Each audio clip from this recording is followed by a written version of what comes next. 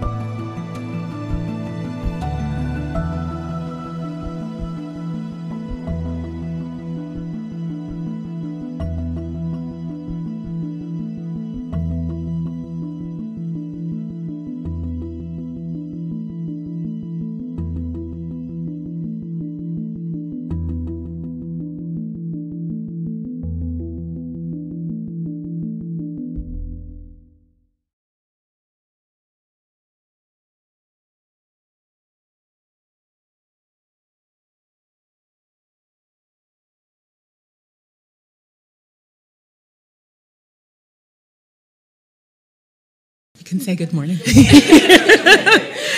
good morning, everyone, and welcome to everyone who is here in person, virtually, and in spirit.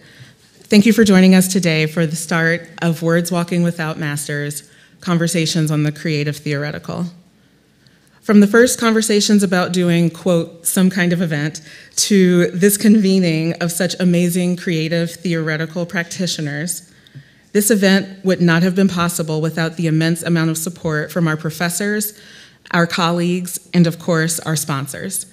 For their generous contributions and support, we want to thank Ella Diaz from the Department of Literatures and English, uh, Elena Viramontes from the Creative Writing Program, Samantha N. Sheppard and Karen Jaime from Performing and Media Arts, Carol Boyce Davies, the Frank H.T. Rhodes Professor of Humane Letters, and Carolyn Levine, Mary Pat Brady, Michael Koch, and Cathy Caruth, all of the Department of Literatures in English.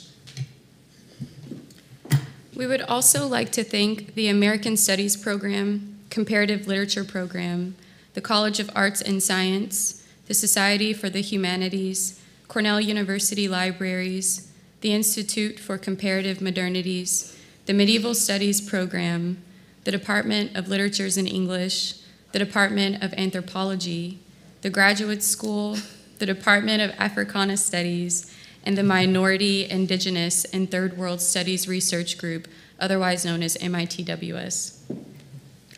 We are also so grateful to the A.D. White House for being the in person host for this symposium. Many thanks to Kina and Jen for being so available and flexible this week. This event would truly not be possible without the many people who have worked tirelessly behind the scenes. Oh, I lost it. Most especially Alice Murdoch in the Department of Literatures and English. Your help and patience with this entire process has been truly invaluable. We also want to say a huge thanks to eCornell and to Cornell IT for all of their technical and logistic support. To Laura Caicedo, Taylor Pryor, Lisa Camp, Karina Barris, and Amrita Chakraborty. Thank you for your incredible work, support, and friendship. Last but not least, we want to say thank you to Professor Carol Boyce Davies for her theorizing of the creative theoretical, which inspired the theme for this symposium. We also thank her for her guidance, encouragement, wisdom, and support of both of us each step of the way. It has been so rewarding to not only learn from you, but to also work alongside you. When Jahan and I began planning this symposium, we had no idea how ambitious it was or how deeply folks desired such a space.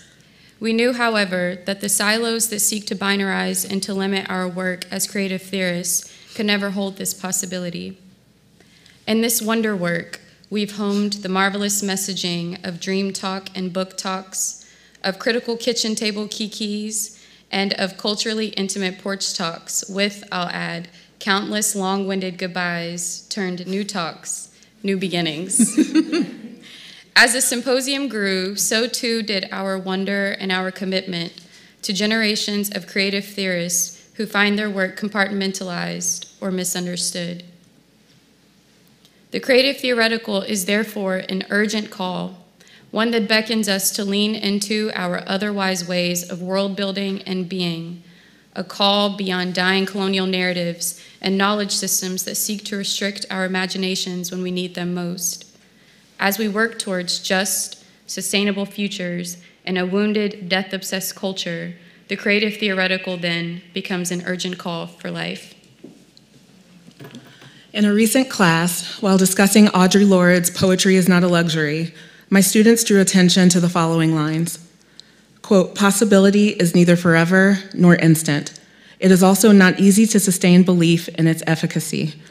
We can sometimes work long and hard to establish one beachhead of real resistance to the deaths we are expected to live, only to have that beachhead assaulted or threatened by canards we have been socialized to fear, or by the withdrawal of those approvals that we have been warned to seek for safety. Sometimes we drug ourselves with dreams of new ideas. The head will save us. The brain will, alone will set us free. But there are no new ideas still waiting in the wings to save us as women, as human. There are only old and forgotten ones, new combinations, extrapolations, and recognitions from within ourselves. along with the renewed courage to try them out. And we must constantly encourage ourselves and each other to attempt the heretical actions our dreams imply and some of our old ideas disparage. In the forefront of our move toward change, there is only our poetry to hint at possibility made real. This possibility was generations in the making. Long before we, e- we were even thought of, many we now call ancestors labored and dreamed so that we might make it this much further, that our struggles and burdens may be that much easier to bear. Loss has characterized so much of these last two years, and Shakoya and I are no exception. To those no longer present in flesh, but always in spirit, we call out your names in remembrance and in gratitude. To my grandmothers, Dr. Willie Mae Williams Crittenden, Ruth Roberson, and Virgia Roberson. To my aunt, Dr. Beverly Jean Williams Cleaves, my cousin, Joseph Grubbs, and to Theodore Teddy Anderson. I'm honored by your continued presence and love in my life. The way that you lived was an example I was blessed to witness. You each planted and nurtured so many seeds of curiosity, of soul deep communion, and of unshakable faith in radical black possibility. Those seeds are eternal, blossoming gifts. Alongside Jahan, I encourage you to bring your folks from the wake, to invoke your living dead in spirit at this site of possibility. I call on my Aunt Ronella, my Aunt Jill, Sandra Towns, Stacy Slaughter, Bernadine Thompson, Joshua Kidwell, Erlene Davis, and Lisa Ngunda. As Ancestor Bell Hooks describes in All About Love, embracing the spirit that lives beyond the body is one way to choose life. We embrace that spirit through rituals of remembering, through ceremonies wherein we invoke the spirit presence of our dead and through ordinary rituals in everyday life where we keep the spirit of those we have lost close. Sometimes we invoke the dead by allowing wisdom they have shared to guide our present actions, or we invoke through reenacting one of their habits of being. And the grief that may never leave us, even as we do not allow it to overwhelm us, is also a way to pay homage to our dead, to hold them, end quote. May our people home this critical, sacred space with us today and tomorrow, and may this spirit led love offering reach who it must as we critically commune at the site of possibility. To the presenters, conspirators, and attendees, we want to thank you for your presence, your offerings, and for joining us in this effort of harnessing radical possibility. Thank, Thank you. We would like, like to welcome Professor Boyce Davies to speak on the panel themes. Thank you. Good morning. Uh, I want to first honor the Cayuga uh, People's Chief for being here and your words of welcome. Uh, so necessary, and I'm so pleased that our grad students were that conscious that they made sure you were here and you are here. So we are in your space and we recognize you. I'm from the Caribbean, so Carib peoples also um, have a relationship that we want to also honor, and this is why I, I really recognize you as well in this way. So, good morning, everybody in cyberspace and the audience. This is a new venture. This is a hybrid, a hybrid conference, right? So, we have some people here and some people, many more people I know listening in. So we welcome that huge audience that, that we know is present. I'm going to read just a little quote from Zora Neale Hurston's Their Eyes Were Watching God, which situates a lot of this. the sun was gone, but he had left his footprints in the sky. It was the time for sitting on porches beside the road it was the time to hear things and talk. These sitters had been tongueless, airless, eyeless conveniences all day long. Mules and other brutes had occupied their skins. But now the sun and the boss man were gone, so the skins felt powerful and human. They became lords of sounds and lesser things. They passed nations through their mouths. They sat in judgment. They made burning statements with questions. words walking without masters, walking all together like a harmony in a song. Pages 1 to 2, Their Eyes Were Watching God. It may be worth returning to a full read of that introduction with all its complexity and beautiful ugly from Paule Marshall's Poets in the Kitchen and Fred Moten's use of that in Black and Blur. But I wanted to identify at least the removal from master disciplinary constructs that the creative theoretical signifies and which is captured in this event. The creative theoretical as a concept arose in praxis in the reading, teaching, studying the works of black writers from across Africa and the African diaspora, pushed forward by the assertions of those like Barbara Christian in the Race for Theory, who claimed that we already, quote, a race for theory, unquote, and that we theorize in multiple ways in our folk tales, songs, myths, legends, narratives, and so on. At first, it came across as a kind of Caribbean literary phenomena with phenomenon with salient contributions from people like C.L.R. James, Sylvia Wynter, Aimé Césaire, Derek Walcott, NourbeSe Philip, Dionne Brand, uh, Édouard Glissant, Audre Lorde, and so on. All these writers who were determined to express themselves imaginatively in several modes, the creative and the theoretical, radical as they represented themselves as transformative intellectuals. But as we studied, we saw a distinct pattern emerging in these conjunctions in different ways in a range of black literary fields, even as the Academy maintained a strict disciplinary separation as it is wont to do. We saw this split as not as useful for our work as we began to evaluate a range of writers from the black radical aesthetic tradition, many of whom, like Toni Morrison, or people like Ayi Kwei Armah of 2000 Seasons had, had imaginative work that elucidated a variety of theoretical positions. We defined it then as that liminal space where the imagination feeds each of these streams and willfully brings them together repeatedly in that magical place where imaginations roam free, new stories, new meanings, and new realities are created.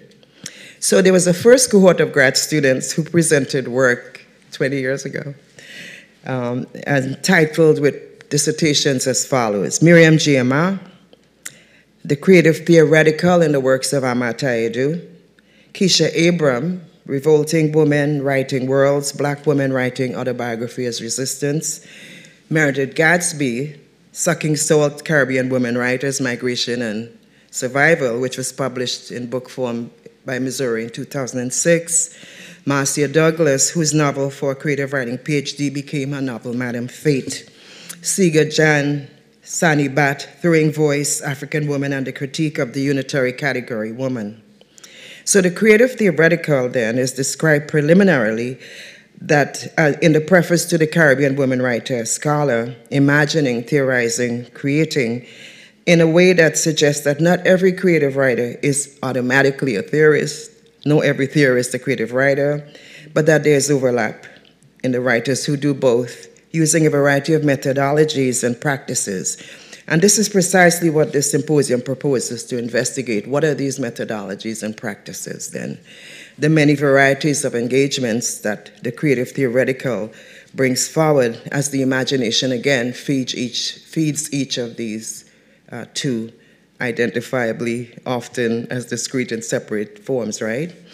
But feeds them repeatedly in many different ways. So the place then in the dark where magic can happen that, that Zora Neale Hurston references as the sun goes down or that Jamaica Kincaid identifies, all of these capture then what Zora says, that context, that space for words walking without masters, in which she describes that time of the day when people sat on the porches and let conversations and analyses, gossip, ass- assessments of community, all of these fly as liberated speech after enslavement. All of this is worthy, I would suggest, for capturing the freedom that we want to emulate in these conversations for the next two days presentations, kitchen table talks, porch provocations, and so on.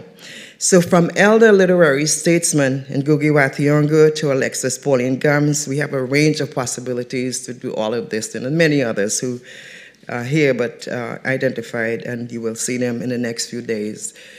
Jafari Allen, for example, Thomas Glave, and, and so many more. Minna Salami.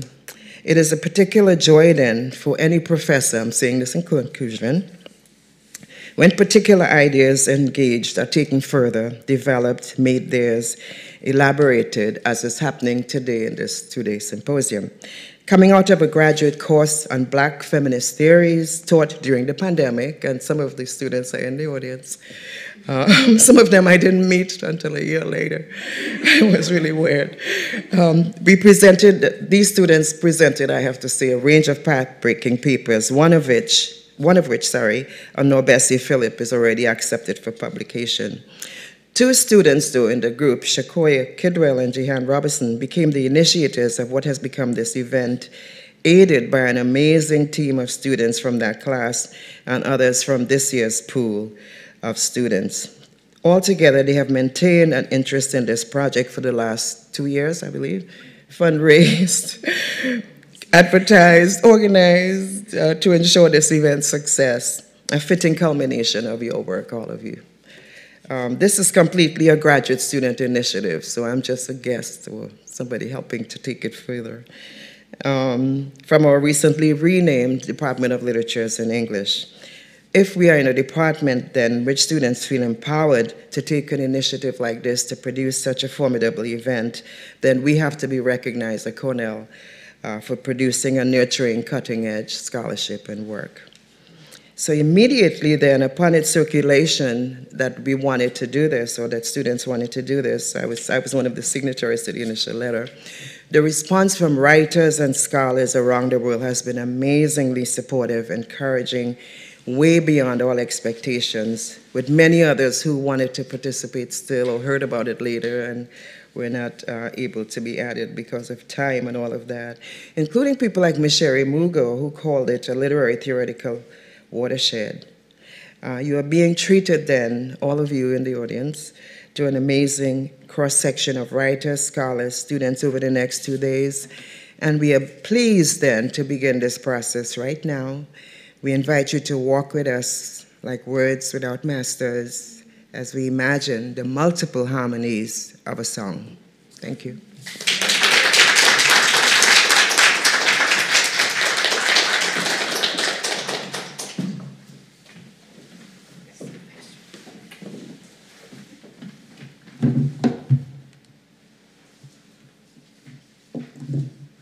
Oops. I'm a little shorter. Good morning, everybody. Um, thank you for being here with us. Uh, I'm Aaliyah Gonzalez. I'm a first year in the Department of Literatures and English PhD program. Um, and I'd like to take a moment to honor Barbara Smith for being here with us. So, Barbara Smith is a lesbian feminist and socialist who has played a significant role in building and sustaining black feminism in the United States. Since the early 1970s, she has been an ac active as a critic, teacher, lecturer, author, scholar, and publisher of Black Feminist Thought. Smith is one of the founding members of the Combahee River Collective and the Kitchen Table Women of Color Press. Her essays, reviews, articles, short stories, and literary criticism. Is everything okay? Oh, yeah, sorry. um, and literary criticism have appeared in a range of publications, including the New York Times Book Review, The Black Scholar, Miss, Gay Community News, The Guardian, The Village Voice, Conditions, and The Nation, Barbara has a twin sister, Beverly Smith, who is also a lesbian feminist activist and writer. Words Walking Without Masters, the Creative Theoretical Symposium, honors Barbara Smith for her lifelong commitment to creative theoretical and activist praxis. Okay. Sorry, y'all. Nervous, because Barbara Smith is amazing. When Chakoya called me up and asked if I had time and capacity to share how Barbara Smith has been central to my scholarship and dream work, I could taste the yes on my tongue before I even looked at my calendar or too, too long to-do list. Barbara Smith and all of the profound and meaningful offerings she shared with us, black feminists, black lesbians, black women, is why I'm in graduate school. My introduction to her work, to your work, was in an African American literature graduate class at Cal Poly SLO in 2019, where I first read Towards a Black Feminist Criticism.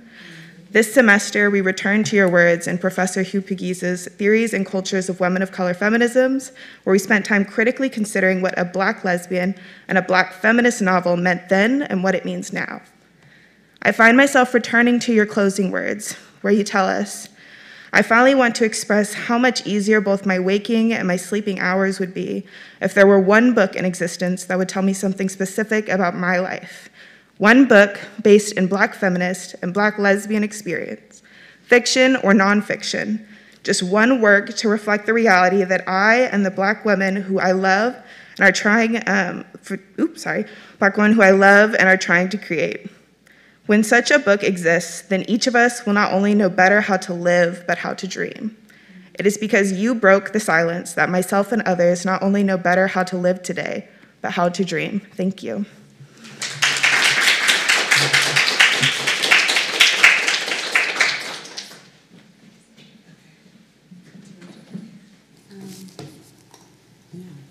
Yeah, okay. So I think I'm supposed to be talking now. Somebody say something to let me know. I want to thank, um, uh, I want to thank, is it Alia? Yes. I might have said it incorrectly, but thank you so much for a beautiful introduction and reading, um, reading uh, familiar words that, um, that I wrote. And thanks to everyone who is welcoming me here um, and made uh, this, um, this connection possible. I particularly want to thank, well, both Shakoya and Jahan. I just met Jahan, I believe, yesterday, although I was going to ask if we had met when I was at Cornell in uh, November of uh, 2019.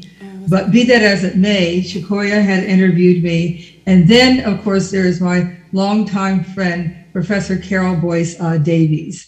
So uh, it's just wonderful to be with all of uh, you. Uh, I am uh, in, well, a little bit outside of a few miles outside of Albany, New York, which is Mohawk, Mohican, and Haudenosaunee land, often refer, uh, referred to as the Iroquois uh, Confederacy. And it is on that land that I am present. Um, what I'm going to talk about for a few minutes is what made Kitchen Table Women of Color Press unique. Now, of course, there's the obvious the fact that uh, we were the first publisher uh, run by and for women of color that reached a national audience. There were some other uh, publishers and publications that also focused on women of color, but because of um, the scope of what we did, and also because of the marketing and publicity that a certain person was very committed to, that would be me, uh, our work uh, went uh, very far for a press that literally at one point was on the first floor of my two family house in the Black uh, community in Albany. So there's that, the, that our mission was uh, unique at the time we were founded. How the press was founded was also interesting and unique. I had met Audre Lorde uh, in person in the uh, mid and late 1970s, and we became friends. I was familiar with her work because of the fact that I was reading every single thing I could by Black authors, and she was published by an independent press uh, in Detroit, a legendary and pivotal uh, independent press called Broadside Press. So she was one of the Broadside poets which uh, meant that she was a part of the Black arts movement of the 1960s into the early 1970s. So I was familiar with her work. And then, as I said, we met in person. Uh, once, uh, one day in 1980, the fall of 1980, we were talking on the phone, and she was coming to Boston, where I lived at that time, to do a Black women's Halloween poetry reading. When, when you think about it, that's kind of great. Halloween is actually my favorite holiday. I did not plan the uh, poetry reading, however, but you know, it was uh, mystical, spiritual, and it was about Black women. So we were talking on the phone about her coming to uh, Boston, and she said, Barbara, you know, and that wonderful lilting voice of her, hers, uh, absolutely uh, uh, based, you know, in her Caribbean heritage. He said, Barbara, we really need to do something about publishing. And of course, I knew exactly what she meant because we had been in the situation of, um, you know, being parts of special issues. And I, I myself had co-edited Condition Five, the Black women's issue. Um, there was t- uh, attention being paid by women's presses and feminist publishers to the fact that they needed to include all women, not just white uh, privileged women. But it was time for us to have a press of our own. And that's how Kitchen Table got started. I uh, got together a meeting during the weekend that she was in Boston at my home in Roxbury. And that was the beginning. Um, we were another unique thing about Kitchen Table is that we were both a movement and a literary publisher. Uh, we are a political press with high literary standards. And that I think is unique because uh, often those things do not necessarily go together. The fact that there were several people involved with the press, in fact, a number of people, I'm thinking about Hattie Gossett, for example, who were involved with the press, who actually were superb writers themselves and really valued uh, a level of written expression that uh, just sang, you know, that uh, moved off the page into people's uh, hearts and uh, minds. Um, we were not into belles lettres. You know, like when I say we were a literary publisher, we were not trying to publish the most obscure, most difficult to understand, most rare of work. We were interested in publishing authentic work by uh, women of color. Uh, and when I say that we were a political press, I want to be clear that those politics were leftist, anti capitalist politics by and large. We didn't necessarily have uh, political discussions like that within the uh, kitchen table press uh, collective in the early days. Like i don't remember having conversations about uh, you know like are you a socialist? Are, are you a marxist? Have you read you know whomever um, like that? But because of who was involved and i'm thinking particularly of um, of Audre of Cherríe Moraga and myself you know, there was definitely that those kind of politics, which were not, um, you know, like within the movement of women of color that was building, of feminists of color that was building, that was not uh, uh, so unusual. Uh, we were not liberals, um, and uh, we were certainly not li- neoliberals to this day. So, in any event, um, those that was a kind of those are the kind of politics that we gravitated to. We've been in other movements, uh, many other movements too. Uh, kitchen table press conversations or talks were conversations that were materially based and that were concerned with our people's actual material conditions and struggles. We were always mindful of that. Another unique thing about Kitchen Table Women of Color Press is uh, was our decision to be a press for all women of color.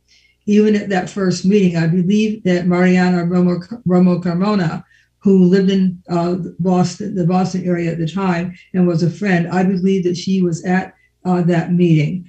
Uh, most of us who were at that meeting were African American and African Caribbean, but as I said, we made the decision uh, that we would be oppressed for all women of color. And that was that might have been a departure from what was going on uh, in other movements uh, and in other spaces at the time. I want to share with you how we defined women of color. We now we did have really uh, incisive conversations among ourselves when we were arriving at how to make that commitment operational. And what we decided, and Audre was very central and that and those conversations, as was uh, Cherríe. Um, what we decided is that we considered women of color to be anyone who identified with the indigenous peoples of their nation, of their country. And one of the reasons we put it that way is that there was a question about who was Latina, because of course, being Latina, um, now you know Latinx, um, you know, used used um, still both terms are used. Um, that that there are people of various races within uh, the group. So like as I, as I was saying to Jahan yesterday, we were not asking people to, to submit photographs, you know, with their manuscripts. That was not what we were about. Uh, we were talking about and, and interested in hearing from people who did identify with the indigenous people of their cultures and of their nations. A particular example of that is uh, Latinas whose uh, families actually came from Europe and came to places in South um, uh, Central, uh, probably more South America, because of the Holocaust. Uh, they were Jewish uh, people who migrated from Europe to South American countries, and they spoke Spanish, and they were born, you know, in those countries. And so, as I said, we were not about, you know, the the uh, phe- uh, the the phenotypes. You know, that's like how the how the thing looks. Uh, our, our, we're not we were not about the genotype either. You know, who are you genetically? It was like where are your politics and who do you identify with. Um, often people refer to Kitchen Table Women of Color Press to this day as a Black women's press, and I always correct them. Um, some of the, uh, publishing decisions that we made um, reflect the complexity with which we understood our mission. A great example is um, our decision not to translate the book Cuentos Stories by Latinas. This is not a translated book. If you are able to find it, I don't believe it's in print at this time. But if you're able to uh, find a copy of the book, and many libraries, of course, purchased it, uh, when it was available, uh, you will see that there is writing in Spanish, in Portuguese, and in English, and none of that writing is translated. So, whatever uh, language the writer submitted their work in, that was the language that we published it uh, in. And it was very interesting to me as a non Spanish and non Portuguese speaking African American sitting at the kitchen table, press table, at conferences and events and having certain people get very bent out of shape because it wasn't all in English and was not translated.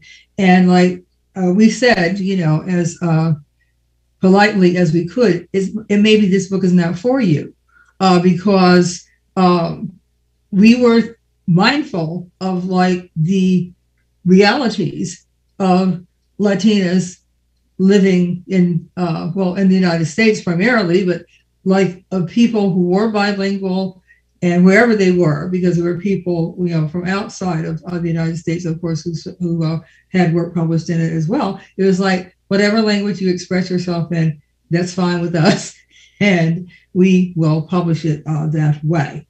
Um, my two favorite books.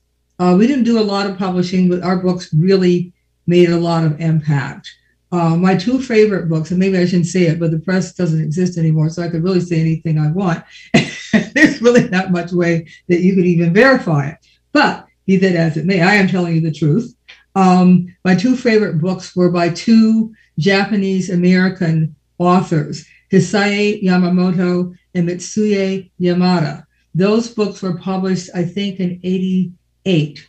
And um, Hisaye Yamada is one of the best uh, uh, short story writers. He was, he's not now deceased, was one of the best short story writers in the United States who was getting her short stories published in such places as the best American short stories of 1950, whatever. So very early in uh, you know her career, her work was being recognized, and she had never had a book published until the late 1980s because of anti-Japanese sentiment that was bleeding over from World War II.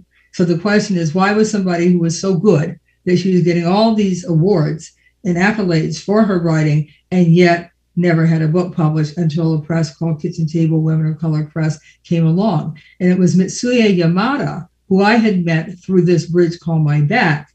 That's who introduced me to Hisaye. And uh, it was a wonderful experience. Uh, we, uh, if there were Japanese phrases in the uh, books, and there were, they were transliterated into English characters. And the only way that we could proofread that book since we did not know the words. And so, you know, like we would look at the word, we could not verify if it was uh, spelled correctly or not. The only way we could pre- proofread the book was to read the entire book out loud. And that's what we did. So we would read the galleys. In those days, it was galleys. You, uh, we would read, you know, like uh, I had uh, interns, one particular intern, Sheila Sable, who is my lifelong friend to this day. So Sheila and I, I we would read the book out loud and verify from manuscript to galleys that we had gotten the spelling of these words we did not recognize correct. And I was a stickler about having everything in the book be correct. I was just so not into the typos and to uh, all the things that, you know, say amateur.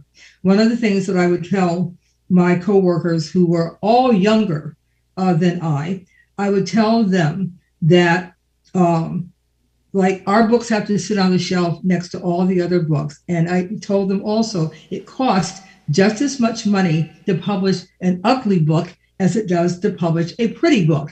So I said, we're going to publish pretty books. And we had great um, graphic designers. My two favorite parts of being a publisher for publicity and promotion and graphic design. I learned graphic design from being a publisher, but I had some background uh, and other, you know, material arts. And so it was just a kind of natural fit. So we, we did pretty books that had very few, if any, errors in them. And if I found one, of course, I'd lose my mind after it was published. We practiced solidarity, um, political solidarity, for example, supporting the struggles against apartheid in South Africa, uh, the liberation struggles in Latin America, uh, we participated in various book fairs. Uh, there were there was a Latin American book fair. There was um, an Asian American book fair. We would participate in those book fairs as well as in Black uh, book uh, fairs. Not always welcome because, of course, we were out lesbians, uh, most of us, and published lesbian material. We sent our books free to all prisoners who requested them, and that was a lot. And the majority of the people uh, who were incarcerated who requested them were indeed men who were in prison.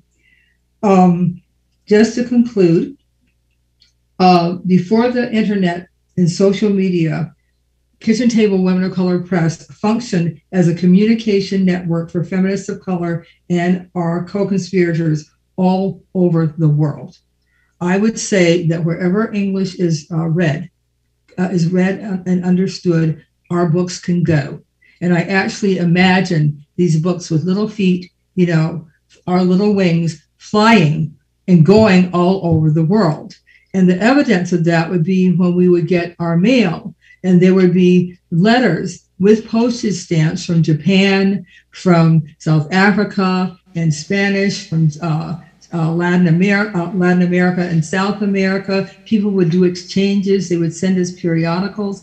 Uh, often that was a practice of uh, independent publishers. So they would send us things and we would send them things like books for review, and we would get things that we couldn't read, you know. But um, that was the level of uh, connection uh, that we had. And people would write to us about things that had nothing to do with publishing because we were a visible women of color presence on the planet.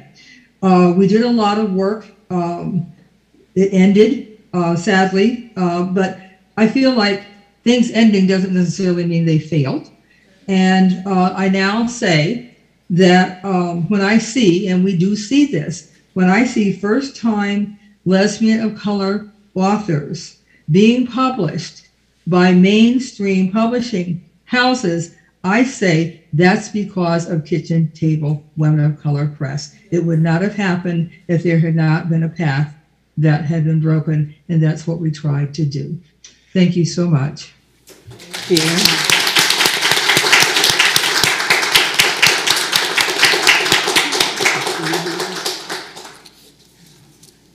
We want to, yeah. Well, we wanted to share some words that we wrote about to honor you uh, today. Let's see. Um, so, the lessons to be culled from Barbara Smith's life and legacy are so many but at the core of her incredible body of work is the imperative to live and embody one's truths, to build a life in alignment with your principles, to see each part of yourself as integral to both your own makeup and to how you show up in the world. From the Kitchen Table Women of Color Press to the Combahee River Collective, Barbara Smith has lived her truth as a black woman, a lesbian, a feminist, and as a radical love practitioner. It takes a remarkable amount of courage, and in articulating those truths, Barbara Smith has not only helped forge new liberatory paths, she also lit the way so that we might follow and so that we might find our own way into otherwise possibilities.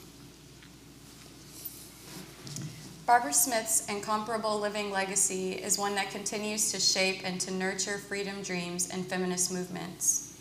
In our 2020 conversation, Barbara Smith mentioned creative theorists like Toni Morrison and Zora Neale Hurston being lifelines to black women in the 1970s. I personally want to thank her for being a lifeline across generations here, for planting nourishing seeds in us as black feminist students and practitioners, and for providing us nourishing seeds to promulgate as instructors. The symposium's kitchen table series would not have been possible without the visionary audacity, to quote Alexis Pauline Gumbs, of Barbara Smith's Kitchen Table Women of Color Press. We gather before you in gratitude and with the determination to carry your living legacy onward. Thank you. Thank you so much.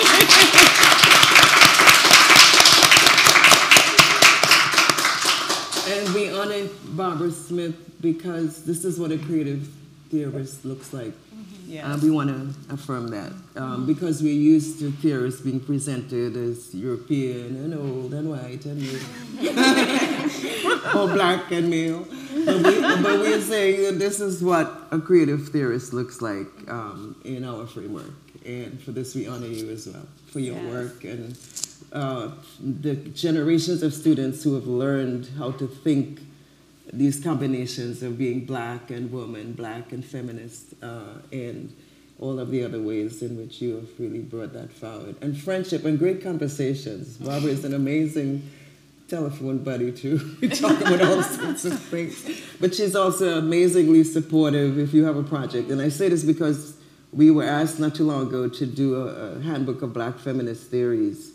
And I asked Barbara Smith if she would um, look at the project. And because of her background and experience in publishing, she was really on it with the press and wanted every detail about how it would look like and talk to the press at a level that I could not. So um, uh, I'm Blooms- and this was Bloomsbury Press London, and this Oh, is wow. recent.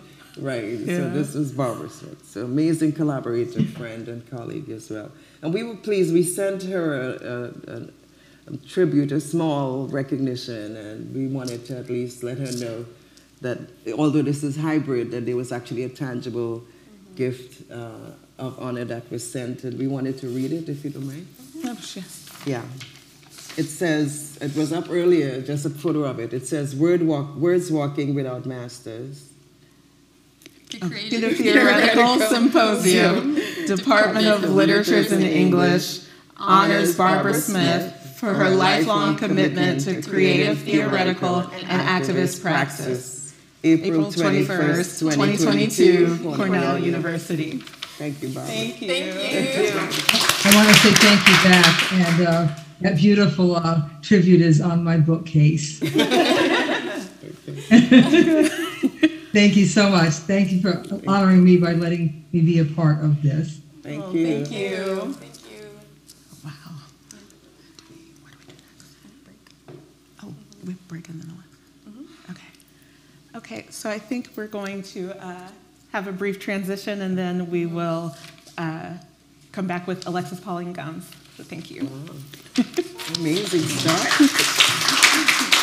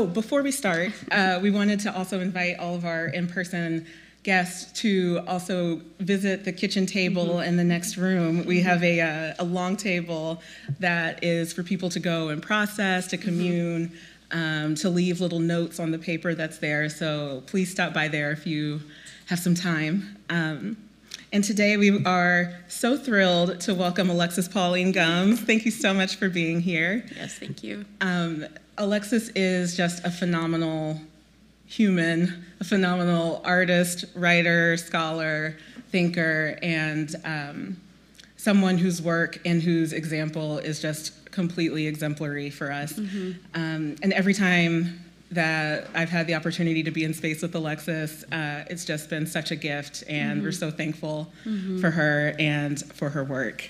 Absolutely. Thank you so much for being here. Um, I'm going to read a brief bio, but just let you all know, um, or to remind you, all of the bios are on creativetheoretical.com. Um, Alexis Pauline Gumbs is a queer black feminist love evangelist and an aspirational cousin to all life. She is, they are, the author of four books Spill, Scenes of Black Feminist Fugitivity, M Archive After the End of the World, Dub, Finding Ceremony, and Undrowned Black Feminist Lessons from Marine Mammals, which we're both teaching. Gumbs also co edited the volume Revolutionary Mothering Love on the Front Lines. She is also the co founder of the Mobile Homecoming Trust, an mm-hmm. intergenerational experiential living library of Black LGBTQ brilliance. Unlike most academic texts, Alexis's work has inspired artists across form to create dance works, installation work, paintings, processionals, divination practices, operas, quilts, and more. We thank you so much for being here today. Yes, thank you so much. Thank you.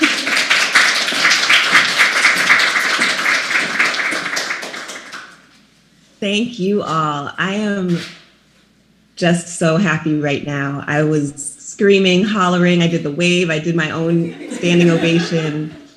The honoring of Barbara Smith was so beautiful and called for and radiant.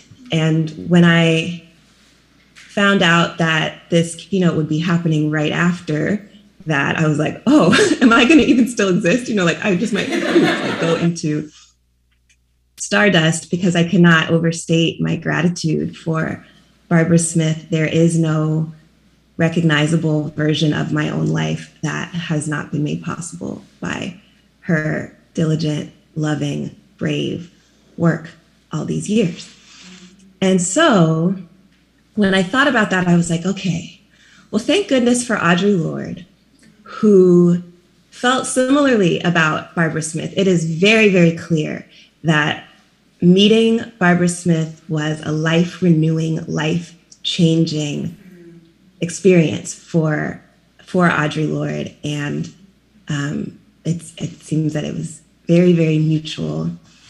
And so today, in honor of this brilliant, brilliant idea, brilliant possibility, brilliant convening around the creative theoretical, I wanted to bring together one, Audre Lorde's first published work of literary criticism, which happens to have been a review piece about science fiction that she had published when she was 19 years old in 17 magazine. And one word that Barbara Smith used to describe Audre Lorde in a recent interview with Cheryl Dunye for the FX series Pride, and that word is incandescent.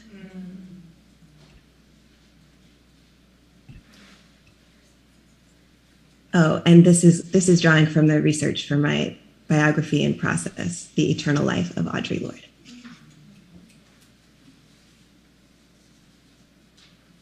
this is the bio from 17 magazine.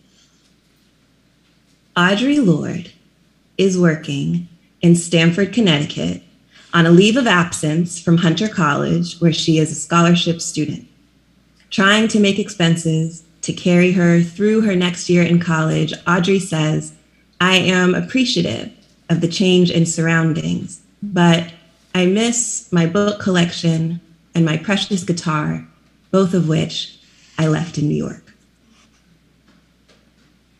In Audre's ideal version of the story, life after high school would have gone something like this. After an illustrious high school career, Audre Lorde, beloved wit of the student body and editor of the literary magazine, goes on to Sarah Lawrence College, where she communes with the best minds of her generation, revels in the special culture of an elite women's college, and makes wonderful use of the advice and connections of the esteemed faculty, publishing her first book before graduation. Yes, she is well on her way. No, that is not what happened. Audre won a $1,400 scholarship when she graduated from Hunter High School, and her teacher Cornelia Newton called Audre one of my future poets. But she was neither beloved by the student body nor editor of the high school literary magazine, and Audre's parents could not afford to pay the rest of her way to private Sarah Lawrence College, which increased its tuition for the second time in a three year period in Audre's graduation year of 1951 to $2,281 per residential student per year.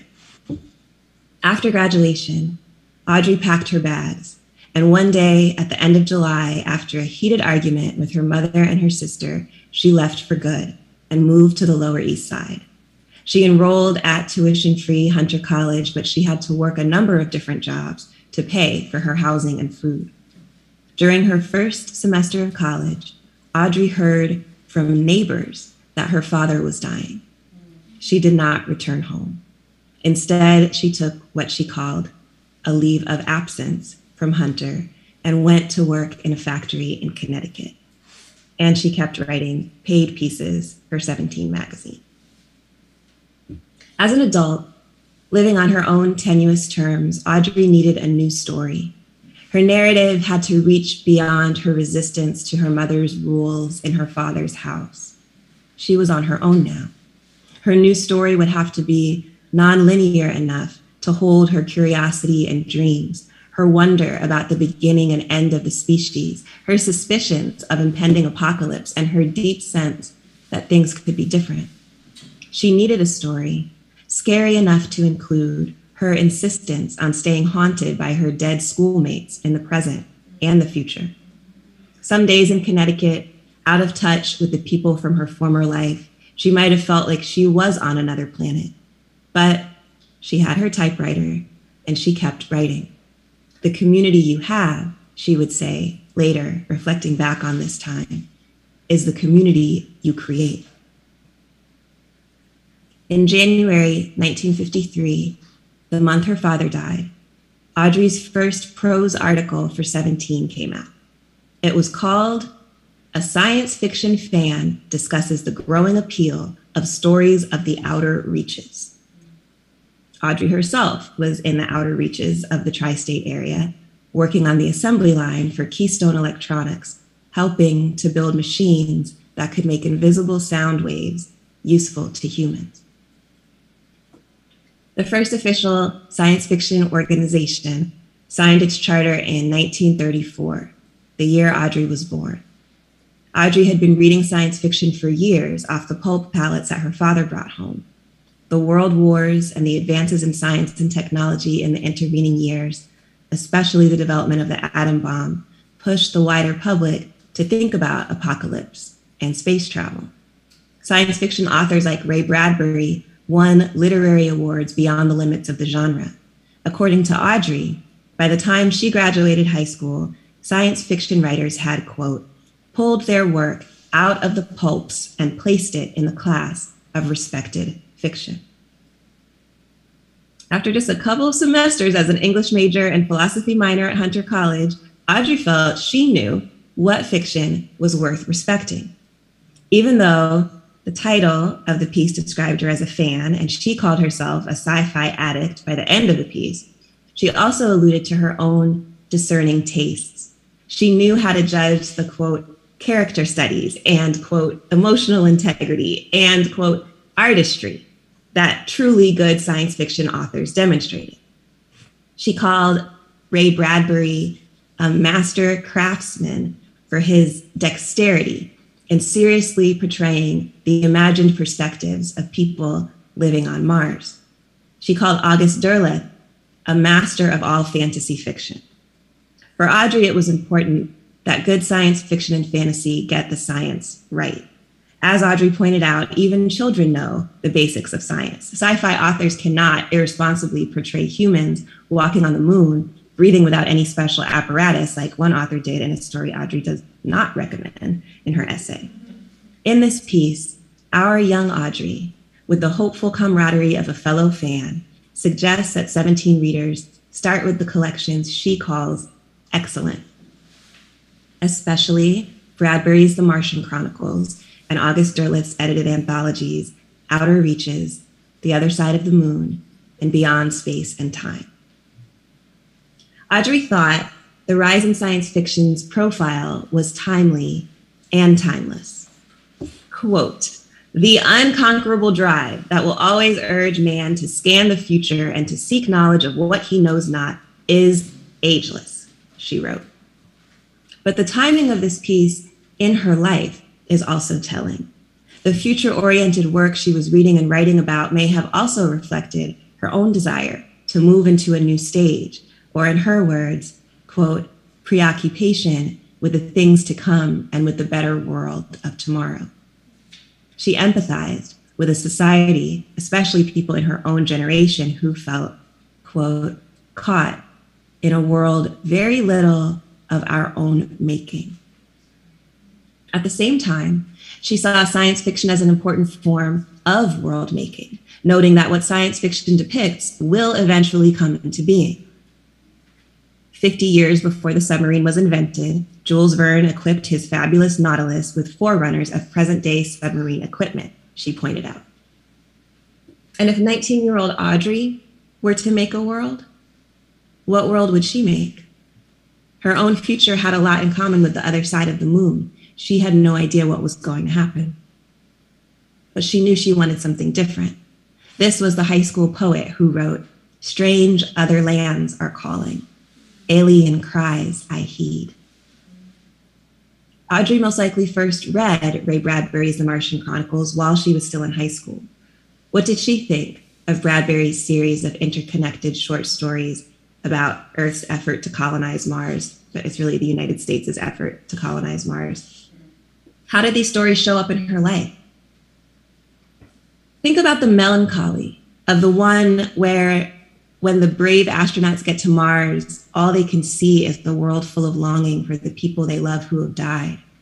Or the one where the scientist creates facsimiles of his dead family and talks with them every day while he ages and they all stay the same age or the one about the bored married Martian woman with the prophetic dreams of a love that will take her to another world until her scared husband and her inert obedience to patriarchy blot out her dream forever.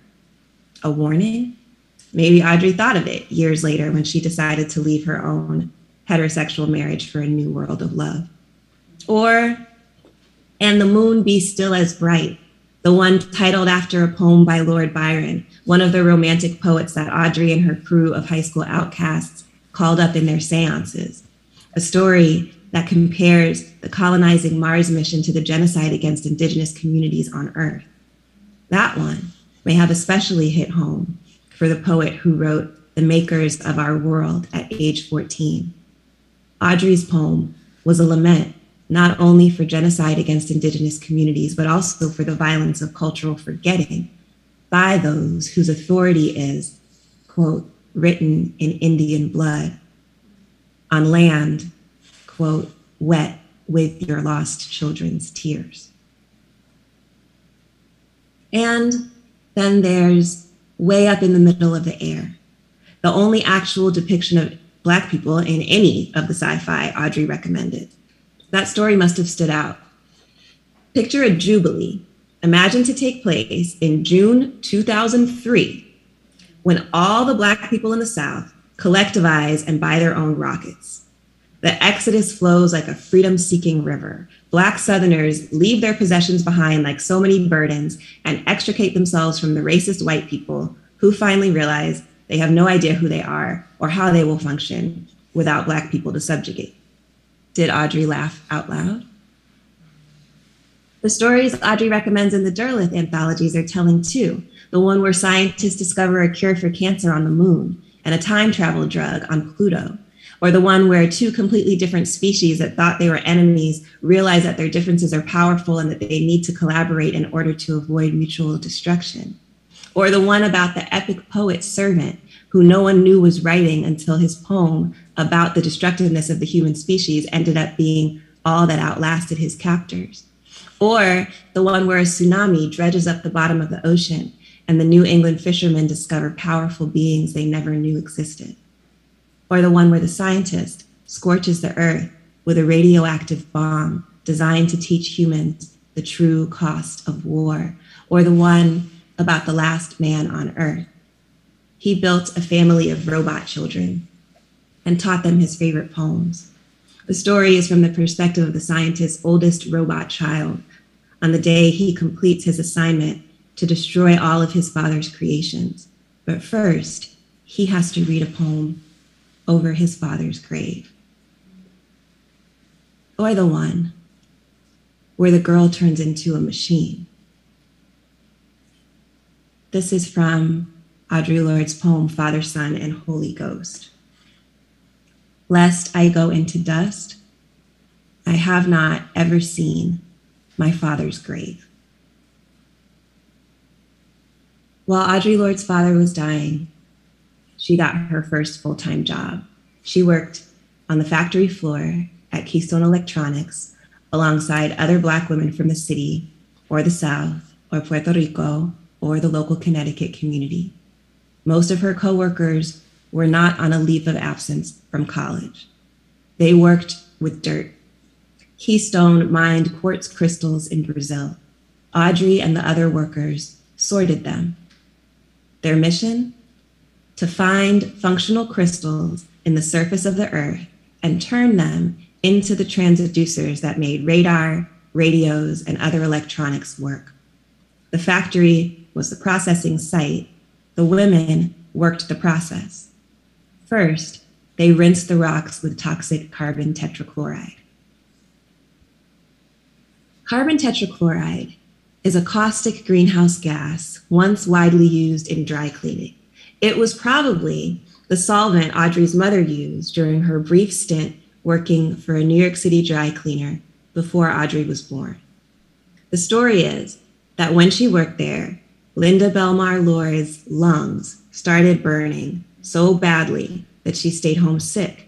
And when Byron Lorde went to collect her check, the owner of the cleaners found out Linda was not Spanish, as she had claimed to be, but a Black woman married to a Black man.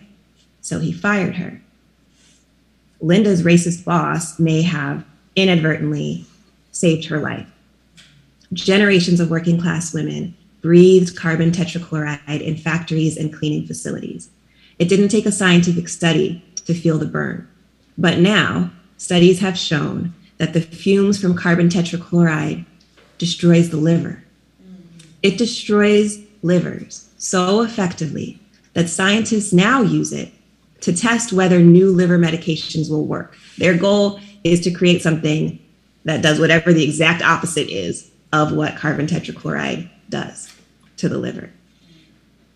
At the end of her life, Audre Lorde wondered if that was how she got liver cancer. She might have lived past 58 if she had never worked there or if the company had cared enough to create safer conditions for their workers. Whether or not working at Keystone Electronics made the toxic difference in Audre's cells, she became part of the machine. A building full of women attuned themselves to the rhythms of an assembly line. Their hands became extensions of the conveyor belt. Their eyes were the interface, discerning earth from earth, transforming dirt into invisible waves of electricity, echo, and sound. Between long weeks of breathing fumes and sorting crystals, Audre would visit her father in the hospital. He was having more and more severe strokes. His heart and his brain were under extreme pressure, especially for a man in his early 50s. Audre went to the hospital alone or with her new friend, lover, and coworker, Ginger. She says, As I was getting off the elevator, I could hear his voice. He was delirious and with his deep voice was reciting the 23rd Psalm, which he used for his real estate business. I will dwell in the house of the Lord. For years, Audre reflected on this moment. She blamed her father's strokes on his reluctance to allow himself to be vulnerable, his refusal to express his emotions. She imagined that if he had found healthier ways to process his feelings, he might have lived beyond his 50s. She felt that his continuous striving for the unattainable American dream had turned him into a machine instead of a father. Standing in his hospital room doorway, Audre looked at Byron Lloyd, Byron Lorde, through the plastic oxygen tent. He was untouchable. I had the feeling of a cosmic mistake happening, but very little emotional involvement. It was years before I could feel an emotional loss because I couldn't mourn something I never had, she said. When her father died, Audre came home for the funeral and stayed a few days in the home that was no longer her home or her father's house. When she went back to Connecticut, she got a slight promotion at the factory. Now she worked in the reading room with an x ray machine measuring the electrical charge of crystals to determine which ones could be used in machines and which ones would become industrial waste. The company gave bonuses based on how many crystals the readers sorted through in a day. To make the process quicker, Audre left the protective shield of the x ray machine up and exposed herself to radiation. She would hide carbon tetrachloride washed crystals in her mouth and then spit them out in the bathroom to get through the pile faster. She told herself she was working to get back to school as soon as possible and to fund her trip to study in Mexico. She worked and worked and didn't visit her father's grave. She didn't know that her work at Keystone played a small part in the evolution of the machines that would beep, measuring the heart rates of hospital patients a decade later. She worked the line, like her father had worked, third shift, all those late nights in the munitions factory during World War II. The Western scientists who first capitalized on the electrical power of quartz were equipping submarines in World War I. Quartz helped humans tune into what whales, dolphins, and bats already knew. Location is an echo. Quartz is both a transmitter and a receiver. Under pressure, it transforms vibration into electricity and back again at very precise frequencies. Submarine detectors use that precision, also known as sonar, to measure the distance between themselves and other submarines and to lock in missile codes. Targeted underwater explosions brought to you by Quartz. The Quartz oscillator in your watch vibrates at exactly 32,768 beats per second. Vibration becomes electricity, which becomes movement again. The invisible becomes measurable. Time, sound waves, radio stations, where and when you will be when you explode. Under pressure, bone does the same thing as quartz. It holds frequency and transmits electricity. On the clock, Audre Lorde measured charge after charge of pressurized quartz. The machine had to press the quartz hard enough for it to lose its internal cellular balance and become charged. Eventually, the quartz Audre measured became the heartbeat of radios, radar machines, household objects, and industrial products. The quartz she spit out and flushed down the toilet returned to the ocean. Eventually, it joined the other quartz transducers and most of the grains of sand on the surface of this earth. The quartz that Audre swallowed, that remained what it was a latent echo of where and when, a ticking clock. On the clock, Audre Lorde swallowed microscopic quartz, dust, and shards, and her cells metabolized carbon tetrachloride, and she suffered the imperceptible slow burn of X ray radiation. She became even more intimately part of the machine that made piles of dirt into sound and long distance perception. The machine that made life more measurable and turned people into dust. In the science fiction version of this story, Audre Lorde's time in the machine gave her the superpowers that transmitted her work worldwide.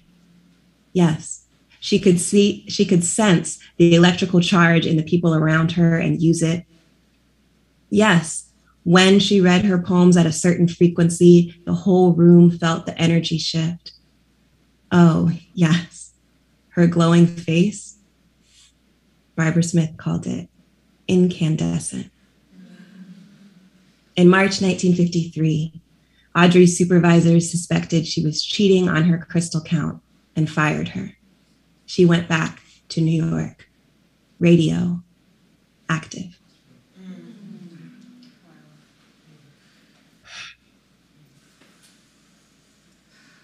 Thank you for your listening.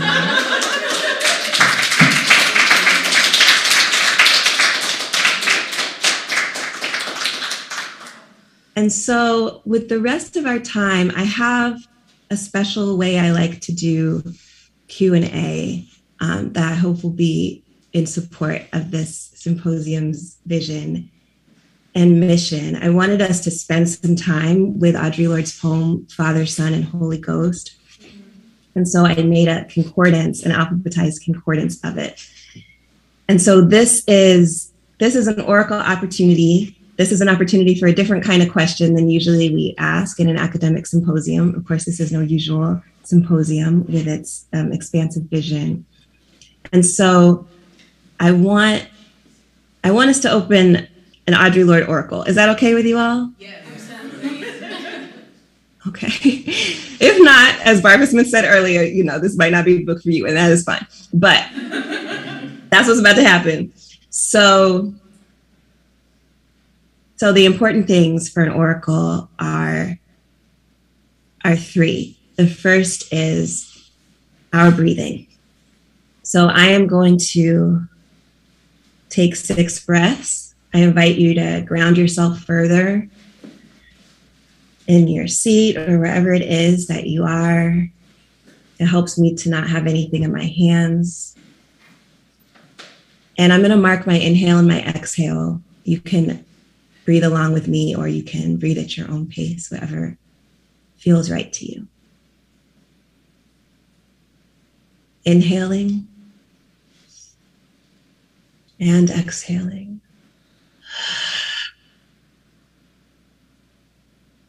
Inhaling and exhaling.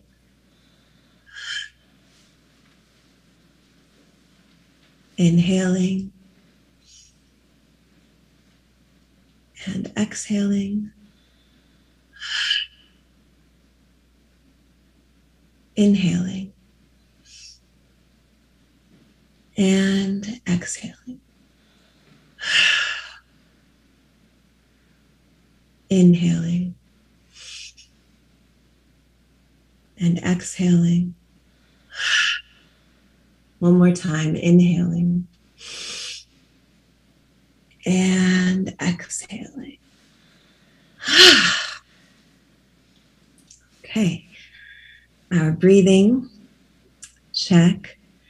And the other necessary component for the oracle is dedication. So dedication is an opportunity and you know we already had a beautiful invitation earlier to call on our ancestors our, our people our creative theoretical theorists that have influenced us at the kitchen table and i just want to invite you to dedicate your participation in this oracle. Could be for your participation in the rest of this day or the rest of this two day symposium to someone who's not in the space. So, someone who's not in the room there and who that you know of is not in the uh, eCornell live stream sphere and who could be living now or could have lived before and who could be older than you or could be younger than you and who is not you. So I'm saying don't dedicate this to yourself or to a younger version of yourself. I think you already did by showing up. dedicate this time to all ages of yourself. And yeah, we have time. Um, if you're in the room, you can say your dedication to the person next to you in a second. I'm going to model dedication for, for you all. And I don't know if there's a chat. I was looking for a chat on the live stream thing. So I don't know if people are chatting, but if you are, you could put your dedication also into the chat. So I'm dedicating my participation today to my five year old niece, Mackenzie, who is um, who is incandescent in her own way, is an energy worker for sure already, and who is is wise and one of my favorite teachers and who I'm celebrating because she proudly told me yesterday that she has advanced to the highest reading level of whatever the reading levels are that they're using in, in her in her school. So uh, yeah, young reader, creative theoretical teacher of mine, Mackenzie, I'm dedicating this oracle and my presence in this moment to her. And let's just take two minutes and share who your dedication is. So if you don't have access to chat function and you're participating virtually, just write it down. If you are in the room, just turn to your neighbor and let them know who you're dedicating to, listen to who they're dedicating to. And if you do have access to the chat, you can you can put it on in there. Take 2 minutes. Go.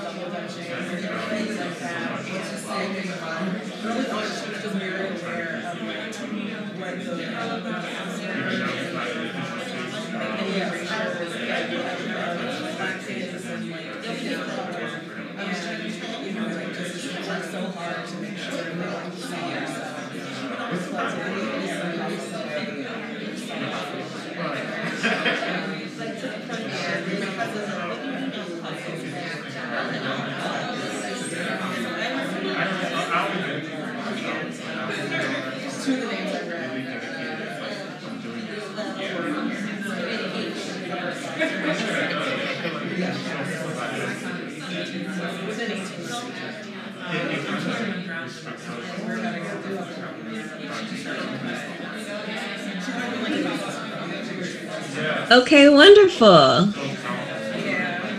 Thank you for that those two minutes. Thank you. I did finally find the chat. Thanks to my my partner Sangodare was like texting me where the chat is. Thank you everybody in the chat who shared their dedication. Thank you in the room for sharing with each other and of course for continuing to share with each other throughout these these couple of days. And then the other thing that's necessary for to to activate the oracle is your question. So, like I was saying before, these are different questions than the academic questions that we usually ask. Um, it has a different purpose.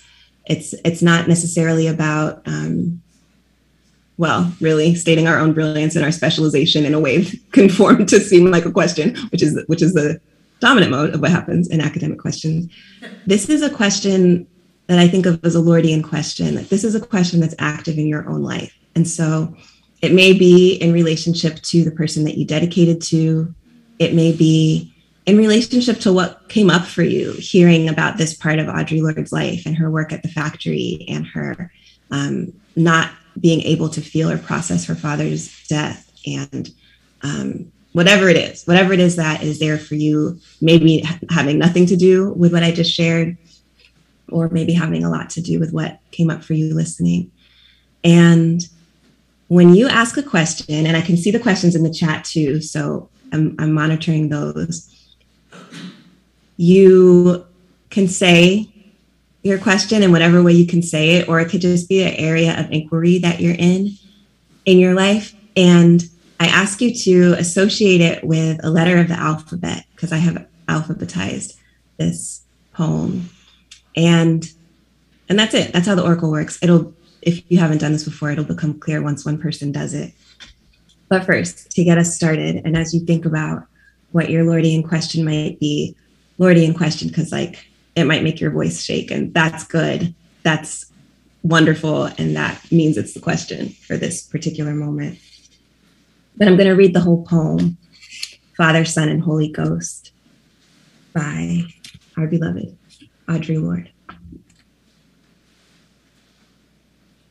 Father, Son, and Holy Ghost. I have not ever seen my father's grave. Not that his judgment eyes have been forgotten, nor his great hands print on our evening doorknobs, one half turn each night, and he would come, misty from the world's business, massive and silent as the whole day's wish, ready to redefine each of our shapes. But that now the evening doorknobs wait and do not recognize us as we pass. Each week, a different woman, regular as his one quick glass each evening, pulls up the grass his stillness grows, calling it weed. Each week, a different woman has my mother's face, and he, who time has, changeless, must be amazed, who knew and loved but one. My father died in silence, loving creation and well defined response. He lived still judgments on familiar things and died knowing a January 15th that year, me. Lest I go into dust, I have not ever seen my father's grave. Thus saith the Lord. And we we get to have our questions. My Lordian question, because I believe in modeling and I believe in not asking you to do anything that I wouldn't do. In this moment is mm, what do I need to remember in order to honor my own father's legacy in the way, in such a way that that honoring can serve my niece, Mackenzie, my other niece, her younger sister, his grandchildren who won't know him in the way that I knew him? What do I need to remember in order to honor that? That's my Lordian question. That's an example of a Lordian question, a real live question that I don't know the answer to in my own life. And I would choose a letter, but I might I might reserve that for later because I want to give time to oracle responses to your questions. So um, the numbers and um, just to remind you all choose a letter. So th- this is a sometimes there's a number oracle this time it's a letter oracle. So choose a letter from the alphabet. The letter that you choose doesn't have to be linearly related to your question but it could be. It could be that for that i would choose the letter um, i would choose letter c because my my father's name starts with a c. Okay so we have one here in the chat. From Sangodare, and it says, Who are the Black queer feminists?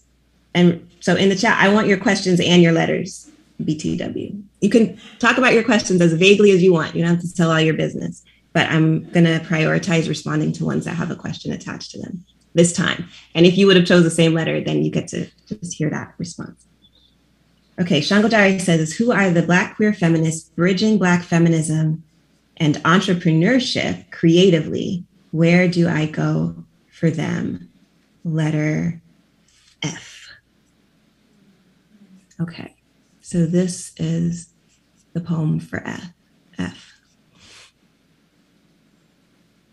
Father, fathers forgotten from face, father, familiar, 15th, fathers. Hmm Very interesting, especially because I personally know Sangodare's father. Um, my own father identified as a queer Black feminist, even though he was also a um, West Indian cis straight man. And so that's an expansive understanding of Black feminist creative entrepreneurship. But I wonder, I wonder how we could reclaim the Black feminism of our fathers. Part of the project for me of this particular biography of Audre Lorde reclaims some of the Black feminism of her father. So that's what I'll say for now on that.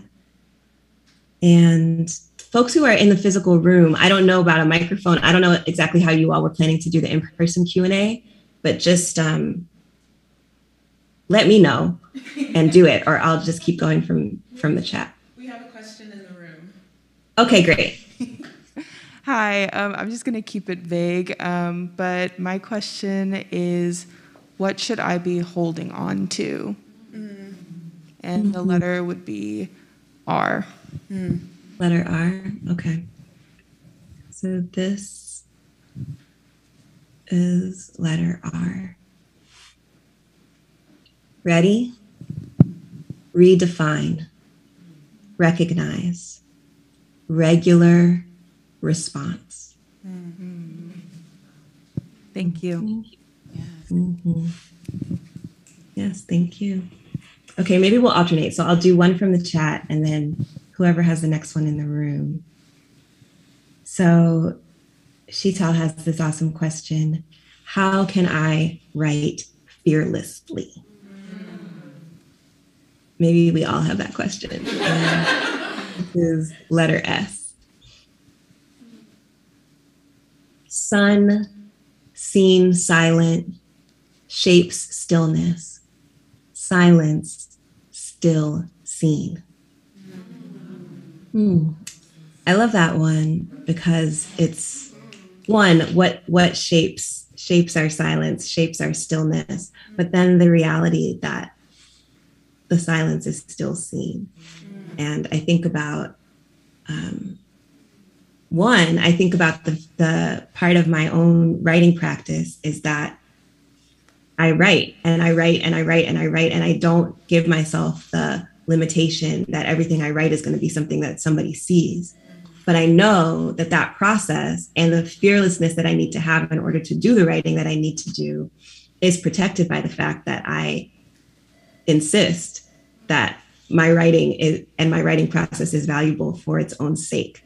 And I deserve to have the space to write, even if it's really just for me to be able to to notice something or to externalize something or to process something and then later I discern, you know, what what should other people see? Maybe it's only one person that needs to see it. Maybe this is for my whole community, but that is um, not what I think about while I'm writing. I I would just say that, and I think it's really exciting to think about your fearless writing. Okay, the next person who's in the room. Thank you so much. Um, my question is What are the vibrations of queer, quiet, and expounding um, vibrations that I should attune to. And my word is Q. Thank you. And I've been reminded to repeat the question. So what is the what is the vibration? I hear a vibration of queer breakthrough that you should hold on to. I know I'm I'm reparaphrasing your question. Yeah. I hope that's true to your question. Yes, the- that is. For the repeat for the audience. Okay. And you said the letter is Q? Yes. Okay.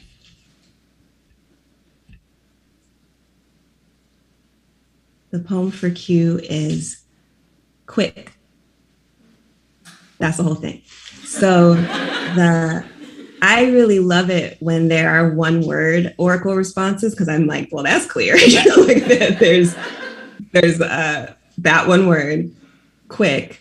I think that quick in this poem is so important, and it's important. And Audre Lorde writes about death a lot in her poetry. It, it's important in her poems about death because she is thinking about quick in in the sense of aliveness and the difference between the quick and the dead. That quickness is is part of what she's working with here.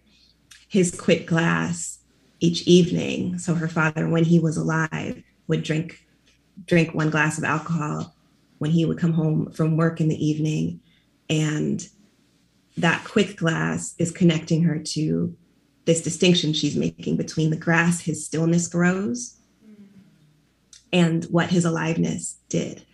And the major, for me, the major um, thing that she's working through in this poem is how to relate to her father, who time now holds changeless, right? While they continue to change. And so her mother continues to change and she visits the grave, but she's a different woman every time because she's continuing to age, but her father's not because he died in his early 50s and, and his story doesn't get to continue. She doesn't know how she can meet his grave, his stillness with her still quick life. So yeah, hold on to that. Hold on to that quickness Thank for you. sure. And I love the question itself. Okay, here we have in the chat. What do I need to learn to process that belong to the family I didn't know? What do I need to learn to process to belong to the family I didn't know? And this is letter G.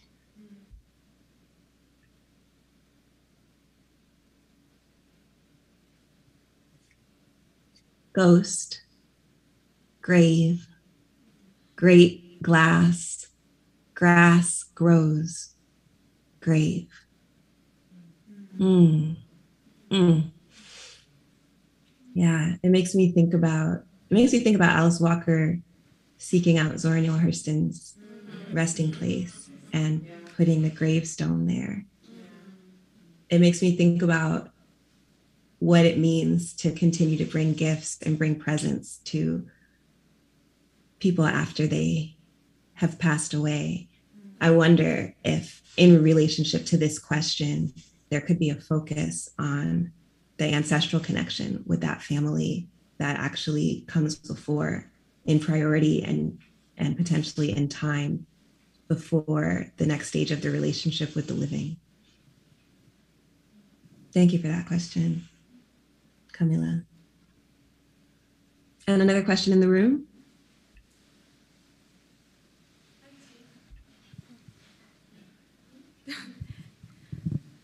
Thank you so much. Um, my question is How do I write with matrilineal echo? And the letter is X. Mhm. Yeah. X and Z are the only letters that she didn't have any words that started with in this poem. I love that you choose X though. Um, I will say that there's this. So, if you remember, I was describing Audre Lorde working with the x ray machine in the reading room and lifting the lid of it, and therefore being exposed to more radiation than she would have been if she used the safety shield. And um, that in itself being an echo to the toxic working conditions and the carbon tetrachloride itself that Audre ended up putting in her mouth on those crystals being an echo of the conditions that her mother most likely had when she was working in dry cleaning.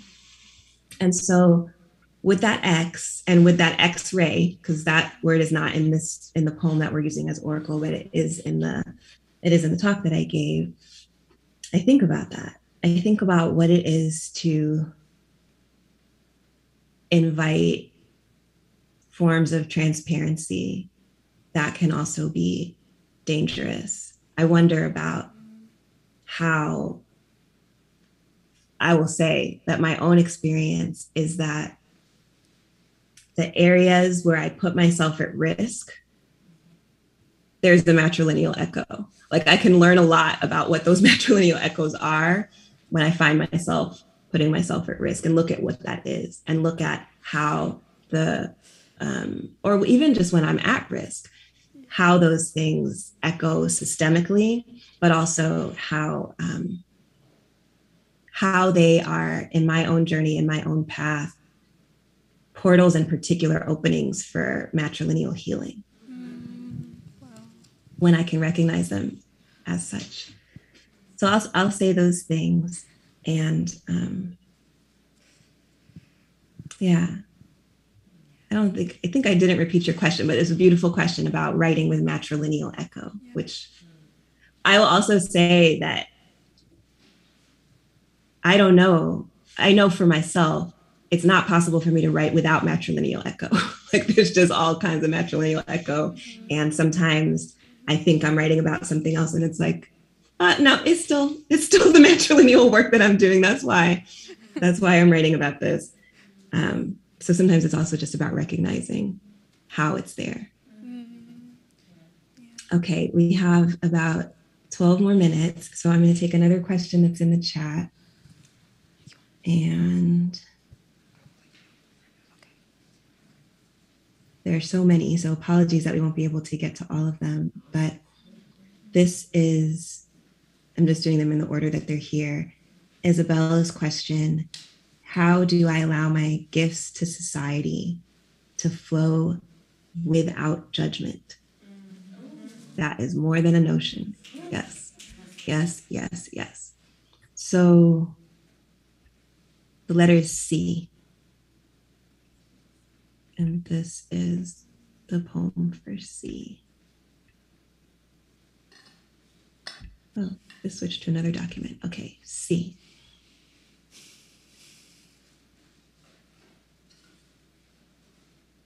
Come, changeless creation. That's the poem for C. All right. so you got, you got what you need. Um, yeah, wow, without judgment. I love that possibility. Is there another question in the room?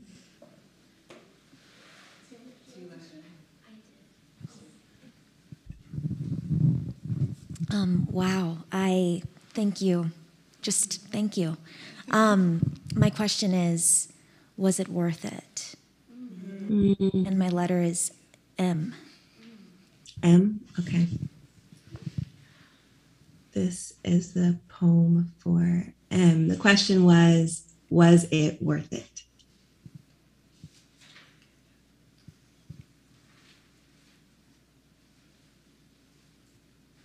My misty, massive, my mother's must, my me, my.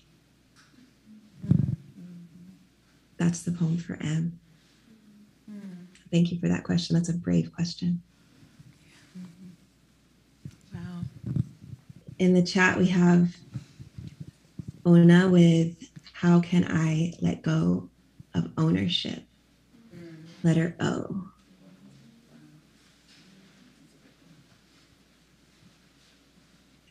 On our one, of our one, one on. Hmm. I love how this question about ownership and then this response has the word our in it twice, that that collective. And then it has the word one in it three times. And that what if what if it was that our one, like our one universe, our one planet. Yeah, that does seem to me to be a pathway beyond ownership. Thank you for that question. Another question in the room? My question is What is the role of the witness? And my letter is B. Mm-hmm. Question is What is the role of the witness? And letter B.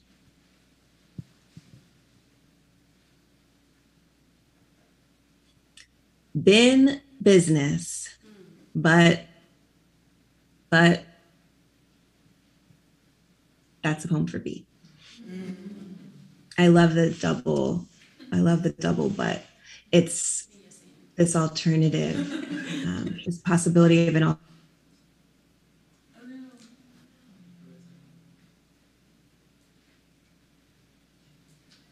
witness sometimes.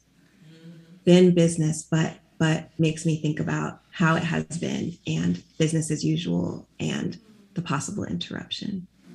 Thank you for that question about witnessing. We have this question from Prince What do I need to examine to heal from the trauma rendered down by my father and from his father's father? Letter H. And this is such an important and brave question, also. The this is a question for for Audre Lorde as well because Audre Lorde, those of us who are familiar with Audre Lorde and who, you know, have read Zami and have read Audre Lorde's poetry know that this phrase, a new spelling of my name, recurs and is the, the subtitle of, of Zami, um, probably Audre Lorde's most read work. And one of the things I talk about in, in the biography that I'm writing is that it was actually Byron Lord, Audre Lorde's father, who first made a new spelling of their name. He added the letter E to Lord, and he did that in part to separate himself from his father. And he was very silent about what his experience was with his father. He ran away from home at a young age. And I think about that. I think about the unknown, what is unknown in that relationship and in that choice to create a new spelling of his name in order to create distance and literal paperwork distance between Audre Lorde's father and his own father, Fitzgerald Lord. So this is letter H towards healing.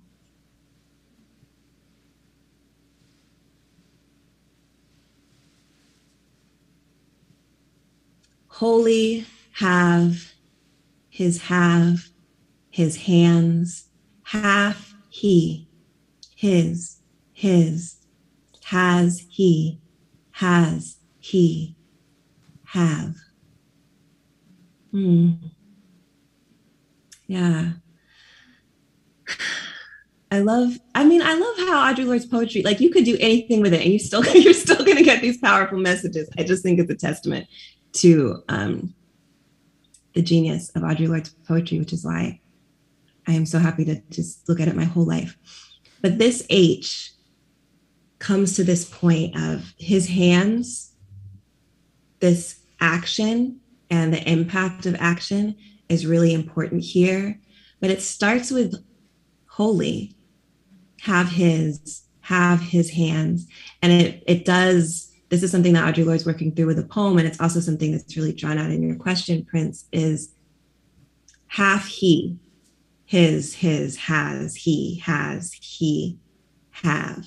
And have is the conjugation, it's the first person conjugation, right? And has is the third person conjugation. So what someone else has and what I have is the is the relationship there. It's important to me that holy have starts it and then the last conjugation is have because it does bring it back to to the first person the possibility of impact our own hands and the presence of all that has happened and that other hands have done half he mm. yeah, thank you for that question thank you for that possibility of healing Is there another question in the room? Uh, my question is How can I do the work while still holding the ones I love? And the letter is E. Mm-hmm. So the question was How can I do the work and still hold the ones I love? And the letter is E.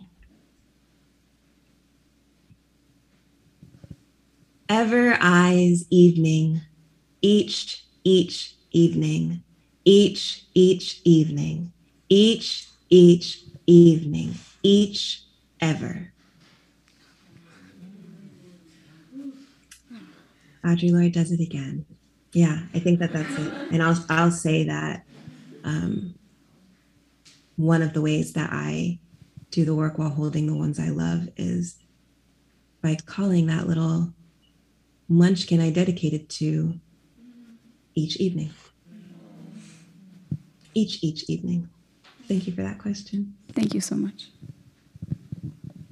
Okay, we have a question in the chat. How important is understanding to our spiritual health? But the letter was O, which we already offered. So that was the one with our and one and on.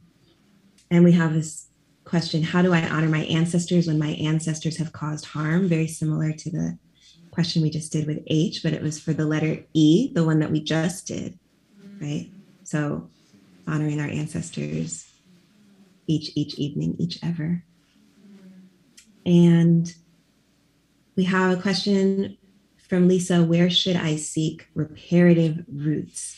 And the letter is W. And this is the poem for W. Wood, worlds, whole wish, wait, we, weak, weed, weak, woman, who, who, well defined. The week in that poem is week like days of the week, W E E K. Where should I seek reparative roots? Mm, mm, mm. And I love how that seeking for reparation does feel very, does feel very um, present in this excerpt because of Wood World's whole wish. And then these weeds. So Audre Lorde refers to it as the grass his stillness grows and depicts her mother tending to her father's grave as removing that because it's it's the weeds right? So i think too about the reparative roots or the fact that stillness grows something or the really interesting way of thinking about what are the plants that are fed by the recent the recent transformation of our dead. Thank you for that question. One more question from the room How do we uh, avoid the toxicity and not let it destroy us as it can try to do? Mm-hmm. Was Audre Lorde also experienced and had to take it in? Yes. Yes. How do we avoid the toxicity and not take it in with all we're moving through? And what was the letter that T. you? The letter was T. T? Okay. Letter T. That turn, the the two, that the time, things, that. So I love this poem for that question because moving through toxic space and you know something that Audre Lorde wrote about and was was really the first theorist of around in, in her work the cancer journals was around the fact that human beings have made our entire ecosystem toxic and carcinogenic at this point. So we're moving through toxic space. We are moving through toxic space. And the way that that shows up here that turn, the time things, that makes me think about the recognition. And it's something that you all spoke about and that I can feel is a fundamental, a really founding energy of this symposium is when you feel it, right? When you're when you're in that conversation that can be communion, when what was a gra- graduate seminar turns into something different, where something else is possible, where more scales of our being are possible. It's like that, that, right? And the recognition to be like, that um, is, I think, a key discernment moving through toxic space. When are we recognizing that we're in a life giving relation? That um, moment where the goodbyes turn into a whole other conversation. It's because we recognize that we want to stay in that energy and we can discern between that energy and the energy that shuts us down and we want to like leave as soon as possible, right? So that's that's what I think of in terms of navigating the toxicity. It's really cultivating our recognition of the, the that time things. Yes. Yes, yes. Speaking of time things, okay. This will be the last question from the chat. And thank you all so much for allowing me to be myself and, and do what I love to do and just live in Audre Lorde with you for this this moment of time. Mhm. Okay. So we had a question in the chat. How do I learn to balance knowing and not knowing more gracefully? Which um, is through the letter B, which we we also already did been business, but but question about not being able to breathe, this person not being able to breathe when they do visit their father's grave. And they had chosen the letter M, which we also read, my misty massive, my my me, my. Um, Jodine has B also. What do I need to embody the truth that I have been authorized to be of our lineage? Mm-hmm. Mm-hmm. Yes. And um, Imani Uzuri, hey loved one, is the letter is V, the gratitude is there. V is the other letter that is not represented. I might have misspoke when I said there were two, because I guess there are three letters that are not represented in the poem. I would say I don't know the question in your mind, and I do know your heart. V, when I think about V in the archive of this of this research and in the context of the maternal echo that was brought up earlier, V is for volcano. V is particularly for the volcano Kick 'em Jenny, which is the volcano, an underwater volcano that's between Carriacou and Grenada that you travel to get, you travel over to get from Grenada to Carriacou, which is the journey that Audre Lorde's mother would take every summer and and also through the years and when somebody was getting ready to give birth. And um, this idea of the underwater volcano is a whole thing. It is a whole thing. And for me, it's it's the only way that I can describe the maternal relationship between Audre Lorde and her mother, very heated relationship, like an underwater volcano.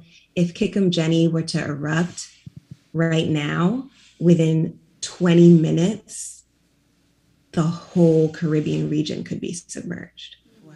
That's the power of this underwater volcano. It could cause tsunami that reached to the islands furthest from Grenada. Um, we remember that the Caribbean region is actually all volcanoes. It's just that this is a volcano that's still active. So V is for volcano Imani, and I, I love you.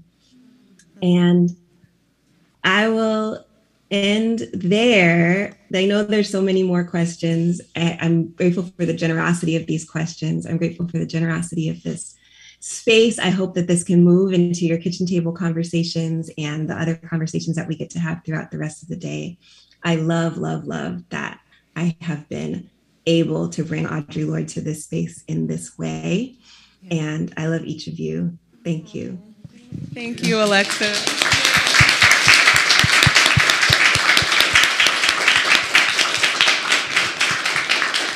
We love you too. Thank you. Thank you.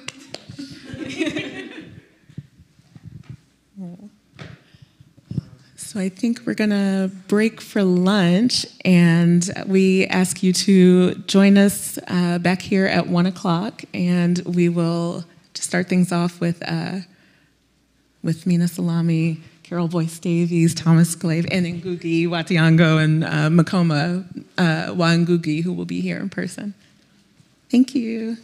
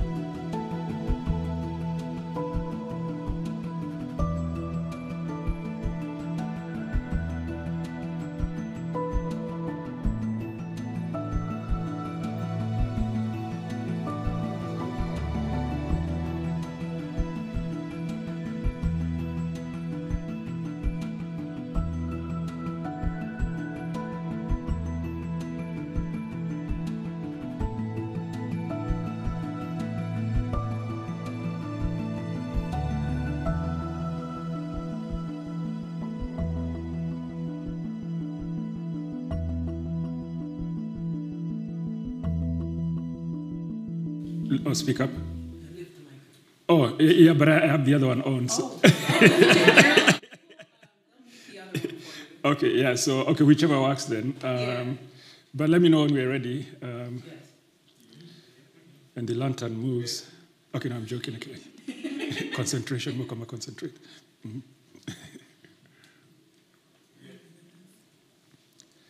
Uh, hello, uh, welcome.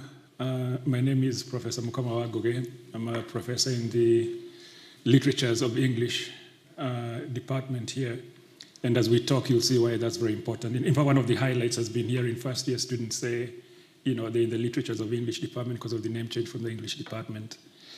Uh, but I, I, want to thank uh, Jahan and Shakoya for putting this together. You and the whole team behind Words Walking Without Masters. And what a great, you know, yeah, I've, I've been thinking about that. Uh, but let, let, me not digress from my, from my remarks because of time. yeah, so for putting this together, uh, words, words, words Walking Without Masters Conversations on the Creative Theoretical. And of course to Carol, Professor Carole Boyce Davies and to Professor Dirango Achanga, you know, who, who, who is the filmmaker behind the video you'll see. But I wanted to add, he's also the documentarian for Ngugi, the official documentarian for Ngugi wa Thiong'o, uh, Micere Mugo, Ali Mazrui, Wale and so on and so forth.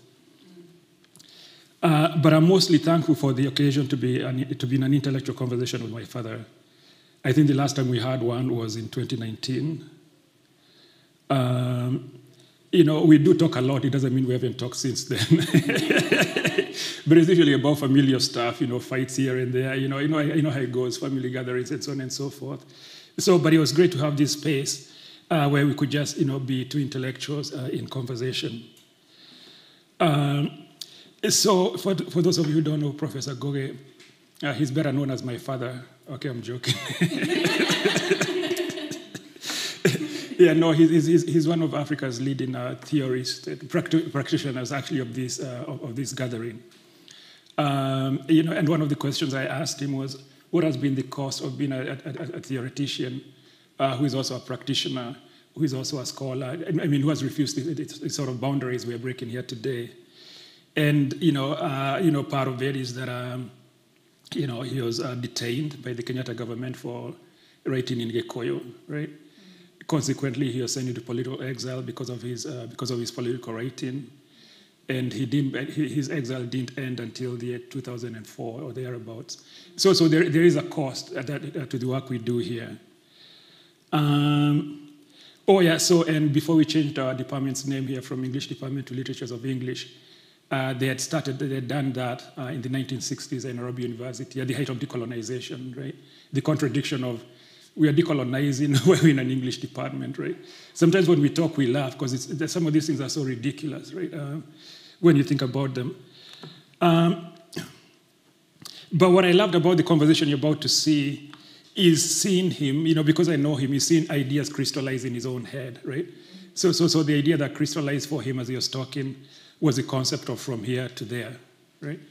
So, and I don't know if you see it in the video, you can see him realizing oh, that's what I've been doing all these years. I've just been moving from here to there, right? You know, so, and he talks about uh, the movement and the, the, department's name change as moving from here to there, moving from our center in African literature and then moving outwards, right? Uh, a center in African languages, uh, decolonizing the mind, globalectics. So he can organize all that under, or I could see him thinking he can organize it, you know, under from here to there. Um, but I wanted to highlight four things, and then we can, you know, we can we can watch. Uh, again, uh, organized around the idea from here to there. Uh, that, at least from, from my perspective or his perspective, actually should be everybody's perspective, to be fair. Uh, African languages should be at the center of African literature. You know, it, and it, I'll give you an example of how ridiculous it gets. You know that you have to do an acrobatics when, of saying Oh, I mean African literature in African languages, you know, because African literature stands for European, Europhone languages, and so on and so forth. Um, the other one is African literary criticism in African languages, right? We can't, we can't be talking about creating African literature. You know, actually as we do with the Kiswahili Prize, where, you know, we publish winning books in Kiswahili, but without the symbiotic relationship to literary criticism, so literary criticism in African languages. uh, African concept. This is a pet peeve for me, actually. I should add African African uh, African concepts to read African literature, right? You know, yeah. So now uh, this is some of the things that start making me laugh. Like, where would we be talking about? Uh, you know, I don't know hybridity in things fall apart when you can use Igbo cosmology, right? Or why should we be talking about, uh, I don't know, interstices and so on and so forth? Uh, to, to talk about let's say Soyinka's work when you can use the fourth stage. Which, so in other words, shouldn't the, shouldn't the culture that's producing these literatures also create the concepts to be used, right? And I'll give you a quick one. Hopefully, I'm not using, using too much time. So amongst the Gikuyu, there's a concept of, uh, of which means revolution or break, right? And if, if you read Ngugi's, Ngugi's uh, to bring everything back together, if you read Ngugi's uh, A Grain of Wheat, it's about revolution, right? So, and I, I, don't, I don't have a problem with Marxism. In fact, you could argue that's, that my ideological leanings are towards that side. But why should we first go to Marxism and then come back to read A Grain of Wheat, when indeed we can use Ituika, right, and grow it as a concept and so on and so forth. And we can talk about that uh, later. Um, yeah, so, and uh, later we can talk about Jalada, you know, which is a, this magazine that was started by young, by young African scholars and writers, right, where they took a story written by Ngugi, written in Gikuyu, he translated into English, and now it's been translated into over 100, uh, 100 languages, most of them African. So here, if you wanted to add to his theory, it's from here to there and back, right? you know, and you can keep adding that. Uh, but finally, I'd like to, to claim that African writers uh, are born in the crucible of the creative theoretical, right? And you can mention any of them, Ama Ata Aidoo, Nawal El-Saadawi, Ngugi, Achebe, and the list goes on. Uh, in fact, when you listen to, uh, or rather when you read the early transition journals in the 1960s, right, it's really a practice of that movement of the creative theoretical. So for my own personal example, it, it, it literally, it literally never occurred to me that I could just write fiction or poetry or pure, or pure theory. And one of my one of my enduring memories was when I was coming up for tenure, you know, and the question came up uh, whether my fiction should count. I, I don't know, like I, my mind couldn't, I, I just couldn't comprehend it. it, was, it was so outside my radar. Uh, but anyway, okay, so now for the video. Thank you.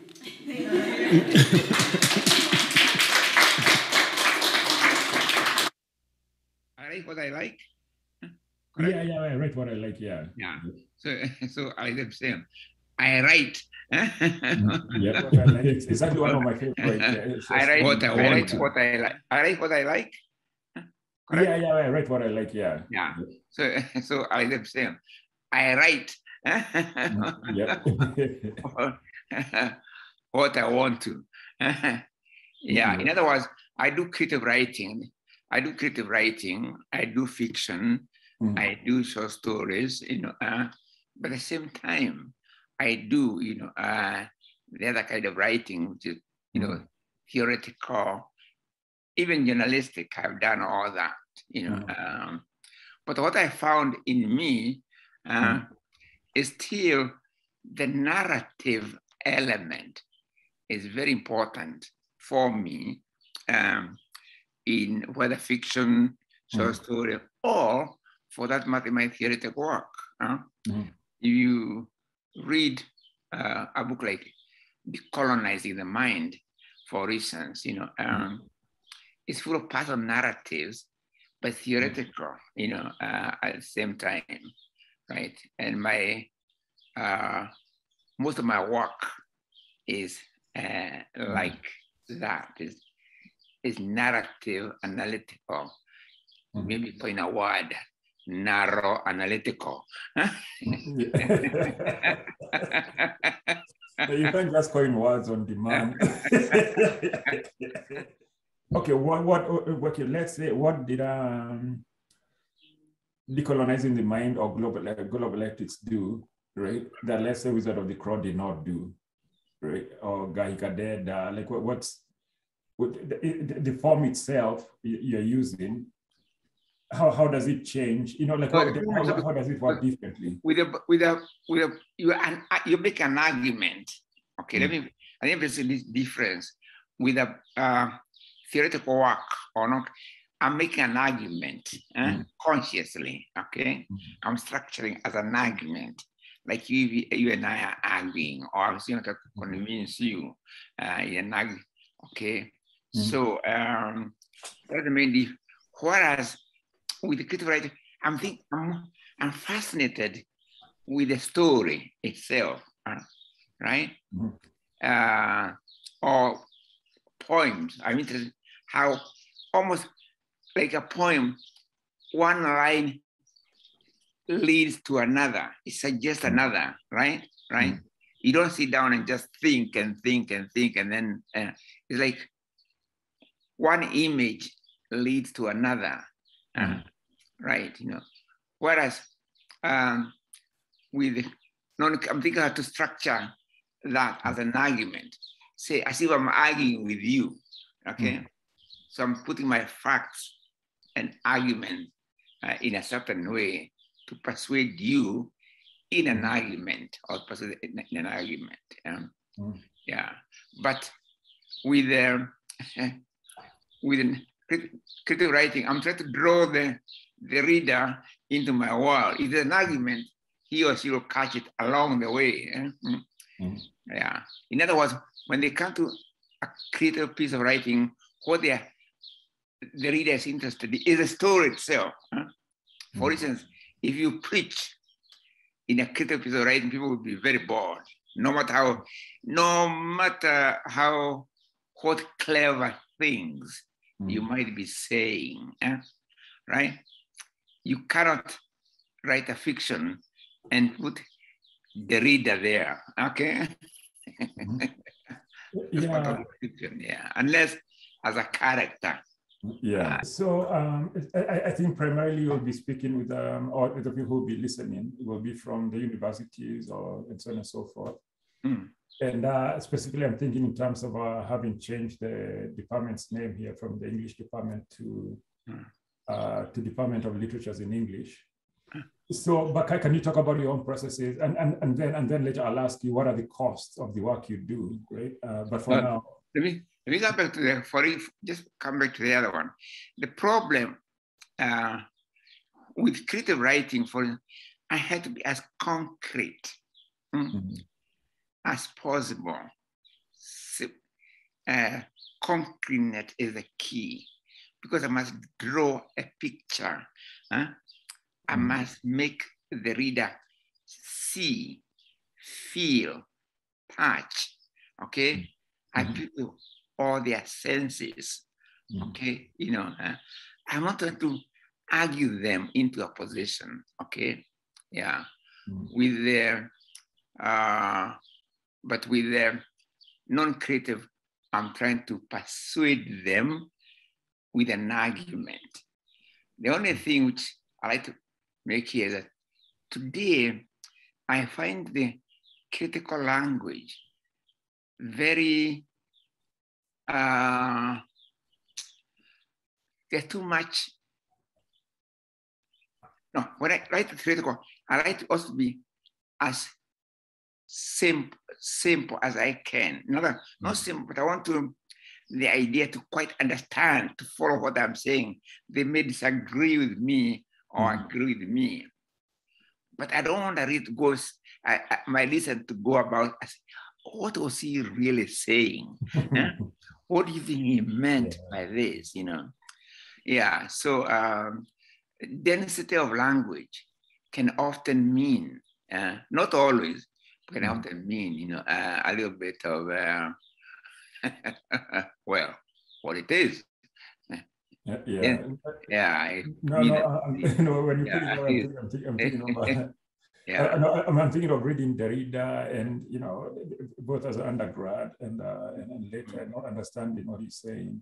Yeah. Uh, so uh, at some point, there was this argument between Noam Chomsky and I think Foucault, where Noam Chomsky said, you know, if uh, I've been in the field for so many years, if I don't understand what you're saying, surely it's not my fault, right? But but but but the, but the idea being that uh, you know even doctor to doctor, you know, physicist to physicist, you know, they, they should they should understand each other, right? Yeah. Yeah. No, that kind of language sometimes can obscure mm. thought, huh? mm. right? It was clouded with words, density of form, huh? yeah. but not density of ideas, right? You know, um, I want you, when I write theoretical, I want the reader to actually hear what I am saying. They may disagree or agree or even say that's nonsense, eh? Mm. but not because they did not hear or what I was saying. For instance, people ask me about globalectics, okay? So may sound very a bit heavy, and it's a bit heavy because coined term, you know, uh, a, a combination of global and Yeah. dialectics, yeah, yeah. But in reality, I tell people, for me, globality is just an expansion of the notion of here to there, huh? right? There to here, you know, uh, like a here to there in a dialectical progression of mutual elimination because they help each other. That's what I like. I want people to be passionate when they read uh, the calling. I want them to be passionate about what I'm saying, whether they agree with it or not.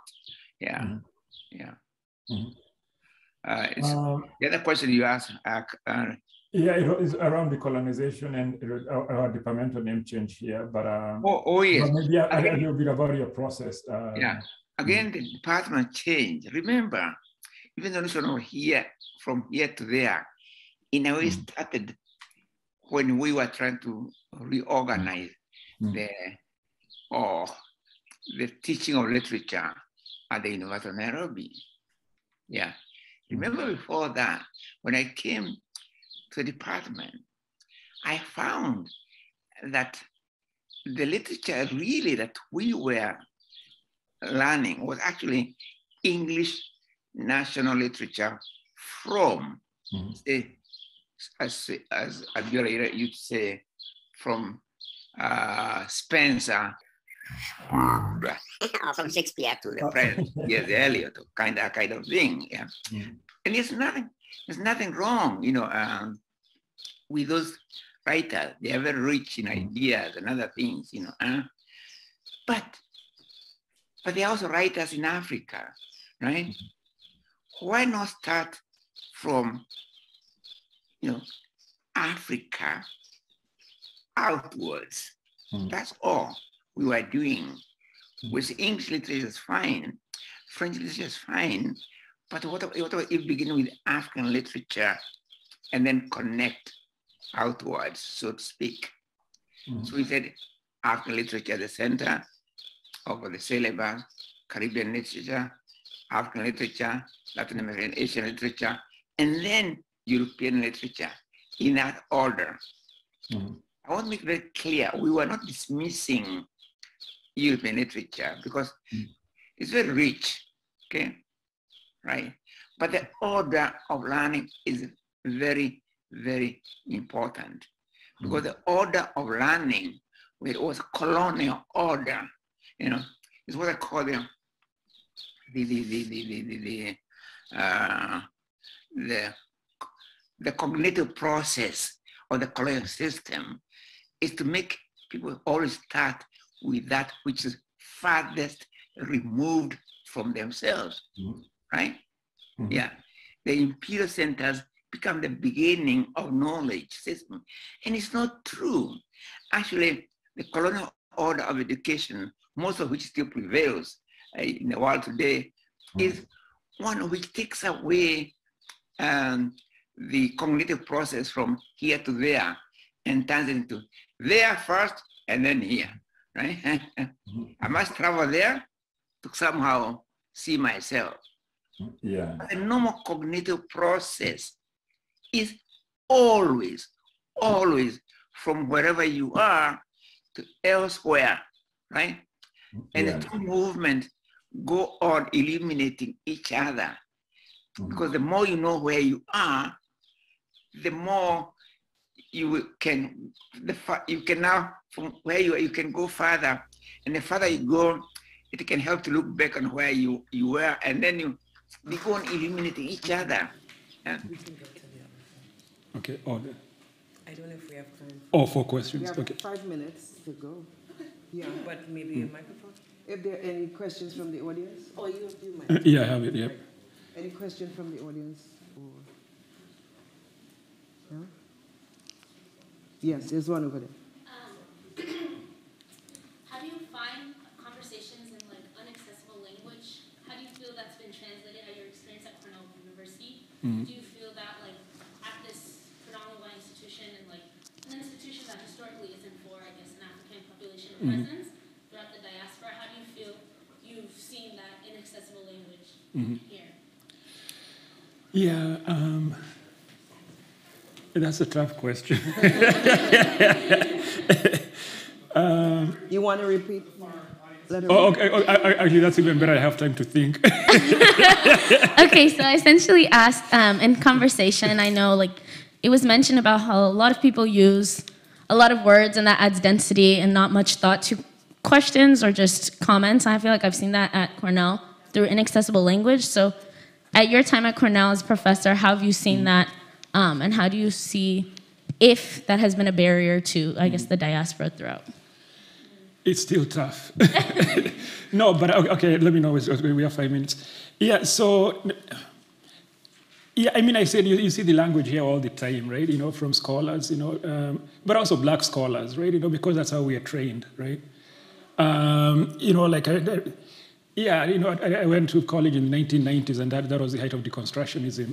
You know, and we expected to use that language, but at some point, uh, at some point, you have to refuse to use it at the risk of being seen less scholarly, right?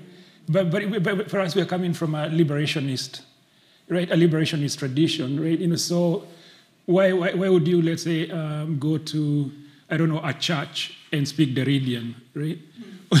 you know, or, or, go- or, go to, go to, to, to an activist march and so on and so forth. So, so but, but the idea of translation, though, right? Uh, I, I, thi- I think in my own head, deconstructionism was useful, actually, in terms of, I don't know, master narratives, blah, blah, blah, blah, blah, right? Uh, but we have to do that sort of translation. But then there's the other one we can do, which is in, in- the one I was mentioning, at least from the African side, where we can use African concepts, you know, to read, um, you know, to read African literature. For example, from here to there in Gikuyu simply is Kumahagu Diharia, right? And if you tell somebody that, they will immediately get it, right? You know, so yeah, so I, I, I, I'm all for accessibility. Yep. Thank you. Thank you. Okay, we have to move to another session. There's another question in the back, right? Okay, we'll take that one and then we'll move to the next session. Hi, and thank you for this session. My question is um, I believe knowledge production precedes literature, and um, I would even argue that theorizing precedes what we have in literature. In your work, how have you included these other modes of knowledge production that it seems um, the academy doesn't quite recognize? Um, And um, yeah, how have you in your work done yeah, that? so I mean, I'm primarily a writer, right? I'm primarily a writer and scholar. So, but I can answer that in terms of what I do with my own fiction. So, for example, I write detective fiction, right? Which, of course, was looked down upon. You know, when I started out, it was seen as less scholarly, right? Um, I use a lot of music as well, right? You know, so for example, my latest novel, "And and Bury Our Dead with Song," is all about musicians who are in a quest for the best. It's a, a form of Ethiopian music called tizita, right? So, so it's, it's also what you do with the form you have, right? Yeah, but, but, but certainly there are so many modes of knowledge production, and I believe actually intellectuals are the problem, right? You know, because if you're, if you're a musician, you'll sing in your language, right? If you're a newspaper editor or you're you're studying a newspaper, you use the language the people, the people are using. They, they, they, okay, let me, let me leave you with one thing because of time. Uh, I was in Limuru as a visiting professor, which is my hometown, you know, at a Catholic university. And in there, they had a Bible translation center, right? So, and I was talking with one of the fathers there, and he said that for them, they move from the principle that God can, can come and speak to you in, uh, in French or Latin, right? if God wants to speak to you, he's, he'll speak to you in the language that you speak. So, yeah, again, from here to there, right? Yeah. I guess that will become the phrase now for everything I say. no, no, but thank you so much. Thank you so much for the, for the conversation.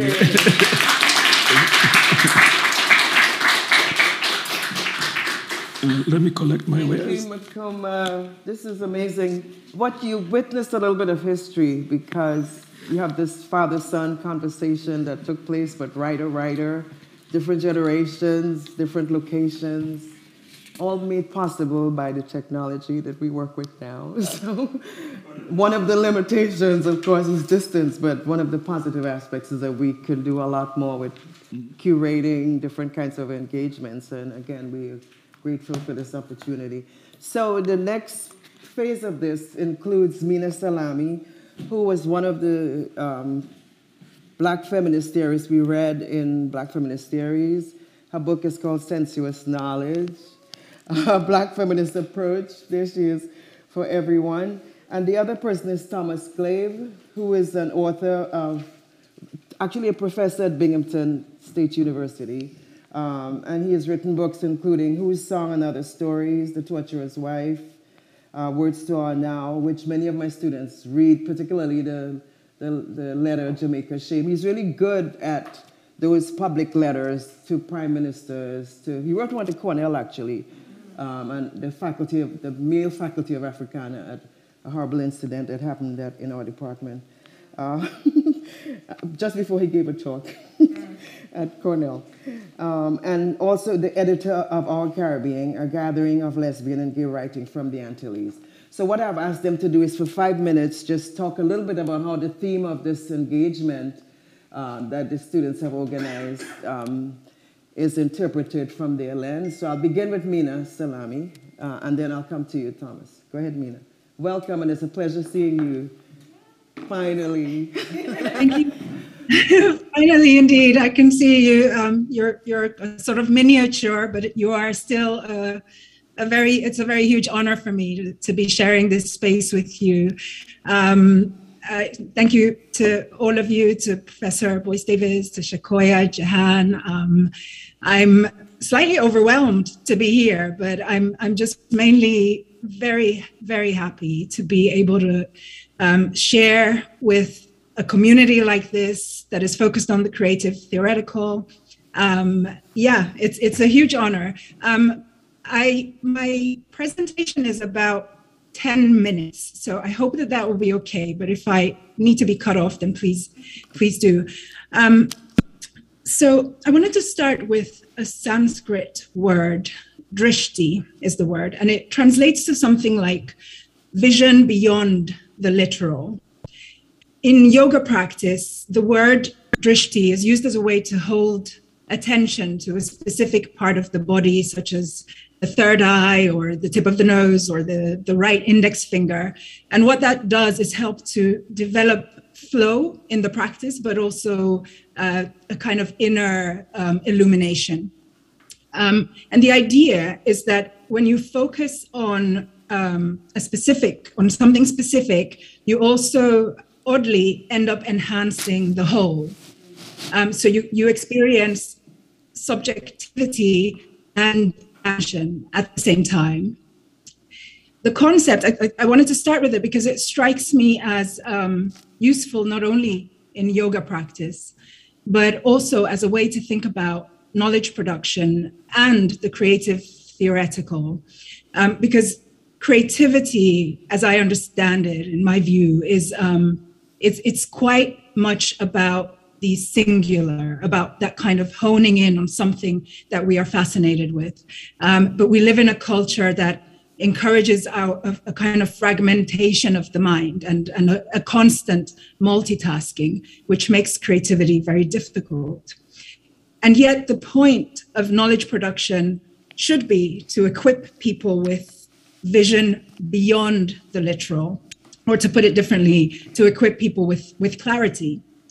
And especially for communities that have been excluded from epistemic traditions or who have been indoctrinated to think about um, themselves in the world in particular ways, um, this vision beyond the literal is especially important. Um, I, I, really liked what it said in the synopsis for uh, uh, the event uh, that you know theory is can be generative and creativity can be critical, but that is not um, how we conventionally approach knowledge production. Rather than vision beyond the literal, the typical approach is uh, to produce vision that is about the literal. So if something is a little bit unruly or awe-inspiring, we force it into, uh, you know, formulaic processes and systematic data-driven uh, inquiry. In my book, Sensuous Knowledge, uh, a Black feminist approach for everyone, I refer to this mechanical approach that impacts knowledge production so widely as Europatriarchal knowledge. It is an epistemology that is also male centric and Eurocentric, um, and it seeks to uh, robotize and domesticate women, people of color, and indigenous communities, as well as the more than human world. But today, I, I don't want to direct, excuse me, I don't want to direct all of my criticism toward Europatriarchal knowledge and the systemized uh, arrogance that it perpetuates through its ideologies of racism, sexism, classism, and so on. I, I feel a sense of urgency to the work that we're doing today. Um, I'm joining you from, from Nigeria, from Lagos, Nigeria, and just earlier today, I was speaking with a woman who had been um, kidnapped. Um, just rather sort of, she, she relayed the story back to me as a kind of almost casual um, occurrence in her day. And she had been kidnapped and then bribed for the equivalent of about $150 or so. Um, of course, our times are also shaped by surveillance capitalism, by a pandemic, by you know this potential of a world war that we faced, and inequalities. Um, uh, that cause a lot of suffering. And people are seeking uh, answers desperately, and yet they are uh, very seldom able to satiate uh, their, their pressing concerns. It feels to me like it would be uh, too easy to rehash arguments about the obvious um, male and white supremacy that, that chokes our creative flames. Or perhaps it just seems easy because um, I've been invited to join a community like this, which uh, consists of brilliant minds and, and hearts and souls, uh, people who are um, already very well aware of this, this fire of Europatriarchal knowledge. And so instead, I wanted to explore why um, the schools of thought that we ourselves shape and are engaged in, um, and which indeed have, have for a long time sought to disrupt uh, robotic and biased approaches to knowledge still aren't producing vision that is beyond the literal or, or, or drishti. I'm thinking of schools of thought such as feminist theory, uh, and especially Black and women of color feminisms, critical race theory, and other radical epistemic traditions. Because despite that these fields have, have troubled the rigidity in academic work with alternative epistemological and ontological positions. We're here today because we are still seeking language which is radical and generative at the same time. And I think that part of the problem um, of these of these fields of study which, by the way, is also part of what makes them so progressive and radical. But part of the problem is uh, that they are shaped by political theories, uh, which uh, Ngugi also alluded to, um, such as constructivism and, and post-structuralism, um, which have given us concepts such as situatedness and lived experience and, and social constructs. Um, and, and those in return help us to have helped us to understand that political action is um, informed by norms and ideas and beliefs that we hold and our identities. I'm not critiquing um, these fields of thought, um, just to be clear. I'm not critiquing um, the political theories, even such as constructivism and post structuralism, um, or any of these brilliant concepts, which have been really and truly gifts um, for us to, to resist. Um, these are the, the, the, the, fields of study, the, the, the, political homes and the intellectual homes uh, for my work as well. what I am critiquing is one of the legacies of these schools of thought, which is, and, and this, this, is a bit complicated. Um, so I hope I can express it um, in the best way as I'm working through it myself. Um, but one of the legacies is the, the belief that uh, troubling social constructs, theorizing lived experience, as we rightly do as a means of political intervention, um, is also necessarily a creative act. Um, and we end up with a kind of formula for disruption, which is useful for political aims, but not necessarily for creativity. And as we, as we aim to, to expand um, and understand the creative theoretical, it is important that we untangle our perception of creativity from our perception of disruption, uh, especially within uh, academic discourse. Not in order to create any kind of hierarchy between these two, um, between creativity and disruption, but to make a distinction um, in which there is more freedom for creativity. Because um, disruption can, of course, lead to, dis- to, to creativity, but it doesn't necessarily do that. Um, we may talk about, to give some other conceptual um, uh, spaces that are seen as creative quite often. So we may talk about things like uh, decolonial heteronormativity or epistemic violence. Um, these are not necessarily creative endeavors, endeavors while they are um, disruptively, politically disruptive endeavors. Um, and if we believe that disrupting language is synonymous with creativity, then those of us, um, you know, uh, radical public intellectuals, artists, scholars, activists, and so on, um, we become confused and despairing in the instances that it doesn't feel creative when we are disrupting knowledge or language. So um, in short, disruption is not always creative, but true creativity is always disruptive because creativity is more it's, it's more concerned with understanding reality, whereas disruption is, uh, is informed by political aims. Um, in my favorite James Baldwin essay, which is titled The Creative Process. Um, if it is possible to, to choose a favorite um, Baldwin essay, they're also good. Um, but he writes there that the creative or the artist, um, the, the, the, role of the artist is to correct the delusions of society.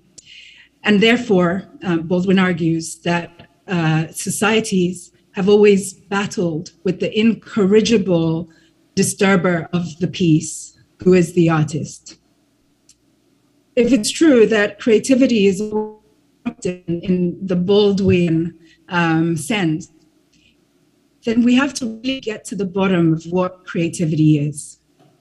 And it seems clear to me then that creativity is not only writing and speaking, but also, of course, you know, crafting and dancing and singing and painting and all of these things. And, and that is why Black feminism um, has always, especially, been championing what we now may refer to as the creative theoretical. It is always, uh, within Black feminism, we have always sought a holistic language through which we can we can be free and, and through which we can cultivate an attitude of freedom. Hey, can we put a and this was there and then we'll come back at it again just to give the other person a chance. And this is a good place to stop, I thought, and then we'll come back at it. So let's go, if you don't mind, to Thomas Glave, um, and then we'll come back. Thank you, Thomas. Hi. Sure. And you may start, Thomas. Hi, everyone. Um, thank you very much, Jihan Chikoya. Thank you, Professor Boyce Davies. I'm going to barrel right through because time is short. Sorry. So let me just position myself very quickly. I'm a Jamaican American gay man, possessed of two nationalities, Jamaican and US living for the past eight years in Birmingham, England, from which I'm speaking to you right now. So from the very heart of England, and if in a way you might say one of the hearts of the British Empire, right? And some of my work, I write fiction and creative nonfiction, what some people call um, literary nonfiction. And I think that for my purposes as a practitioner of uh, fiction and, and, creative nonfiction, the word the, the, word theoretical, although it intrigues me and it intrigues me in the, in the work of my scholarly colleagues, is uh, a word that I choose to replace with uh, the phrase detective work. I think of myself as a detective trying to get answers to and deepen the answers to questions. I'm going to just start with the, the first thing. I was really intrigued by years ago Toni Morrison's experiment with not only paradise, but also her earlier short story from decades ago, Recitatif, I think it's, pronou- it's pronounced, when she removed all the racial markers from the narratives and put the weight of guessing about race, if you will, upon the reader, thereby forcing us to question ourselves as to why race was to know, right? And I thought, what if I try to take this a little further for myself as a fiction writer? And I posit this, this um, construction in a short story in which I have two men who are intimate lovers, partners, who are clearly it seems, in love with each other, strongly erotically attracted to each other, have a very rich sexual life. And yet, that sexual, intimate, and erotic and romantic life is based very much upon their attraction to each other because of their differ their different races and colors, but also a repulsion for those races and colors, if you will. But the race and color of each is never named or identified in the story. And I'm going to read a little bit from this right now to you. I've long been intrigued by what this might mean if one finds oneself in such a situation. So their names actually Jonathan and David. I'll just read this short section. And oh my God, I thought, I'm really kneeling on my knees in front of one of them. But it's David, I thought, not just, no, but that skin, I thought, and that smell, that hair and those lips. I was kneeling, but I closed my eyes because I didn't want to see. But yes, I want to see. But no, I heard him groaning and calling out my name, but no, I felt his hand on the back of my head. But the whole time that I was kneeling in front of him, all that I could think, even while swallowing him, especially while swallowing him and tasting him, Jesus Christ, tasting all of him, but I'll never tell anyone about this. Yes, no avoiding it. All I could think of as I was swallowing and breathing in and out with my eyes closed was that one of them was actually in my mouth, actually in it, all the way back in my throat, as I tried, tried really hard not to gag. So that rather, I suppose, explicit um, fiction really brought me to think about what does it mean when um, one lives in a society in which not only is so much determined by race, but race can actually, racism and race can also be fetishizing and eroticizing factors in life problematic at the same time, right? So that was some of the fiction. A second piece of fiction from which I'm not going to read, but which I'll just briefly discuss, is the torturer's wife. That is the title story of that book, which that story, that first fiction appears. And what I was gesturing, trying to work out with this piece was what might it mean to live right beside atrocity, to live in the face, in, in the proximity to great evil, and yet not necessarily have any agency in preventing it. And I think this is a very relevant question for the time in which we're living right now, right? Um, and so the woman's story, the torturer's wife, as I wrestle with this question, is trying to figure out what do I do when I'm married to this man who loves me, who is the father of my children, who is a good provider, etc., etc., and yet systematically tortures people and has people tortured and killed in the regime that he controls. Right? A really interesting question for a fiction writer in thinking about detective work and perhaps theorizing. I'm going to close with talking about uh, Professor Boyce Davies. I alluded to my uh, penchant for writing letters. Um, last year, I wrote uh, a new piece, which was published uh, in London in a literary journal, which I'll be including in a new book of uh, creative nonfiction. This piece is titled A Reminder Letter to England. And it came about when, um, after the um, January 6, 2021 insurrection, I was fascinated by noticing how many people in Britain here were making deeply, appropriately disparaging remarks about the insurrectionists, but also about Americans in general, and saying about, oh, these Americans are so racist and so on and bigoted. And I thought, yes, exactly. But what about thee, right? And aren't you all actually the inventors of white supremacy? and didn't it sort of start on these very shores and so on? And um, the more that I thought about it, I thought, let me try to address this a bit, particularly living with Boris Johnson's Tory government, So this is just one paragraph toward the end as, a reminder letter to England, harking back to the 2016 and the 2020 elections in the United States. Those Americans, yes, they are always so racist, you have said, England, and so bigoted. And the fact that so many of them unfortunately voted for the orange faced horror in 2016 and then, fortunately without success, in 2020 served well to underscore your points. Oh, I should say, by the way, I'm not going to use the, the, the um, vulgar word that Donald Trump used for women's genitalia, but I will refer to it in this piece, right? Um, they even voted for him, many women and men alike, after his egregiously disgusting 2016 grab by the remark, referring to his own grotesque attitude towards and practices with women. You, of course, England, have been grabbing women and dark women especially mm. by the mm-hmm. centuries and doing far worse things to them. As one could say, my very own skin color and the varying colors of others you've encountered and grabbed up and down through the past few centuries suggests.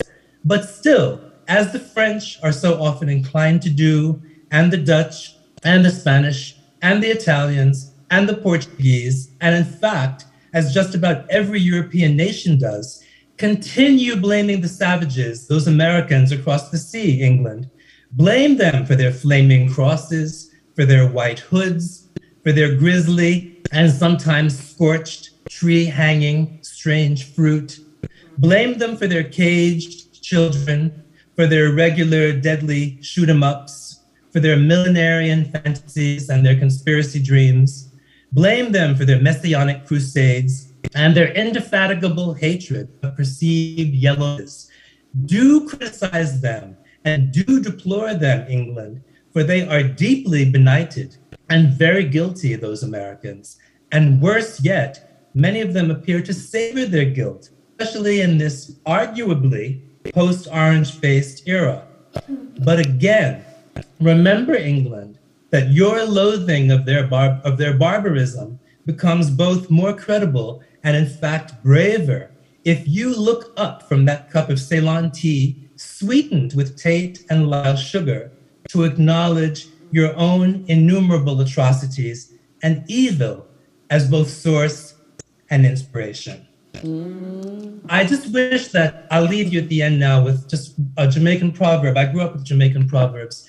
Fortunately, the defeat of my grandparents when I was a child in Jamaica. I wish so much that the British 400 years ago had thought of this proverb if they'd known it at the time, that I think just speaks volumes um, in terms of, necessary wisdom. In Patois, Jamaican Patois, it would be, a big and batty hole before him swallow pear seed.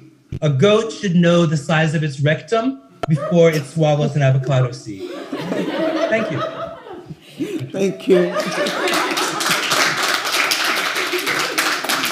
Thank you. Thank you, Thomas. I'm still not used to seeing you with, with no hair or low hair. it's a different thing. So we have time, we have time again. We never have enough time. But we have time for maybe a couple questions again, I think from the audience, because I don't know who is monitoring the chat. So, question from the audience, please. Anybody? We have about six minutes, and we will still be on time. Or, Ish, yeah. Right. Question for Minna. You can bring Minna up as well, if, if you can bring both um, up for questions for Minna Salami. And well, I can ask Minna a question. So, Minna, when you um, in your book, we were taken by the fact that you deliberately took categories like beauty, knowledge, um, sisterhood, um, and let those be um, liberation, decolonization, and let those be your chapter titles. And then you went into it using a range of sources, theoretical ones like Hannah Arendt and others, um, creative ones to your grandmother and adire making, and all of those things. So if you can probably tell us what, what you were, what was the intent from your point of view in terms of this framing of how our students are thinking through these creative theoretical models?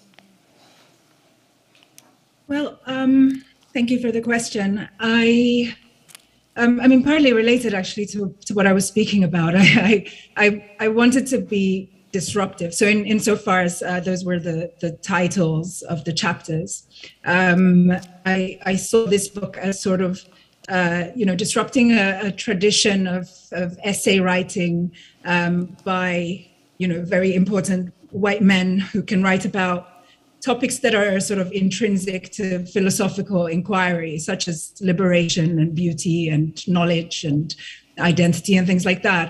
Um, and I wanted to, to look at those topics um, from a Africa-centered and a woman-centered prism, rather than the the male-centered, uh, Euro- European-centered um, the, uh, uh, paradigm that we typically see them through.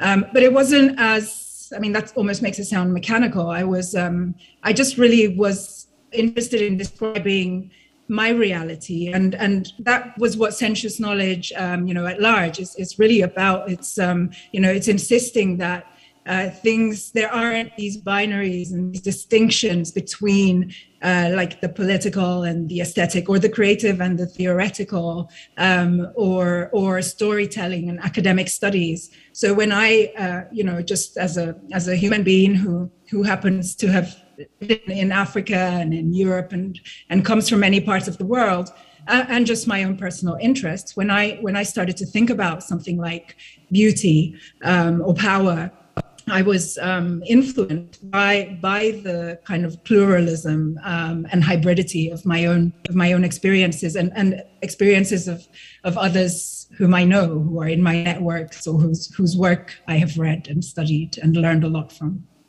Wonderful. I think we have time for one more question in the audience. Anybody? No? Okay.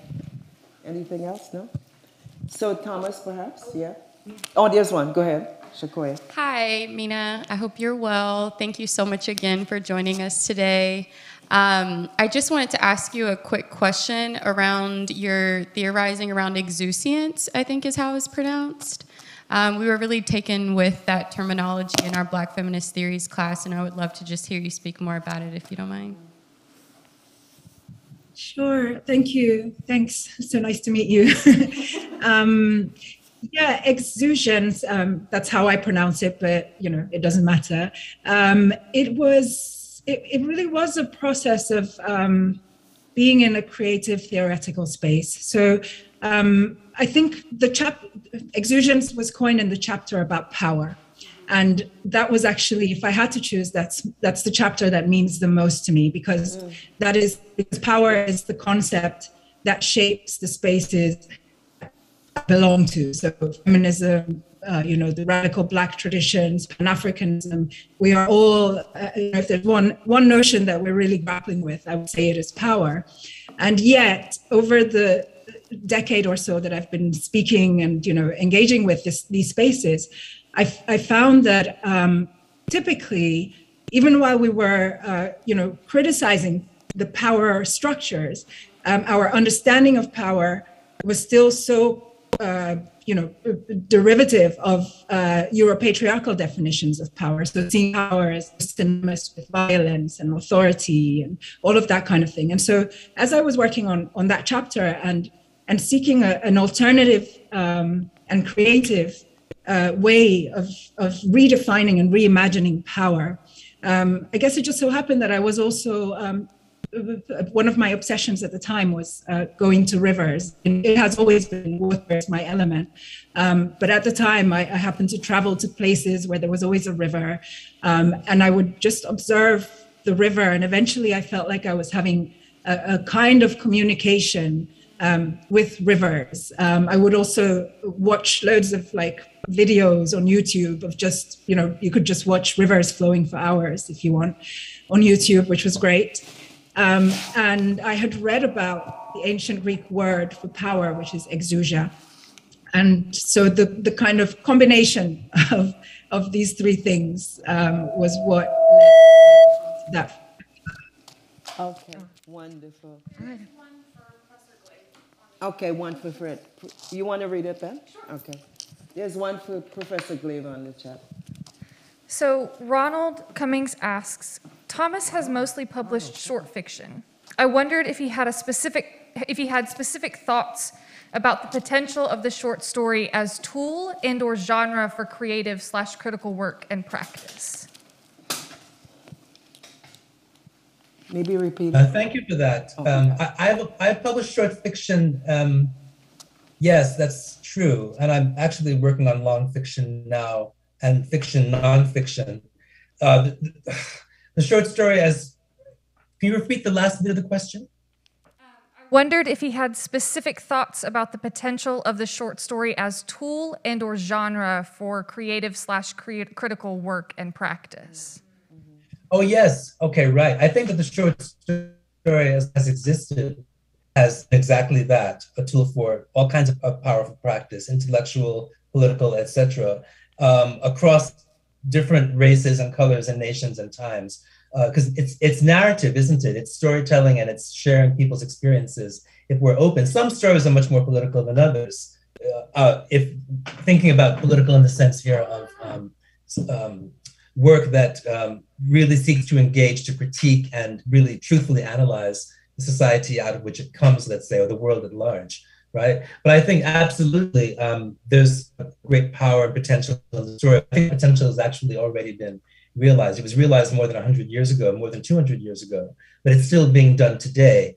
Um, but I think it becomes that potential becomes more elusive in particular corners of publishing, where the more political and the more politically urgent um, sort of fiction that can emerge from people living in particularly desperate circumstances is not always welcomed because it might not be marketable at the particular time, right? And this is a particular problem, I think, in the global north and in places like the United Kingdom and um, the United States, where there's a plethora of fiction, um, but not necessarily a, a, vast amount of interest in in in the um, really urgently political work that some people are doing. If you think about writers from Palestine, for example, and writers from um, Black writers from South Africa um, now still, and people uh, writing from uh, the so-called fourth world. Um, so let's say, for example, um, uh, parts of Antarctica,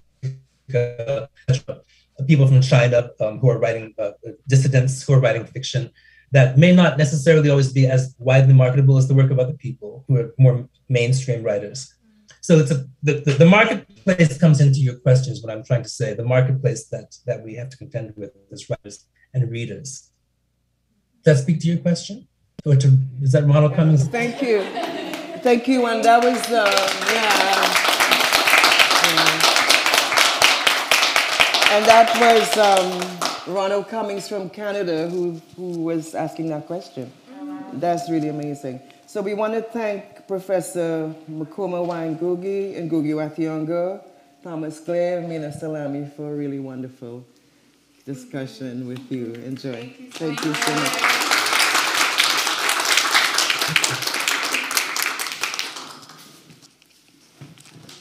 Okay, just four minutes over. Not bad at all. So I'm gonna go to my office with a friend Moki. But do I need a special? He sent that link already, right? I sent the link. I'll, I'll send it to you right now. Yeah, send it again. You want me to? Okay. That's right. the reality. Porch publication. Yeah. Okay. Um, no, I'm driving. Oh, you need your mic, don't you?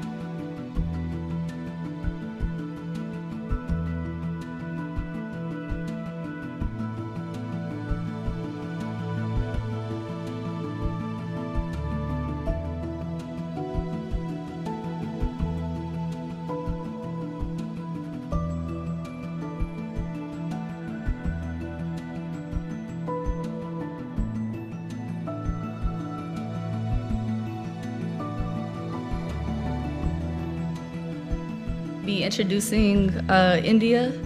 Um, so India and I were both in uh, class. Lyrae, who's on uh, the next panel, uh, we were both in her class, Trauma and Invention. And uh, gave us the assignment in that class to write a recommendation letter for a peer. Um, and so uh, India, Shakoya, and I, we all wrote uh, praise songs for each other. Um, so I'm gonna read uh, my, my praise song for India as her introduction. Um, and we're, we're both in the MFA poetry program here. Praise song for India. You talked about how Toni Morrison said, all water has a perfect memory and is forever trying to get back to where it was. So you must have a perfect memory. Memories between this realm and the other side, across all your channels. You said you had to go and get some of your poems up out of the water, but that would be getting them up out of you. The well you draw from your poem, song, dance, plays is unending because the water is unending in the midst of the quick sickness, in the midst of the exhaustion of listening and moving in spirit, and with the Spirit's calling for you, you stay committed to that worthy thing. Your warrior self is always trying to fight its way to take the center of you, but this life is for your water self, for all the ways you shapeshift and change form, from the warrior water to the gentle stream. You carry the wolf, the warrior, the knife within you and the water body. I'm honored to walk, run, crawl this poetry journey with you. Please welcome India.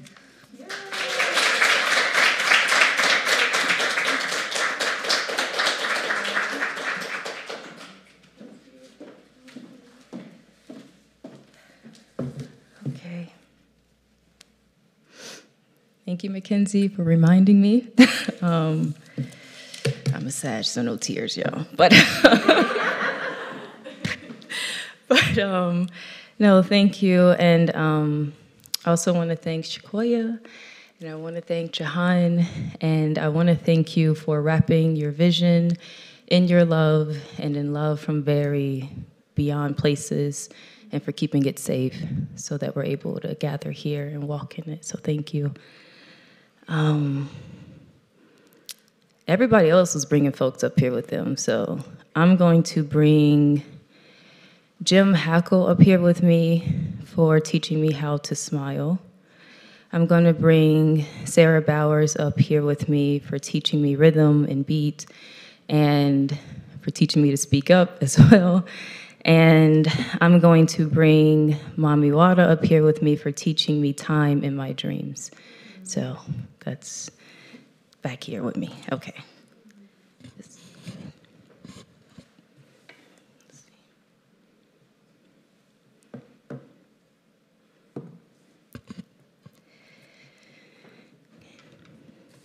Yeah, sorry. Look, it's, it's a little awkward. Okay.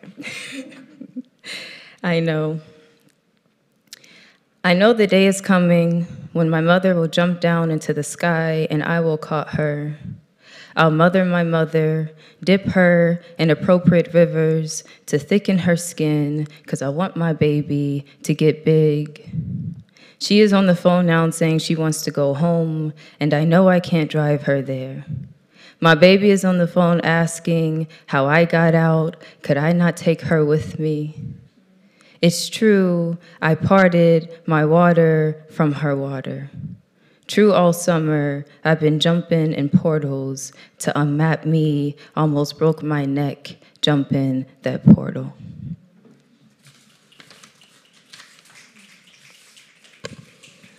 I want to see you, so get comfortable. Okay. Your bars. These braids fall from my head and pile on the cobblestone downtown. They fall dead and long and loud, but Nina Simone is louder. She asks, Isn't it a pity?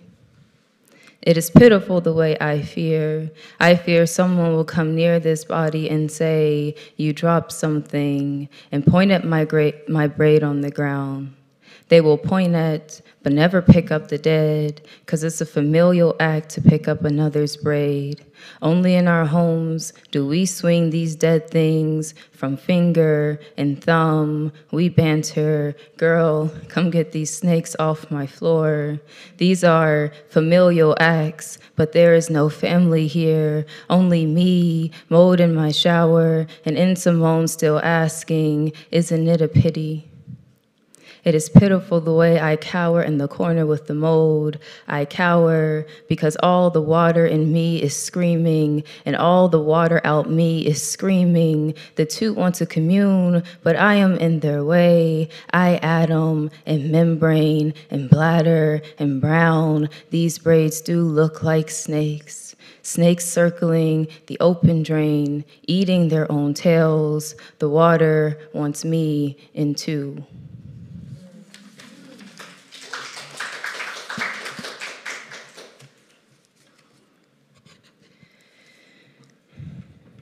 Origins.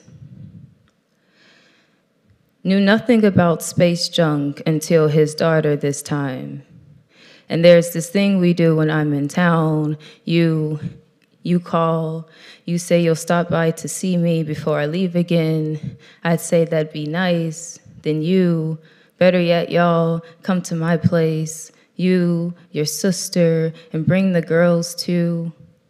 You say, I'll make some pinto beans, fry some fish. Now we mapping, talking these victuals down to the seasoning and are nowhere, no never. We're redecorating the hell out of these walls, where repetition is holy, but repetition can't carry the whole family. So I know not to tell the girls, cause they are kids and will think that this place where we light ourselves over and over has coordinates, space, daughter, this time, and there's this call before I leave again. Come to my place, bring some mapping. Knew nothing about junk until this thing we do when I'm in town. You say you'll come by, you'll stop by to see me. I say that'd be nice. Then you, better yet, y'all, you, your sister, and the girls too, you say, I'll make some pinto beans, fried fish. Now we talking these victuals down to the seasoning in our nowhere. Where We're redecorating these walls. Repetition is holy, but can't carry the whole family. So I know not to tell the girls, because they will think that this place has coordinates. No, never. The hell out of. Where repetition our kids, and where we light ourselves over and over.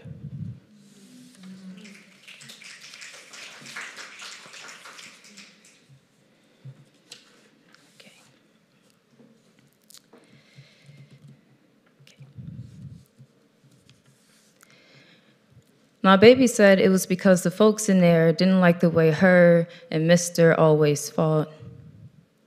The folks in there from the other side of the watery wanted us out their house.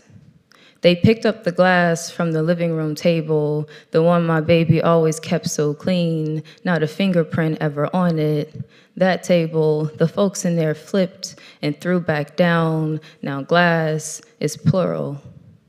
And Miss Sis say they was always walking around upstairs. She say all our hamsters died, and even the dog got missing, got the hell up out of there. Here I was thinking all this watery glass was new, but it's back in the back raised on a flipping, raised on a flipping glass table. I say, Miss Sis, I wasn't even born yet when y'all lived in that house, or I had to be a baby, baby.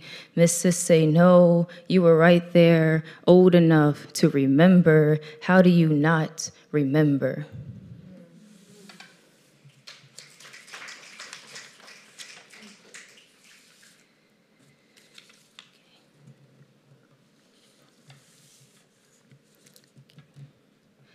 Bring the floor up to me. Then the first wall, the one with the roach on it, where me and Miss Sis nothing like Miss Gwendolyn's girl, Melody Mary. We are predictable, scary, of roaches, bed bugs, and fleas, of all those thems that make us start over when we haven't even started yet where the second wall is a doorway to a little hole in the wall, a Teranga African restaurant between Wyoming, Wyoming and Roseline, where there never was no roses. I enter, waiting on my fish meal. Yes, I want the head of the fish too. And Miss Lady sitting next to me, waiting on her oxtails with her boy. And Miss Lady behind the counter is giving the boy a free can of juice. But the boy looks up at his mama before taking, here. Here I am facing, facing the fourth wall, the one with the TV on it, with the killers in it, all three convicted for Arbery, for Ahmaud I'm about to cry under this mask because the conviction feels good and feels low loving. I want their heads to give to the roach, to give to the boy who will ask his mama, Can I?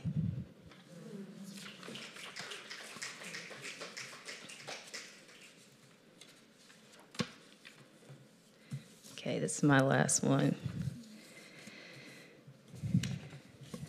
And my longest one, so. But y'all are in for it. Thank you for the feedback and all the love. Okay.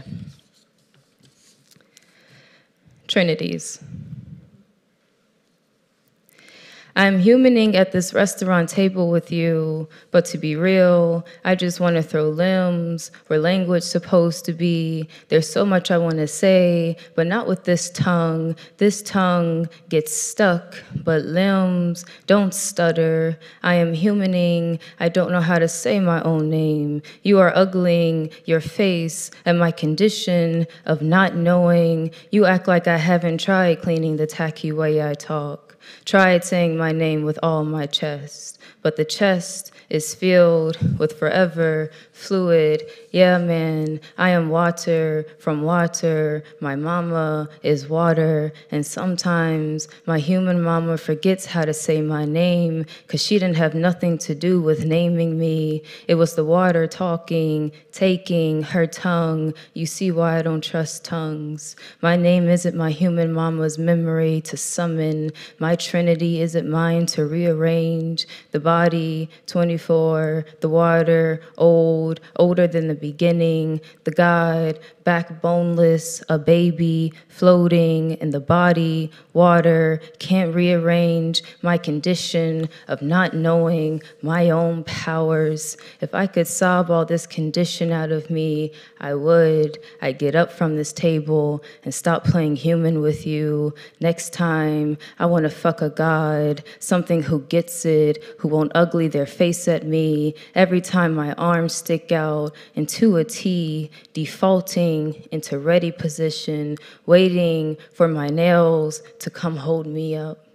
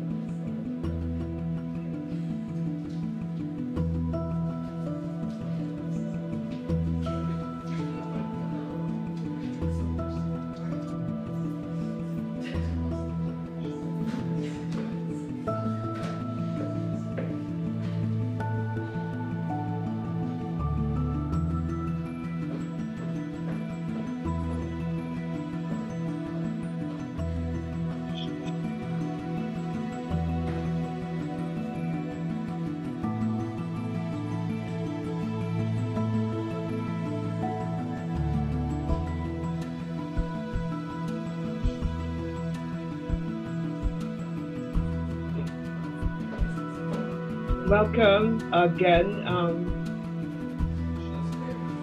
talking to you virtually this time from my office. I was just in the 80 wedding, so I made it.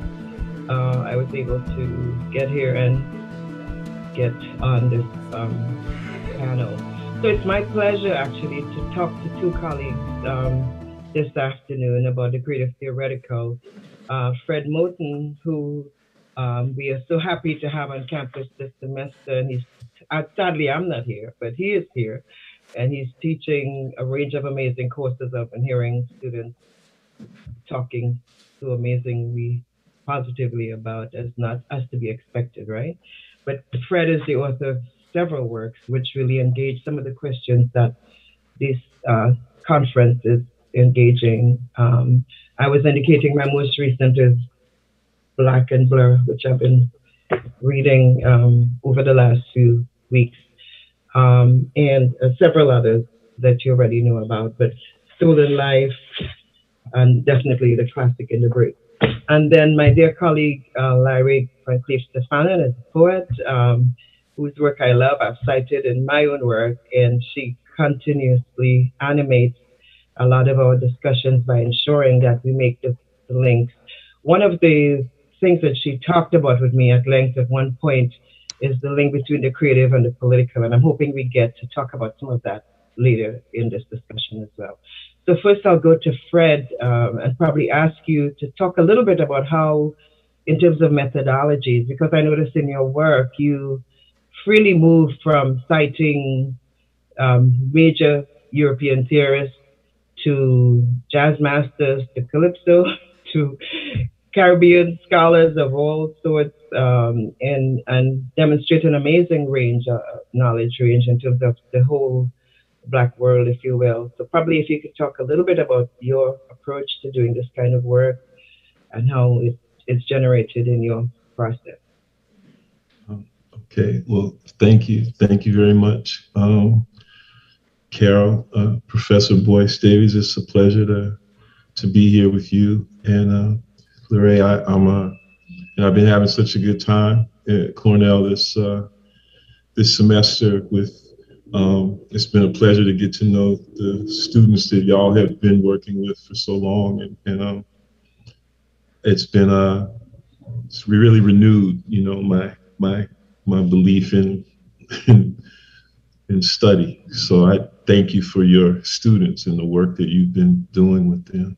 Um, so I, I don't know if I have a, a methodology. Um, I think when I was in um, when I was in college, you know, I, I, the friends that I, I hung out with a very particular group of uh, black nerds, and and especially um, one guy in particular named Alan Jackson, who's a history of science major. And and our we read a lot of books together. We read a lot of things together. And one of the books that we read that really made a big impression on me was a book by uh, this uh, German philosopher of science named Paul Feyerabend called Against Method. And um, and I guess it seemed to me that he was thinking through, you know, the ways that that scientific discovery kind of moved by way of these sort of improvisational maneuvers um, and, and informal maneuvers. And, and, and it moved as a function of interests that, that different groups of scientists had in common that, that were not necessarily always so kind of hyper programmatic. And um, so I guess really I, I just, there's a lot of stuff that I like and that I'm interested in. And I try to see what happens when I put them together because they're all together in my head, you know, and um, and that's that's pretty much what I what I do. Thank you. Um, and let me say welcome again, because we have to make sure that, that we recognize, right? Lyrae, then, can you engage um, as well? Sure. Um, uh, first, I want to say thank you, uh, Carole. It's good to see you. And um, thank you so much, Shakoya and Jayon, for your work in putting this together. I could not be more thrilled to see um, um, what you all have have done here. And I just am so, I feel so honored and privileged to be um, included.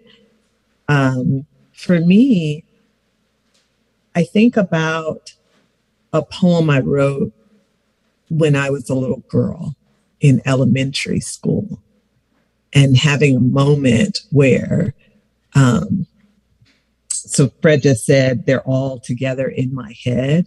Having a moment where I wrote this poem in elementary school where all of these different things that I was thinking about and the place that I'm from and the place um, where I was making all came together in my head and giving that poem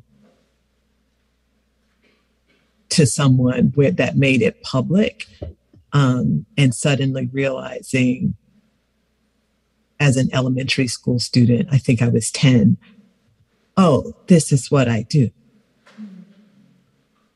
This is what this is what i do and then just kind of moving from there, from that space. And it's a poem that stayed in my head for forever now. It's it like it I still remember that poem. Oh, I thought you were gonna tell us that poem when you meant I I can tell you the poem because. I still remember yeah. the poem.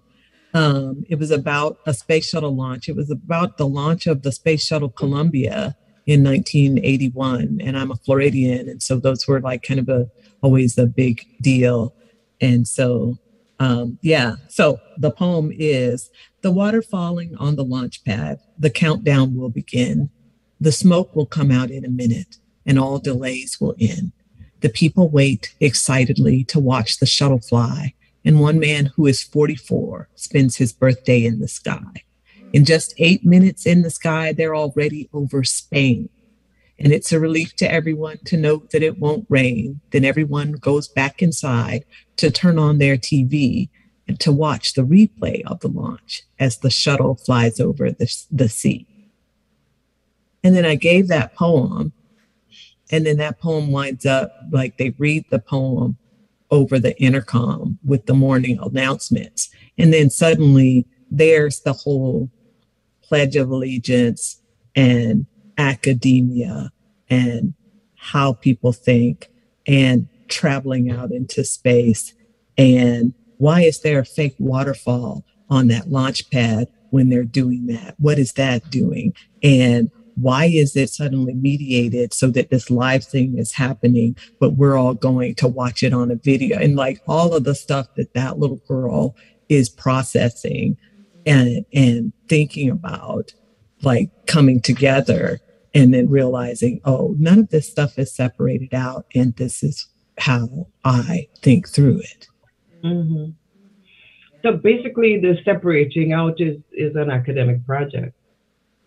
And i know why because in a sense it is a way of making categories that people can hold understand you know really go into and analyze but it has the effect then of creating these artificial separations. So what you're doing in that poem is giving a historical account of something that was taking place or that happened that becomes now a documentable piece of literature that that, that engages a, a moment, right? Theoretically, but also talks about questions of space and so on. Um, and I was thinking too about Hurston, who we began with, from Florida as well, who talked about the horizon always, and, and she actually forecast this logic of jumping into space. She said if you jump at the sun, right, you will, at least you get off the ground. And she'd heard this from her mom and repeated it in different ways. So the question of not being grounded and all of that is is all in that whole process, isn't it? Right? For yeah. me, yes. I was thinking there's a poem I, I, used to use years and years ago by uh, one of the first poets named Lucy Terry called Bars Fight where she documents watching an Indian raid on some New England people. And, and it's like bit, and she wrote this, I think, which was like 14 or 15, really clear documenting of what happened, who ran, what happened, so on. Um, and then the other example, and Fred, um, we, we talked about Calypso earlier. The other example I have is, is Lord Kitchener from Trinidad and Tobago singing about Ghana independence, meticulously giving the dates, the time, the leadership, what the, the flag would look like. Um, and then Ghana is the name he kept repeating, eh, you know, really doing that function of the griot, saying, well, this is how we name, right? This is how we we we document and historicize ourselves. One of the functions of the poet is that, isn't it? As the griot, as the person who documents the moment, right? Right. Fred, in that context, since you referenced some of those Calypso references earlier, I have to figured I have to pull you back on that as well. Talk about that. Well, I mean, you know, Lord Lord Kitchener's a an internationalist um, and a and a Pan Africanist. Um, he's speaking, you know, always I think from from the the ground, the demonic ground, if you want to say, after Wynter, um, and McKittrick, you know, of Trinidad and Tobago, um, and it's a it's a space of of displacement and um, and of complication and of all kinds of rich, you know, um, movements of people and social movements and movements of populations. Um, and so he's already coming from a kind of cosmopolitan ground.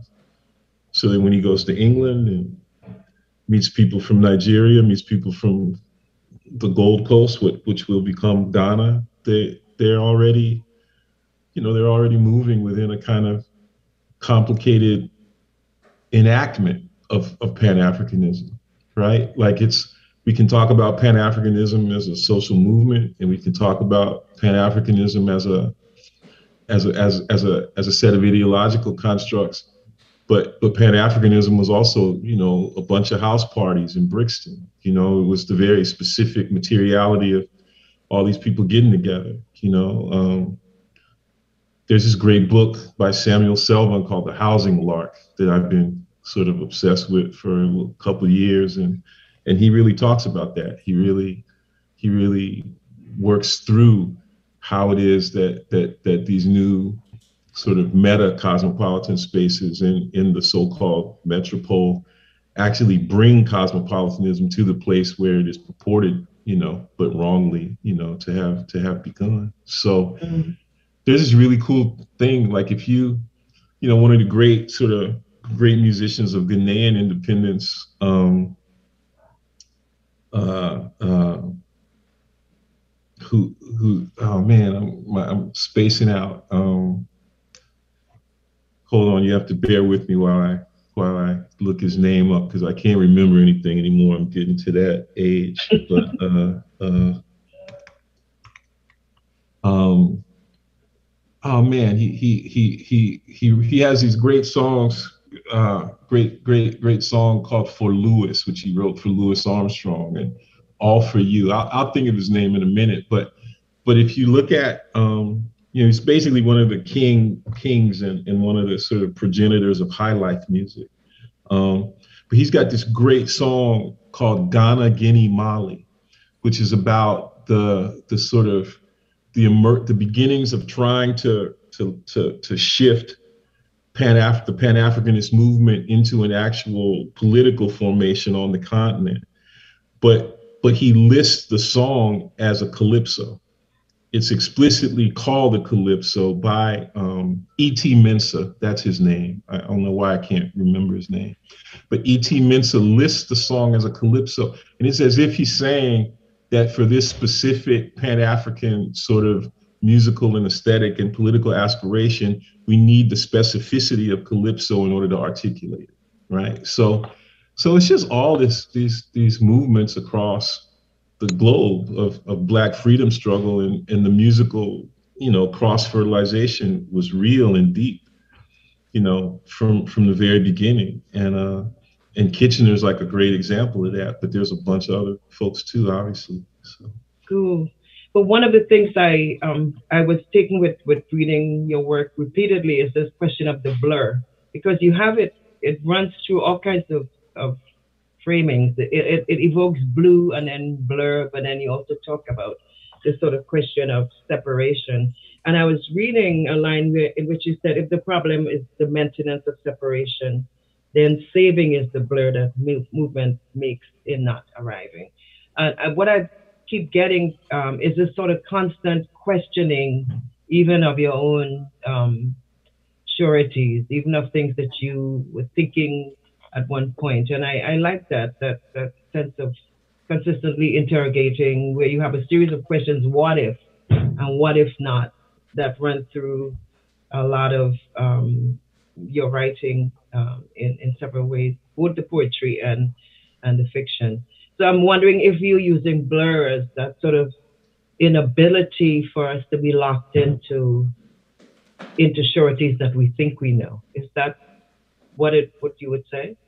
Yeah, definitely. I think it's uh, the whole I the what what the blur is meant to indicate is is a level of precision actually. So it might seem paradoxical, but but it feels but if but if you you know if you you look at something the closer you look at it the, the blurrier it becomes because because all of the moments of definition and separation that that might appear to us on first glance you know upon closer examination those those moments of separation are dis- disrupted. Those lines and those boundaries and, and separations are are are are made to to shift and move. So so the idea is that yeah blur and one way to think about it is blur is what happens when you stop looking at something and start looking with something you know Mm. um, and it, it's a it's when it's when when visuality um, is inseparable from from an embrace Wow. Brilliant. So Lyrae, do you have any comments or questions you have for friends? Well, I like that that looking with and and that idea of the blurring and at the closer that you look at something, the blurrier that it becomes. And I well, I'm thinking about um, how that shows up in your in your work on the page. Um, I'm I'm really interested in hearing you say something about that because it's a thing that I think about too, and for me, it it plays with the um, the bonds, the punctuation that I use in my poetry. That that combination of the em dash and the colon, with which I was trying to get at a kind of valence and um, a kind of of even even if you like kind of think about looking at something closely and at the way that if you look at a molecule or something or you think about like uh, shared electrons or things like that valences and how those fragmentations come together and make a thing in a moment and then come apart and make another thing in a moment. And can you talk about like how that is um, Well, in your work? I mean, I I love um you know, it just feels like you kind of have to love these moments of of of of indefinition and and love what it means to to live, you know, in the in the interval. Actually, to put it in your words, in the open interval, you know, in a in a in a suspension that that actually becomes, you know, generative, you know, as because of how we inhabit it. Um, and in those moments, you know, there are all these. These are the moments that I think actually make it so that the way that we've been thinking about. There's like this great book. Uh, I forget the name of the author um, called The Vodou Quantum Leap. You know, and it's it's very concerned with the the relations between you know sort of forms of of Haitian cosmology and and and quantum mechanics and and it's like a major kind of clue you know that that you know that basically that the the the, the most important developments you know in 20th and 21st century physics you know you know at the sort of head so to speak of the european sciences is you know it's just now starting to catch up with um with forms of indigenous thought and forms of uh you know, sort of black thought, you know, as it's manifest globally. But but there are poets here. Can can I read you one of my one of my favorite poems? Please, don't, yes. don't, don't get mad if I mess it up. Yes. It's called Transit of Venus. Oh. The Oh. actors mill about the party saying rhubarb because other words do not sound like conversation. In the kitchen, always, one who's just discovered beauty, his mouth full of whiskey and strawberries. He practices the texture of her hair with his tongue. In her five billion electrons pop their atoms. Rhubarb in electromagnetic loops. Rhubarb, rhubarb. The din increases. It's like this beautiful poem about complexity and richness and entropy and how it corresponds to the ways that we think and the ways that we converse and how we gather when we try to do something beautiful together, whether it's making a play or making some food, you know. And um and and there's this beautiful buzz of of of it's not repetition, it's it, it- it's a buzz of indeterminacy because of the repetition of the rhubarb of that word, you know? It's like you say that word just enough to make it sound different to us, you know? And um and I know, you know, I'm I was born in Las Vegas, but the people that I grew up around, you know, were all from Arkansas. So there's all this Arkansas, black Arkansas in my voice, and it's and it's coming from someplace different than than where your voices are coming from. But but but the richness of you know of of, of the form of the poem means that you know that anybody from anywhere in the diaspora can sound something that's already given in that in that poem you know uh, and so that's that to me is the open interval you know that's this sort of the ways in which you know even even in this sort of you know what Cedric Robinson called the eternal middle passage even in that suspension you know there's a place for us you know to gather um, and to and to and to try to make something in, in in in how we you know how we approach how we approach that gathering. It's you know, it's okay, how am I supposed to talk? Because Fred Moten just read one of my poems. But like also um study. When I think about study and I when I think about the the space making that you open up for us in terms of the way that you think and talk about study and about the ways in which sometimes these spaces that we live in don't make the space for the fact that, you know, a good deal of the study that's happening, you know, before I sold my house, that house was the party house. and so like when when people would come and give a talk, after the talk, people would wind up at my house. That that was like a regular thing. And so like I think about, you know, um Richard Iton being in town and just like having Richard Iton at the at at the house and having this like conversation where I was just, you know, with a friend of mine, just like, uh, we want to know everything in your brain right now, you know, just in the living room, not up at some podium or something like that, that that's where these things were taking place or the ways in which we're supposed to think of some kind of um, um, approbation or accolade or whatever. But I always think about, and I tell this story all the time, and my bestie, um, Woubshet, tells this story all the time. Like the night of the National Book Awards for me is you. Because Dag and I walked out of that place and we are all dressed up to the nine. I don't know if you remember this. We're all dressed up to the nines and we're getting ready to get into a cab. And you you stepped out of the cab and it was like the cosmos had come together or something. And so we were we just came up to you. I don't know if you remember, but we were like, "You're Fred Moten. You're Fred Moten. oh my God, you're Fred Moten." And so like that night, to me, is less that thing than the door opens to the cab that we're about to get into, and Fred Moten walks out of the cab. And that's like one of those moments that gets one of those punctuation marks with those valences to me. Like that's how it all, that's how it all works. Yeah, I'll I'll never forget that. It was it was so great because I was I was doing something at, at NYU and um and they put you up sometimes in their hotel just right across the street from that place where they have those awards, you know.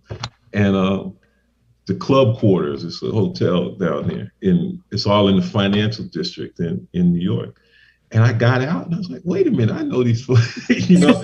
and um, and I, you know, the experience of kind of you know, shuttling back and forth from from one institution to another, you know, mm-hmm. from from your so-called home institution to some other so-called institution. It can be, you know, it's part of the work that we do and and it's cool to have a chance to do it. You know, it's nice to have a chance to travel, but but it doesn't take long before you realize that you're always kind of on somebody else's time and on somebody else's schedule. And um and so when you, you know, anytime you can open the door and see and see somebody that you want to see, you know, it's a great thing. So so that was like uh that was it that was totally yeah, that was like some kind of I'm pretty much of a heathen, you know, but I do believe in in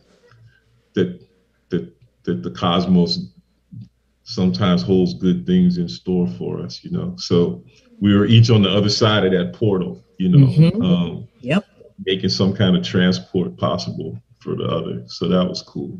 That was cool. Cool. So while you think of one of your poems you want to read for us as we kind of get to the end point, we do try to take some questions from audience and students too, because we want to have this more interactive. So people in the audience, if you want to do that, can you, at this point, this will be a good moment. And then we'll come back still to have you we want to hear your poetic voice at the same time, Lyrae and Fred. Questions? And people who are online, please feel free to send one via chat as well if you need to. Anything from the audience? Yeah.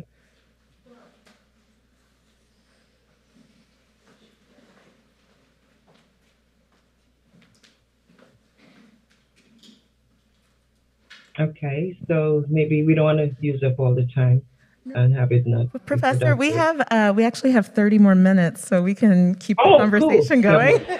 Okay, great. So are there questions yet? Uh, Richard? It's good to see the, the audience, though. It's lovely to see you. Yeah. Hi, Professor. Uh, thank you so much for uh, the talk today. Um, a question I had for you, Professor Moten, is um, in, in some of your poetry collections, you tend to gravitate towards these very particular spaces of gathering, Hughson's Tavern and uh, the Service Porch being two such examples. And I was wondering how you think of the space of gathering um, as a as a component of your theoretical books, whether that whether you think of those as two different ways of organizing space that apply differently to those two styles of writing, or um, whether books like Black and Blur and In the Break are also um, thinking of like the space in which people gather in some way. Does that question make any sense? I'm sorry if not. Okay. Yeah. yeah. Um, hey, Richard, thank you. And um, and I, uh, I mean, I, yeah, I mean, uh, well, there's a relationship, I think, you know, between the gathering and the blur, you know, that that there's a phrase that people often use now, like in organizing circles. Um, people talking about holding a space, you know. Um, and I, you know, I mean, I think that we hold we hold the space, but we also make the space, and and that means that the space is is in motion, um, and it's it's in formation, and um, which sort of means that space maybe isn't even the right word for it. Place might be the right word for it, but but once place is put in motion, then um, then then that word seems to need a modifier too, you know. And and and years ago, NourbeSe Philip gave us this, you know, in the form in the notion of displace, you know, um, D-I-S space P-L-A-C-E, and um, and in a different way, Amiri Baraka gives us this when he talks about placement, place and placement, but he spells placement P L A C E slash M E A N T. So that in making place, we're also making meaning, you know. Um, and, I, and in my mind, I, the, the term that's always sort of in my head the last few years is, is displacement. You know, the, the sort of a combination of those two terms from, from Philip and, and Baraka. And, and I think that gathering is displacement. Um, it's why it is that when we gather, we can't be scared to disrupt what it is that we thought we knew or disrupt what it is that we thought was certain. That's what the whole point is of gathering. That's what the whole point is of study, is to is to ask questions and to to disrupt um, and to disrupt, you know, our, our certainties about ourselves. Um, you know, and uh, so so all those things feel to me like they they are inseparable from one another. Um, and uh, and I think you know one of the things I think is really cool about poetry is the, the, the ways that it's organized and the way that it operates is that it it it produces effects, you know, that are that are similar to these to these activities, to these to this this interplay of, of displacement and gathering and approach. Um, so that's that's basically all that I've ever been, you know, that's what I've been trying to study. Um, and uh, I used to think, you know, man, why did I have to go to school and spend so much time doing all this stuff just so I could study the stuff that the people who raised me seem to know in some intuitive way? Like, why did I have to get sent away, you know, in order to just just to sort of come back home? But I think the reason is because it wasn't that they knew it in some intuitive way, but they were also always actively involved in this modality of study. Right? They they they weren't they weren't certain either. So um so yeah, this is this is what this is what this is what we do, you know, and it feels good, you know, feels lucky to be able to do it. You know? Thank you. Uh, any other questions from the audience? I see. Hi, um, hi Fred. Yeah. Lyrae, this is Jasmine.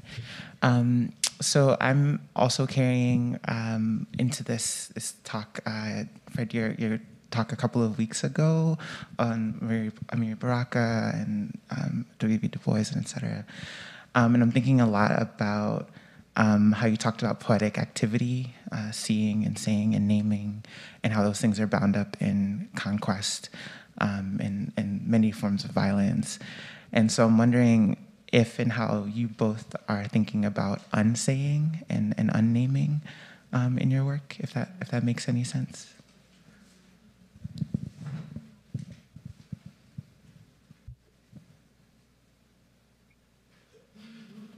Uh, I I think so much and and teach so much um, um, about the palinode, about the poem itself that unsays as a mode that that is what the poem is doing. How do you write the palinode? How do you write the poem that unsays? And what also are the tools that poets use to talk around a gap or talk around a space or like or like um, trace or track these orbits of unsaying in their in their work. Um, what does that look like? Y'all know me and y'all know how much i obsessively talk about Adynaton because i love it so much and about like that space that's made not just in the poem um, when I teach it, like I talk about Phillis Wheatley, but also about um, Stevie Wonder because I always use Stevie Wonder's as to teach Adynaton because that whole song is made of Adynaton, but also like another one of my favorite songs, Never Too Much by Luther Vandross, which is Adynaton you know, that unsayable, that that uncountable number, that thousand kisses, that's never enough, and I don't want to stop. Um, how do we unsay through marking certain silences? And I mean, NourbeSe Philip was just here. And so the way that she um, gets certain silences to speak out of the legal texts, you know, that she pulls um, Zong from, for example, you know, how those things are working. And then how then she builds the fugue, which is in itself a palinode of that legal text in a way um, is how I think about it.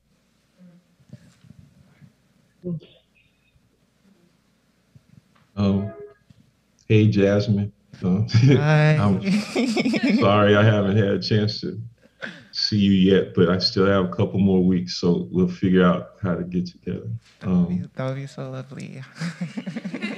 um, but um, yeah, you know, I I think everything. I love as too. I love never too much too, and I I um.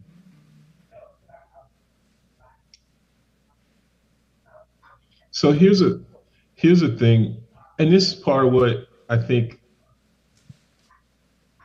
I mean, I'm pretty much stuck, you know, with with the. Well, I shouldn't even put it that way. I mean, English is the, language that I use, you know, um, and I've never been very good with other languages. So, but I've but I've at least been trying hard to to pay attention to the var- varieties of English and and then to try to branch out, you know, from there. And um, I was think I have this friend, um, a great, great, great, great poet named Harmony Holiday, and we used to do these like listening sessions together sometimes. And um, and we were talking about it is something that goes back to Nate Mackey too. Um, he, you know, in in his sort of uh, he's very, you know, interested in and and and and and invested in certain kind of Islamic poetics, um, you know, and and in Islamic music, and um,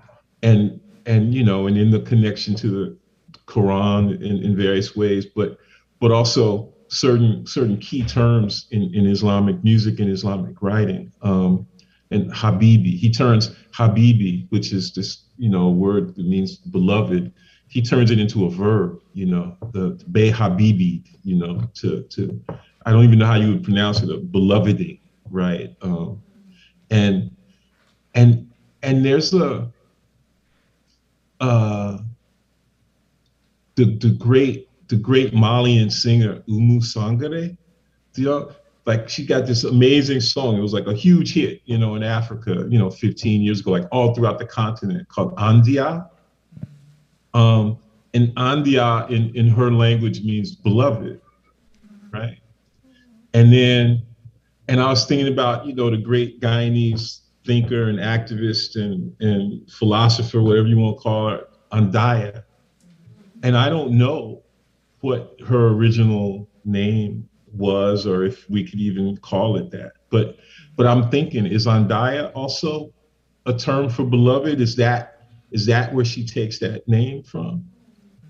And then there's Luther. Oh my love, you know, right? So there's this, it's like you can run the changes across and through all these different languages of love, the beloved. And it makes me think that there's like this common practice of naming, right?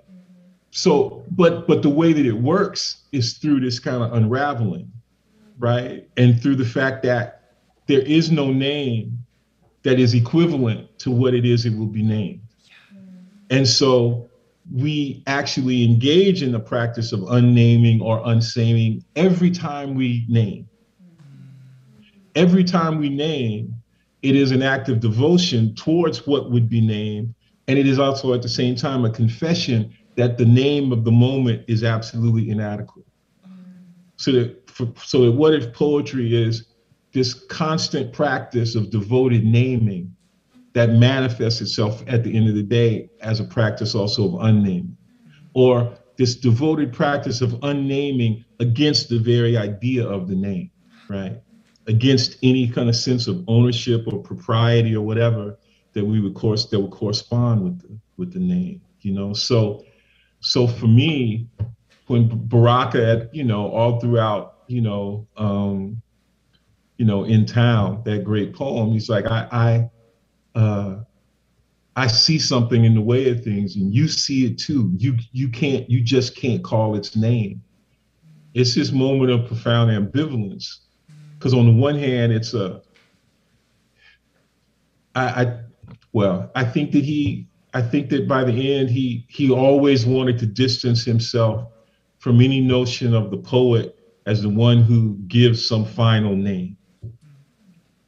And at the same time, I think he wanted to embrace the idea of poetry as this constant practice and activity of naming against the name, you know. Um, so anyway. That that makes me think too about um again like how we study and like one of the those the prime uh, ways of studying um, for me is just like kind of looking back and looking at the, the, everything that you grew up with and everything that you were being taught before you like get sent to these schools or sent away like you were saying. And i always think about the way that we would say things growing up. And the when as you were talking the phrase that kept coming to me was the way that in different situations you would say to people i ain't studying you and what i ain't studying you does mm-hmm. and when and how you could say i ain't studying you and I ain't studying you as a palinode, as an unsaying, both as in terms of if somebody's coming at you in the way that they sometimes do in these academic spaces, that that was a tool that we were already sent to school with, where I could just look at somebody and be like, I ain't studying you. Like I yeah. literally am not studying you. Yeah. It's not you I'm studying. Yeah. I'm not studying you. I ain't studying you, Mar- Marjorie Furlong. Yeah yes, I ain't studying you. But then also the way that then that can get turned tonally into this like address to the beloved who is doing the thing that gets you to do that. I ain't studying you. Mm. Mm.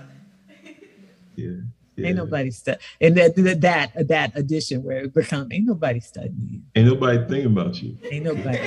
ain't nobody studying. No, it, it's it's uh yeah, I mean, man, just the richness of the everyday speech situations that, that we come from are, as you say, immeasurable. You know, mm. a thousand kisses is never too much. never too much.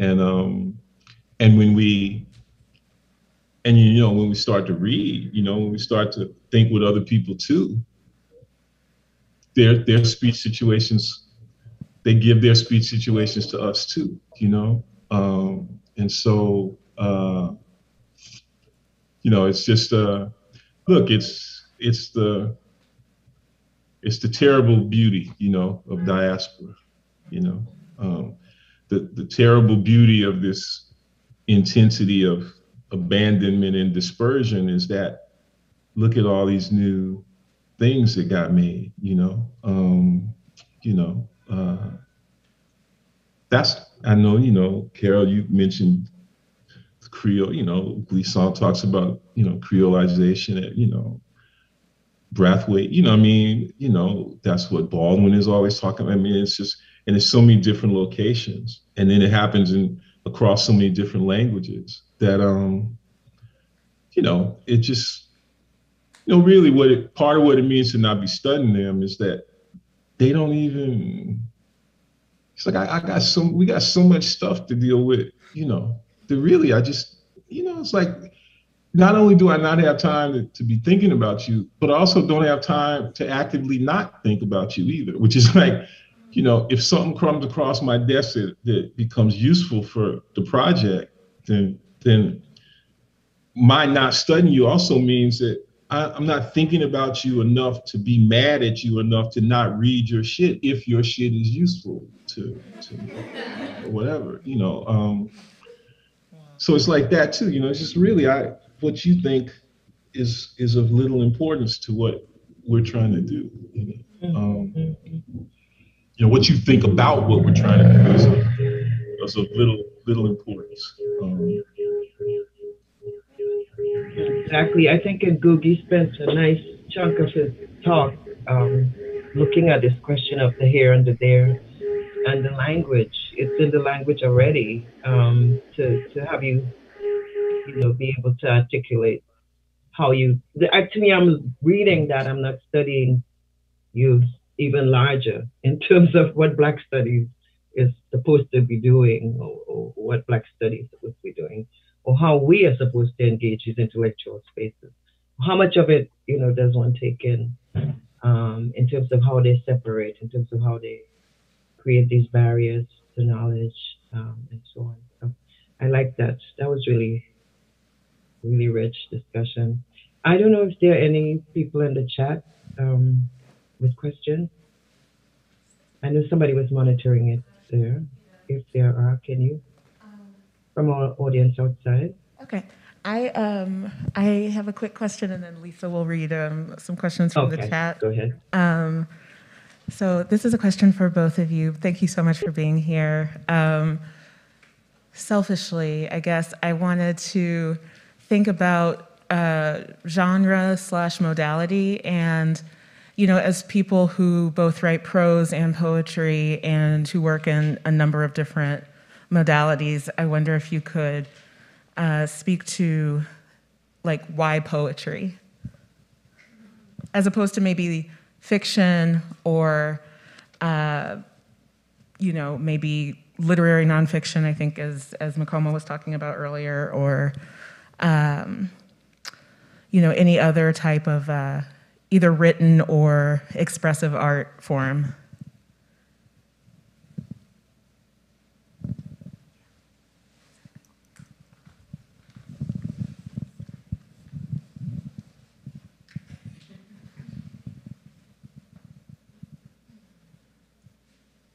let you go, Lyrae.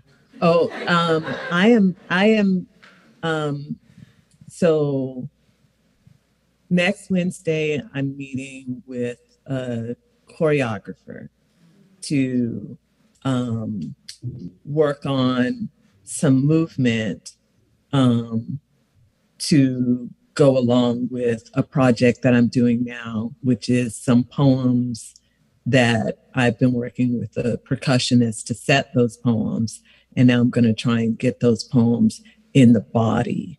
Um, and, and, um, so that's a project that's really like kind of in the forefront of my mind right now. But also, again, when I'm teaching, one of the things that I've been talking with um, the students that I work with about is how much lately I'm kind of focused on people talk about the way that I talk with with my hands.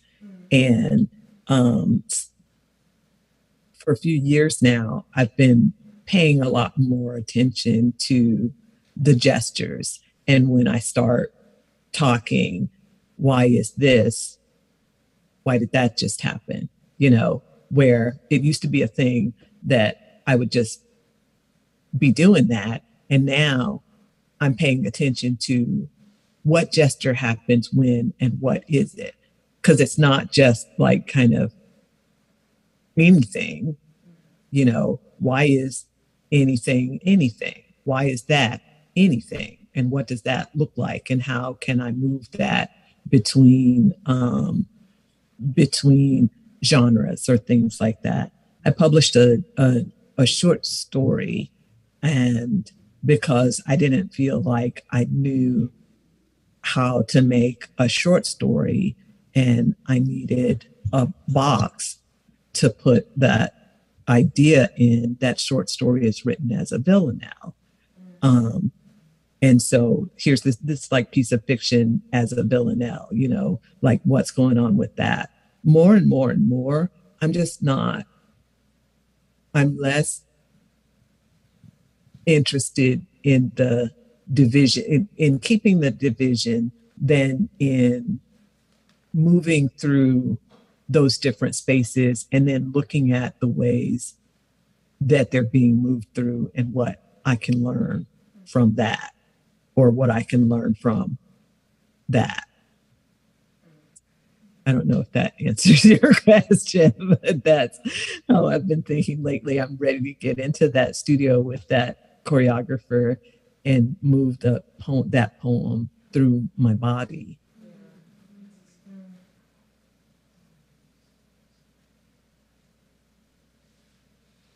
I would just say that uh, I think I, I think I know what you mean. I mean, per, first of all, just it feels like maybe poetry is just a little more portable, you know, in a way. Um, it's easier to move with, you know, and move into different genres, and maybe a little bit easier than fiction to to be adapted across a range of possible you know, genres or modes, you know. Um, it's it's almost like people can just do more stuff with it, you know. Um, it doesn't require as much infrastructure, you know.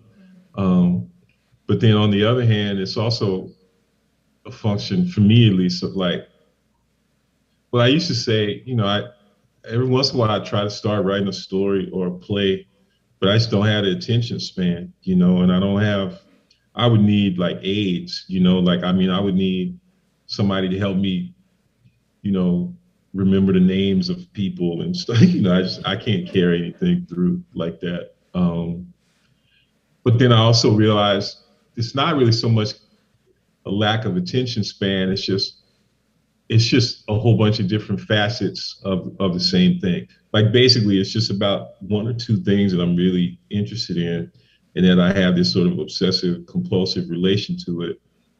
And poetry, you know, you, you can just keep coming at it a different way every every day or every 15 minutes or whatever. Um, and uh, so yeah, it, it, it's you know.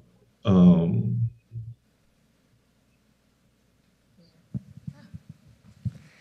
and we have um, several questions in the chat, so I'm going to go in order. Um, Aaliyah earlier said, I love that you brought up portals.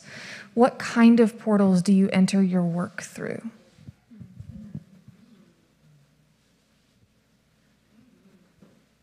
It could, it could be anything. Like, I keep putting my mute on because my window looks out on 8th Street.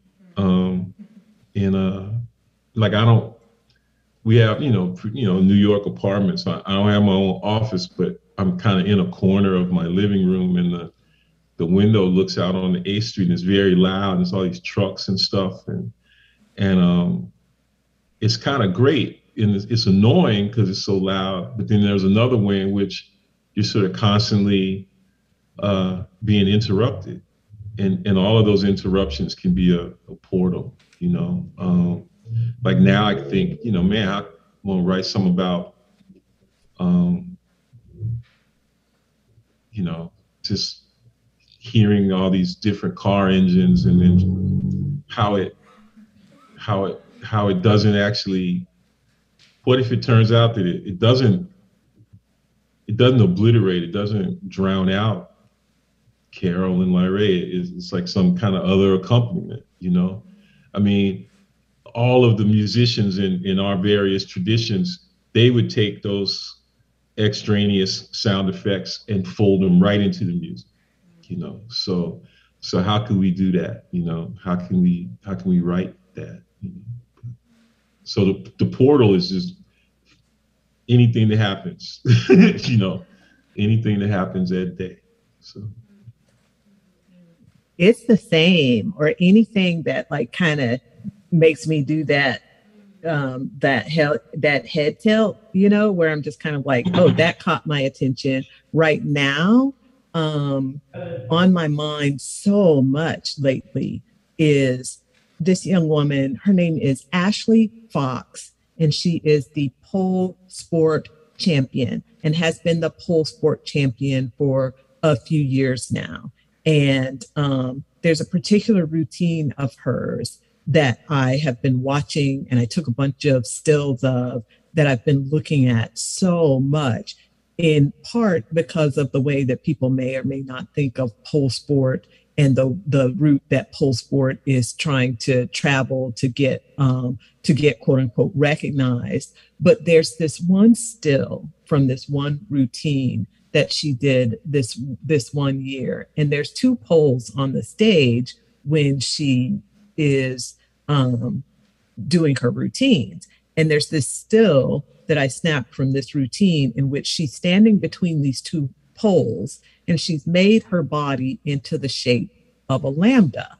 And for me, like that got the head tilt because I'm just like, okay, that is a readable thing right there in mass, you know?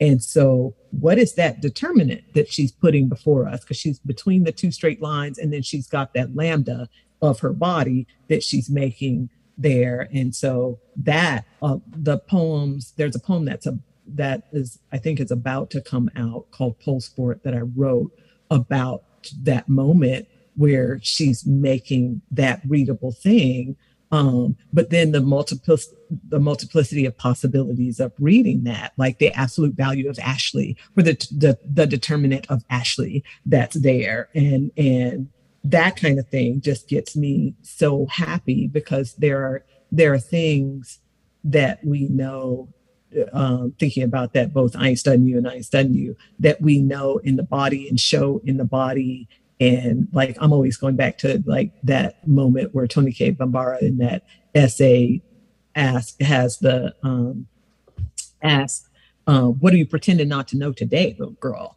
You know, the the way that the things that we know and the way that they show up, um, um, how we process that and how we figure that. Like my processing of that is going to be through these poems, and I have to get that those lines in those poems and what she's doing in those lines, you know, both as that lambda, but also what she does when she's up on that pole and she, her body is completely horizontal off the side of the pole. She's holding herself up there.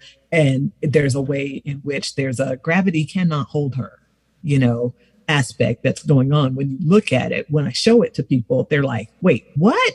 How is this possible?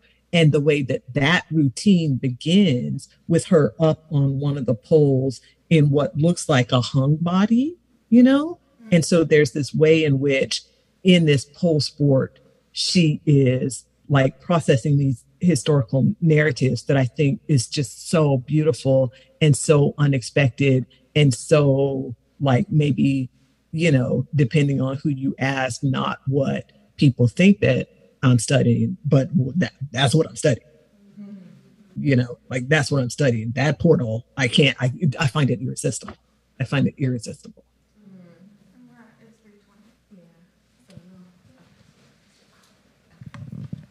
Uh, we are like 320. I'm not sure how much time we have yeah. for the rest. If I can get the um, organizers to indicate. Yeah, I think we're we're out of time, unfortunately. Okay. Okay. I just wanted I was reading a little piece from Fred's prefatory statement, particularly since this session is was titled Poetry is not a luxury. And I liked it because he said something that fascinated me. Um, criticism is supposed to let you see through that. Criticism is poetry in this regard. Baldwin is more and less than either critic or poet or both. He makes us let us look for ourselves and through ourselves till we are beside ourselves. To be beside ourselves with holy looking is to practice Baldwin's selflessness, which is only his to give away and demanding that we see through him too in pursuit of impure, eccentric fugue rather than the chaste satisfaction that's said to live in the one-on-one relation. And I like that he goes on to talk about what he calls the indexical play of observer and observed, theorist and theorized, dreamer and dream, that these ebb into what he calls topographical caress, glistening, unheld, in gazing, intricate towards scalar, neither here nor there. We go down at the cross. I just found that so powerful and such a lovely sort of summary of the kinds of things that we've been thinking about. And this is From All That Beauty by Fred Moten. Thank you all for lovely conversation. And again, we need to do this together. Thank you, Fred. Thank you, Lyrae.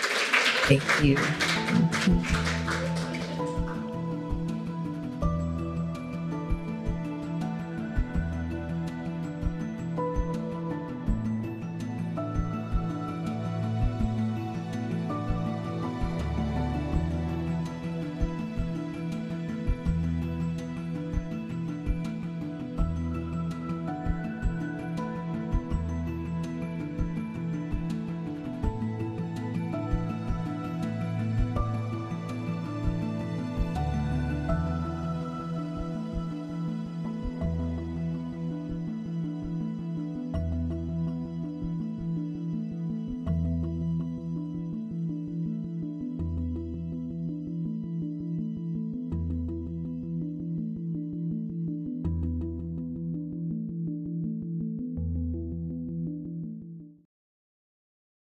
Like she read my praise song, I'm going to be reading a praise song for her as well.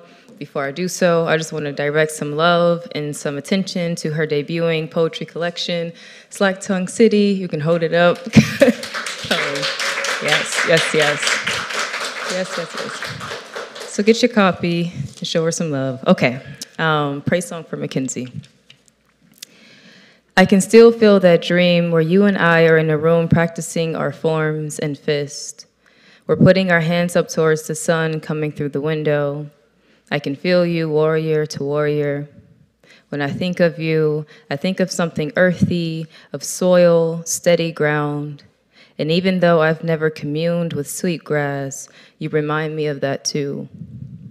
That tidal braiding sweetgrass feels like how I would describe the way you move and speak in poem.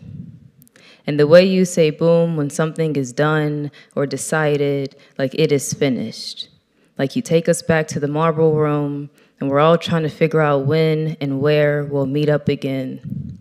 We're mapping everything out, and then you said boom, and we abandoned each other until it was time to dream gather again in this portal town. I believe that's how it happened. And when I hear you dream dreams about a time when there is no time, I should be terrified, but I'm not. Because in those dreams, you're still a warrior fighting for the ground, the soil, the sweet grass, so something has got to be all right. I'm praising to keep warring with you, I'm praising to keep hot raining with you, me as impulsive as the rain, and you as sure of herself as the sun. Thank you.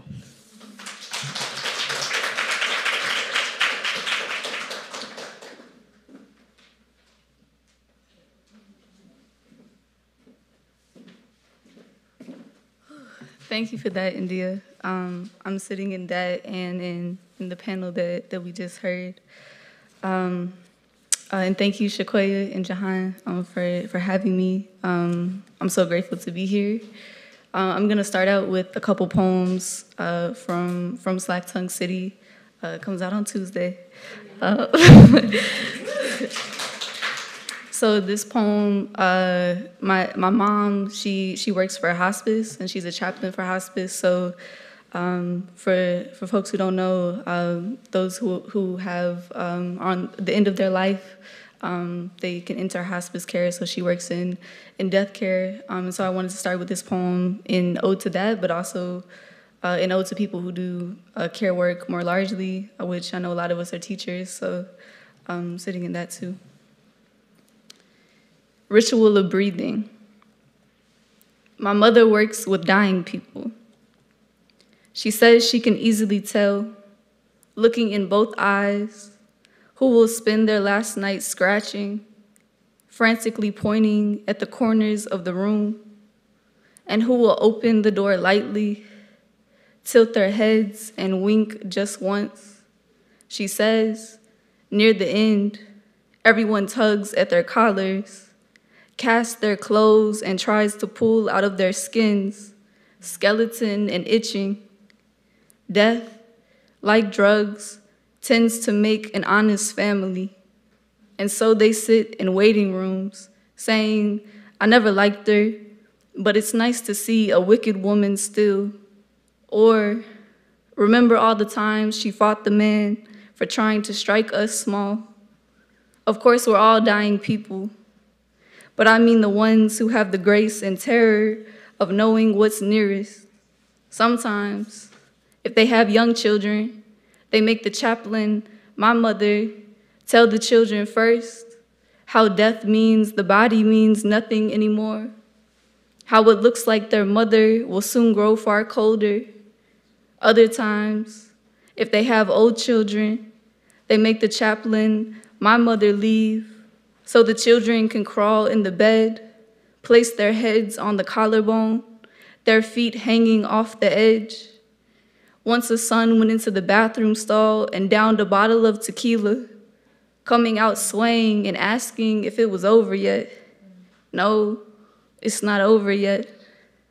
Everything polite dissolves when single months are left. I always wondered if dying people cut her off mid sentence with a head shake, if her prayer didn't salve, because their time was especially too short for limp letters to God, mostly, who would be left to know if she did her job badly she must have made a sacred pact with everything grim, swore to usher every last breath true, if only for her own. She must know when the heart stops, the chest bursts upward like a sky split endless.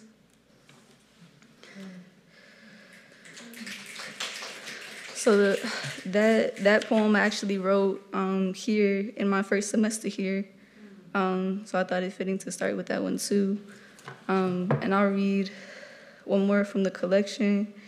Um, so a lot of what Slack Tongue City is is reckoning with. Um, it's an ode to my hometown, Louisville, Kentucky, but also reckoning with um, the South more largely in place. Uh, so I'm going to read the last poem uh, in the first section. Magnolia. There's no way out of the South but driving. Miles of sun, good faith in an ending. We all know what last struck the other.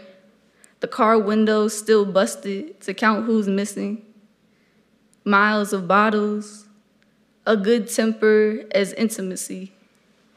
When the Kentucky man said he might shoot me for turning around in his driveway, he didn't raise his voice, as by routine. The last person to lose their way must have unmasked him Ask what have you to say of yourself, of your family tree. There is a highway no one uses, towns made for strangers to be lost. You do scarce to find a mechanic shop with all its parts, or any road without a dead stop. If, if you're done enough, you'd walk, and somewhere distant, the Dixon, the heat would bring you to your knees. Miles of salt, good eating to die quick and well, the last on your fingers, what you stay for. So that's um, a couple from Slack Tongue City, but I also wanted to read uh, some from what I'm working on now, which is uh, quite distinct, this uh, surrealist dreamscape uh, kind of manuscript. And so I'll start with the first one from it. Rehearsing for Carnage. In the distance, I hear a chorus of wolves singing. They stand upright in a circle, pawing each other's gloved hand. It's not a strangle like how a fox wails, no. It's a song that starts in the toes and collects an orchestra of organs as it moves up through the chest, strumming. I used to be their conductor of ceremony, back when I was foaming at the mouth to match them. By tradition, the wolves dip their snouts in the bucket of paint at the center, shaking their heads to scatter. The goal is to pant without tasting. They call this discipline. Whoever loses dies by formaldehyde. This is the best way to learn fast. Before they feast, they sacrifice one of the pack. Something angrier is hungry. Whoever is angrier wins, that's the pact. I won nine Sundays. Then I didn't have enough red left. I exiled myself before my exhaustion threw me to their thudding feet. They all sing well to ward off musicless things. I know because if I get too close, I fall right asleep. I stay far away, rolling in the grass and picking at my heart lock.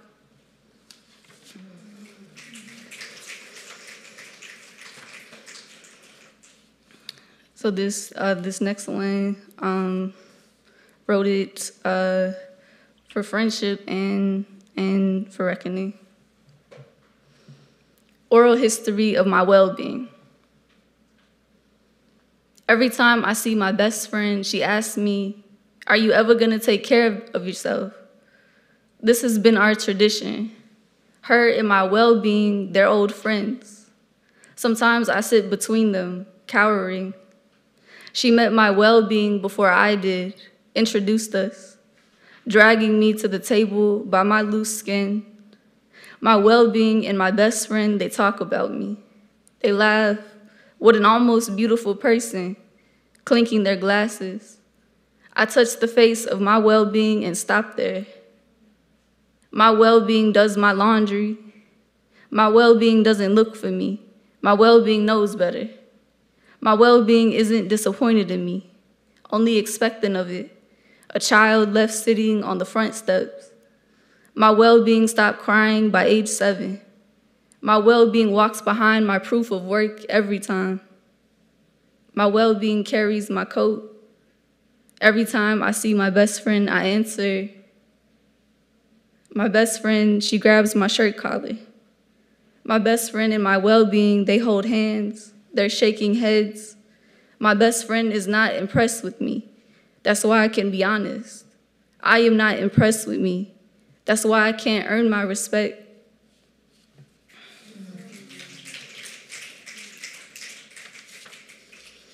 Uh, so this next one, leaning into surrealism, but it doesn't feel like too too far off. The word market. The committee has raised the price of words indefinitely. The last local word store went out of business. They've opened six new grammar factories, citing demand and rural economies. They've made words smaller, funding technologies to shrink them and shrink them. Every word purchased is a word chiseled into the sidewalk. At the city square, we go walk on our pile of words. We point, we trip, we vomit. The writers have organized meetings in the alleys. They wear their pockets inside out in protest and emptiness. Me, I keep watch. I crouch on my stomach in the alleyway, upon my elbows. I spy the committee spies and sketch them. The writers, they tell jokes and give themselves away. They can't afford to do their work. They have to compost the words from their drafts. They barter nouns for verbs, but never adjectives. The prose writers fistfight the poets, who leave bruised but smiling. The poets ask, how much did it cost to write coherently? After the meetings, I take my scraps, my fragments fallen from their notebooks, I piecemeal, I cash out.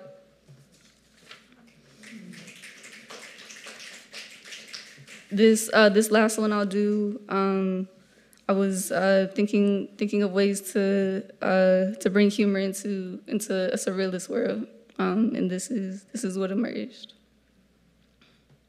Sweat theory. There's an acre of shovels that sprout up from the tip standing up straight like petrified spines. The acre grows one shovel a year. No one has ever seen one sprout. The town of Why Not designates the rowdiest group of eight-year-olds within a 12-mile radius to keep watch in the month of July-August. According to the town elders, the ground sweats so much it heaves a shovel off. This acre in particular is prone to sweat. Why no one has seen it? Well, the acre has secrets, having grown distrustful. The eight year olds this year, they've invented a vacuum to suck up the ground sweat, theorizing that the acre will be unable to throw the shovel up. and they will have therefore proven sweat theory. They camp out each night and each day, taking shifts of paying close attention. They wear headlamps and glasses, even the ones who don't need them, rubbing mud on their faces and hanging upside down from branches for new sight. The town church has taken up a tithe to fund the efforts, calling each eight-year-olds, eight, each year's eight-year-olds to the front and laying hands. They pray to understand the acre. They pray to prove the elders. The eight-year-olds grin, beam, make themselves taller. After each July, August, the town calls a morning meeting. They wallow, walk to the town hall, wringing their hands full of bells. Me, I laugh my ass off, peering up from underground with my shovel in tow. Thank you all for having me.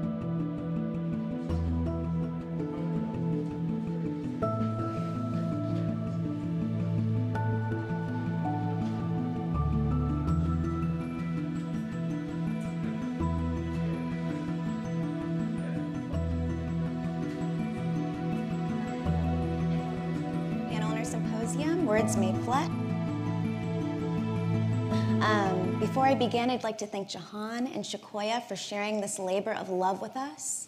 You brought something magical into being.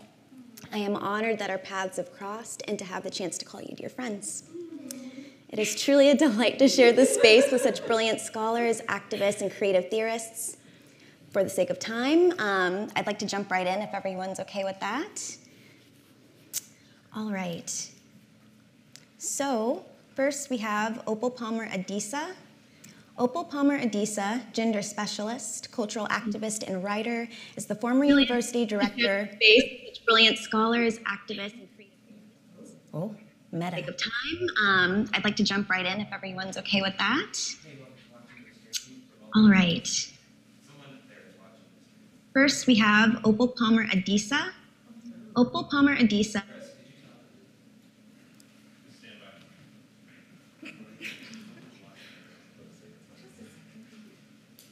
Quick standby. Yes, quick standby, just a little uh, feedback.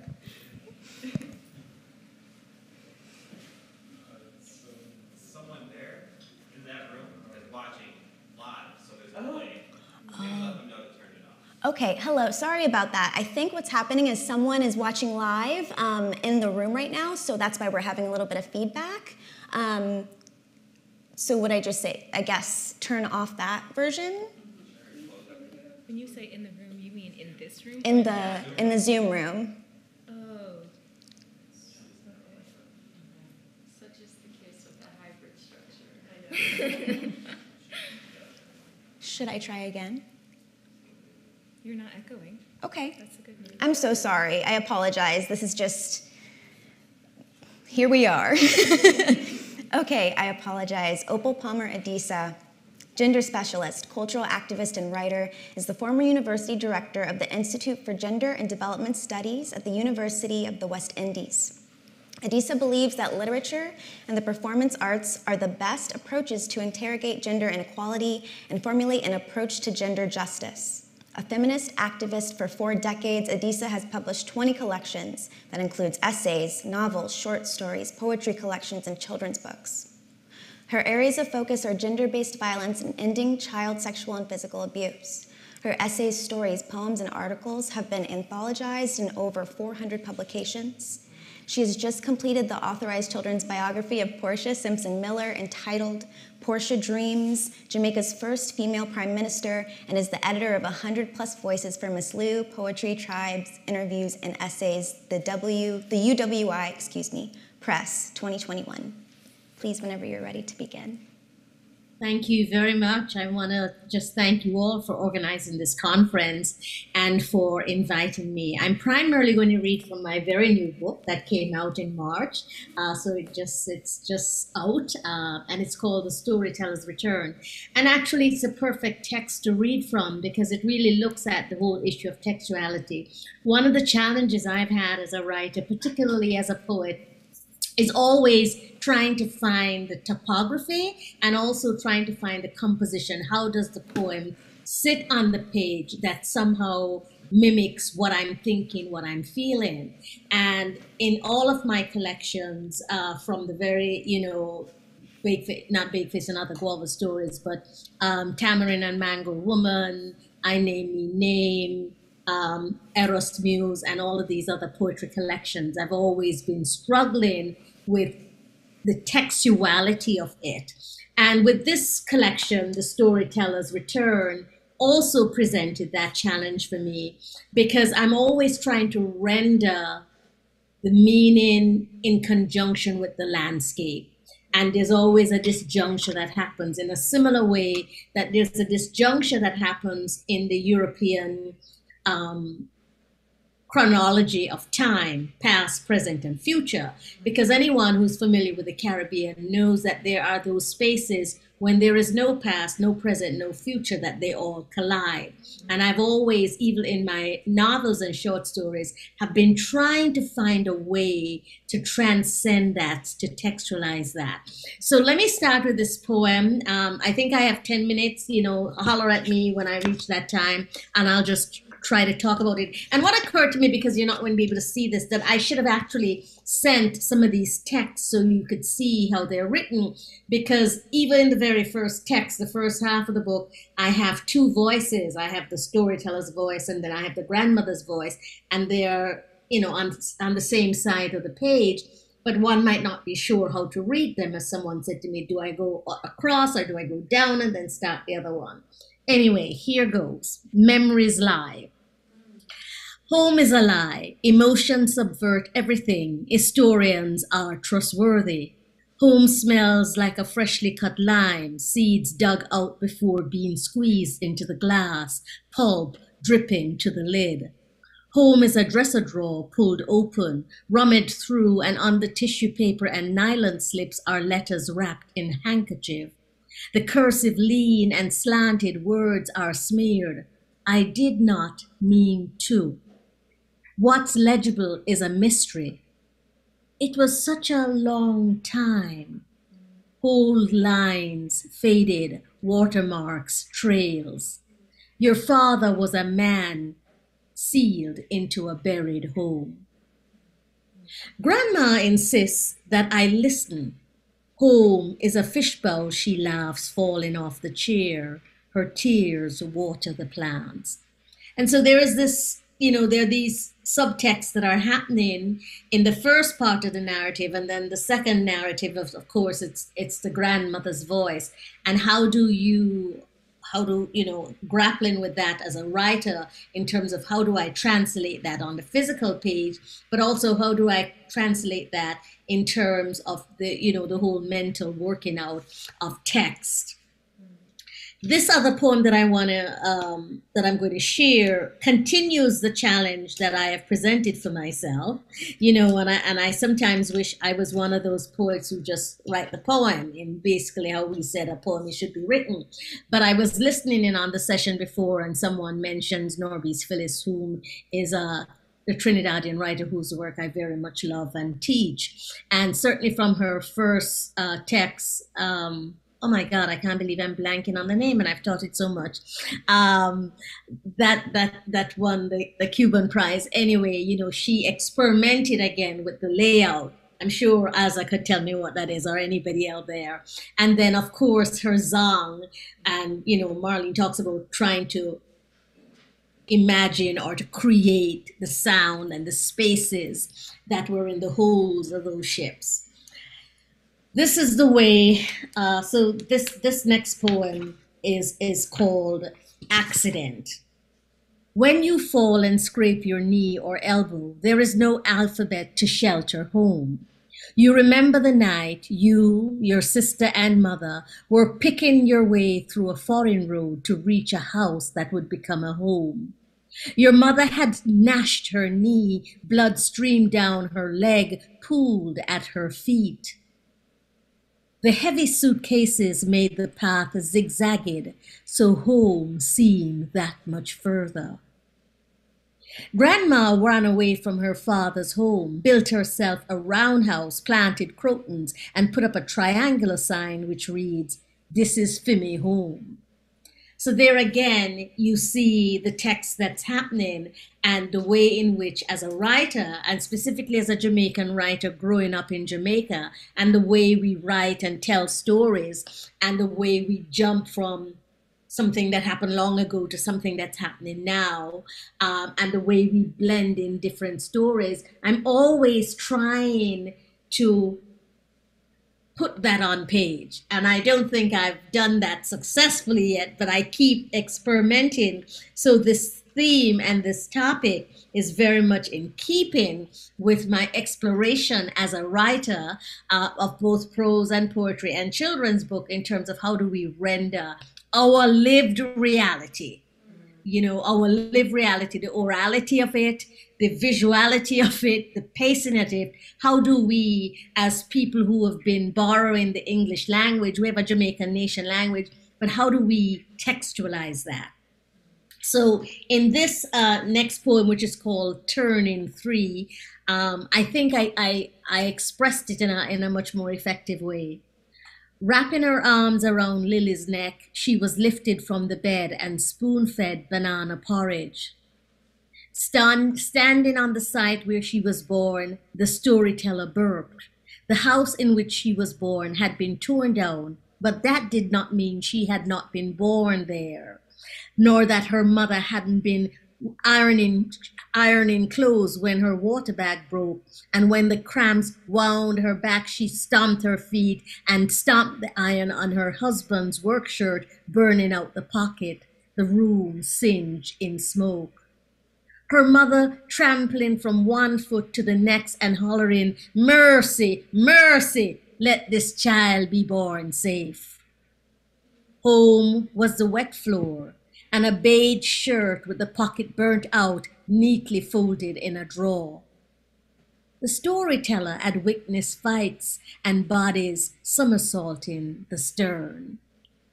So, as you can hear in that poem, you know, it's about the birth and it's about the history of how that birth happened. But then the last line takes us way back to the middle passage and the memories. And this book is really about memories and home and how these memories and the history of who we are as a people in the so called New World collide. And how do we make sense of that? How do we write that in any, I want to say coherent, but coherent is not even the right word to use because it is not at all coherent. You know, Erna Brodber, the Jamaican writer, says, all of us in the new world have to be a little mad, a little crazy, because we've survived the middle passage. So for me to even try for it to be coherent is, you know, paradoxical or uh, I don't even know what to say. It is. It is what it is. Okay. So I'm going to do two more so that we can have a little time with others and we can uh, talk. Um, so returning home, you know, I lived in California for almost 25 years and then I returned home to Jamaica. And I didn't think it would have taken me that long. It is something I'd always planned to do. And so when I announced it, my children says, but mommy, that's what you've been telling us since we were growing up. And returning home has been wonderful. You know, some people have bad experiences so far, maybe because I live in my head and it's euphoric. I've had a really good experience. And this book is about returning home. I started it when I came home, and it's about the way we remember our childhood and the past conflicts and sometimes conflates and sometimes is reinforced by what we experience now. And I'm very lucky because I'm living in a place which is not the place where I grew up, but is very much like the place where I grew up. Um, she often kept company with the birds. The yard man, which is pronounced Adam's apple, taught her how to whistle like various birds, frequently neglecting to trim the edges, which made her mother cross. They shut the storyteller away in the closet room devoid of colors. She was delusional. They were giving her time to follow the rules, to stop being a heresy, creating chaos. The past was behind them, even if not forgiven. She was not their griot charged with their history. Her stories were too heavy calamity and misfortune, cliches, rubbish, move on. The storyteller bit her lips, pressed her hands to her mouth, but still bauxite spilled out. If you toe the line, home can be a sanctuary of protection. But of course, most writers are rebels, so we never toe the line. So there's never the sanctuary that we dream of, you know. We're troublemakers, sometimes not because we want to. I mean, I don't think I want to be a troublemaker. I just happen to be a troublemaker because bauxite spill out, you know. Um, and I hope those of you know that aluminum, all of that aluminum that you guys think is very normal, that Jamaica at one point was the third large box bauxite, and as a result, we have you know polluted many of our rivers.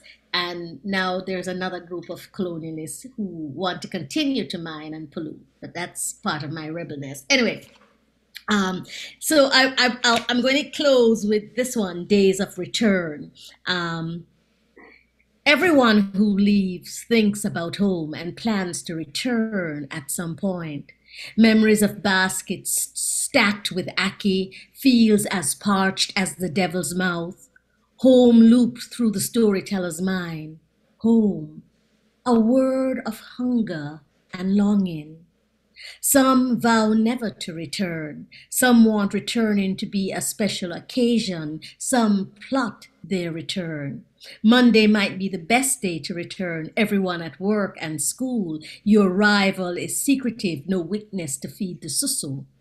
Tuesday evening might be a best way to begin. Children are getting ready for bed. You slip in unnoticed. No, Wednesday, when the bread is almost gone, slip in while the helper is cleaning and pause to relive your first kiss at 13, tongue in your mouth, and you wondering, should you bite or suck or something else?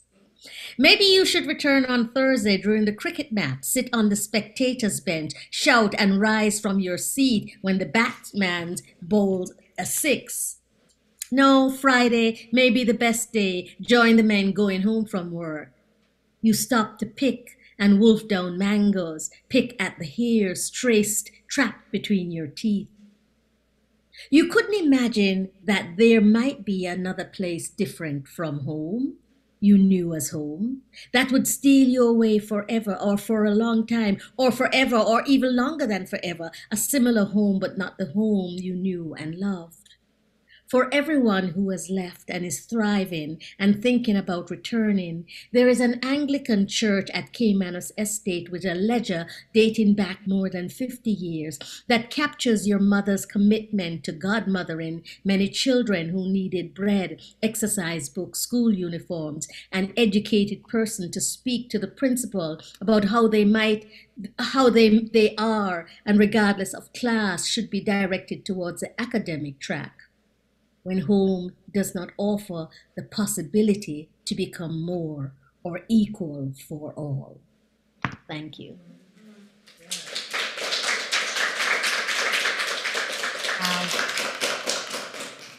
Thank you so much for that. Home is something that I'm always thinking through and reckoning with, so I really, really appreciate that.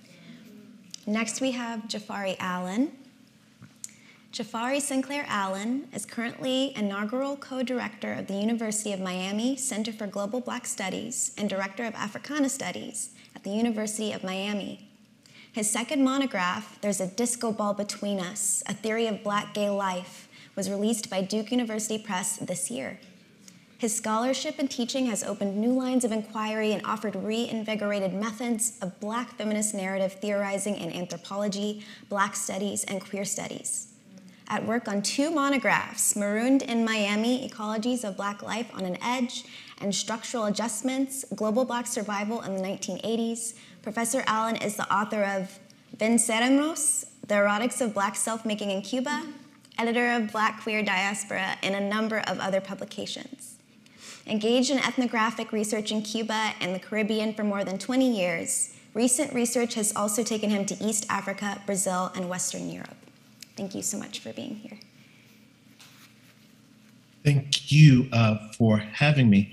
And uh, thank you so much uh, to the organizers, to Taylor, to Shakoya, to Jahan for envisioning this and for welcoming us into the space. Uh, thank you for those who who spoke this morning. I've been in and out because I've been in, been in class, but I was I was so um, fortunate to begin my day uh, begin my academic day uh, with the earlier earlier space earlier spaces, and I'm still thinking about that uh, the the Audre Audre Lorde uh, offerings that um, that our sister Alexis offered, and here we are again this morning. Um, we begin with uh, the inimitable Opal, Opal Palmer Adisa who has evidently written the same book that I have written um, and in the same time frame because we are both concerned with telling it, with the telling it of, of it, of trying, she says, to render lived reality,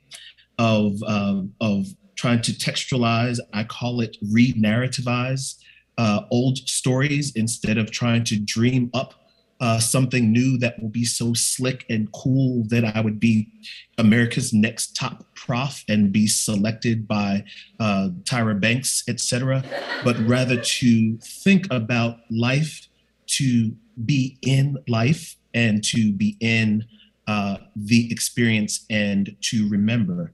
And so I am going to uh, I'm going to put my timer on because I timed myself perfectly earlier. And then as uh, Opal read, I thought, no, I need to read this part too. Um, so I will just very quickly, since we talked about place, I'm going to go to my place. Uh, my parents' place includes the Caribbean, but my place is in New York in Queens, and we talk fast. And if I talk like I'm from Queen, like I'm really from Queens, I may be able to get it all in. So here we go. Um, before I begin the piece that I uh, I plan to to read from the book, there it is. Um, I'm just going to, since uh, we've all of this poetry has been in the room, and poetry is central to what I've written. Just two pieces before, or talk about two little pieces before I get to put your body in it.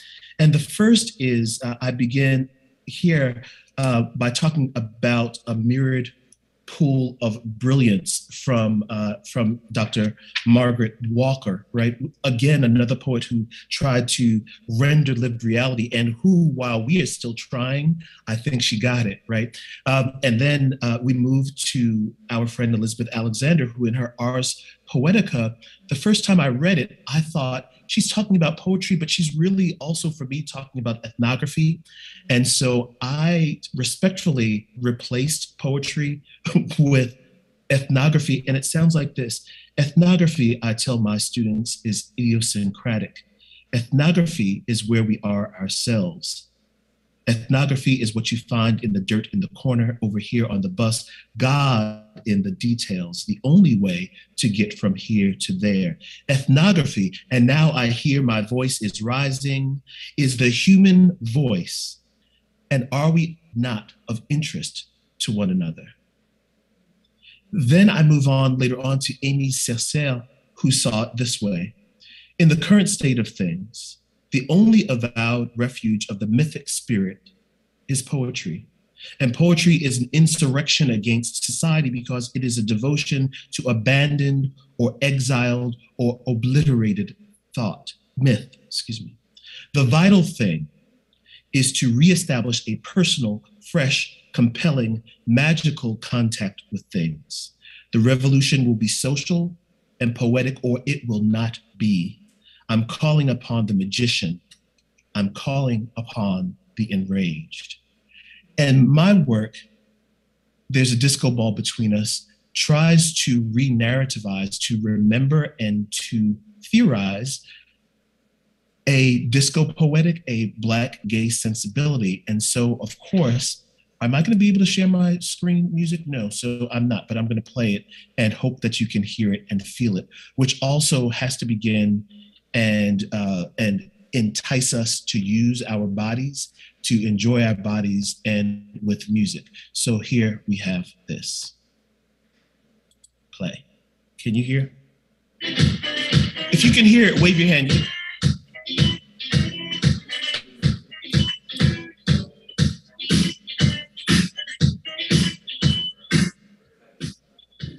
You may have noticed that this groove is intramural. Here we are among friends, and our mode of intellectual engagement is a dance. Cue Stephanie Mills' 1979 invitation and command put your body in it.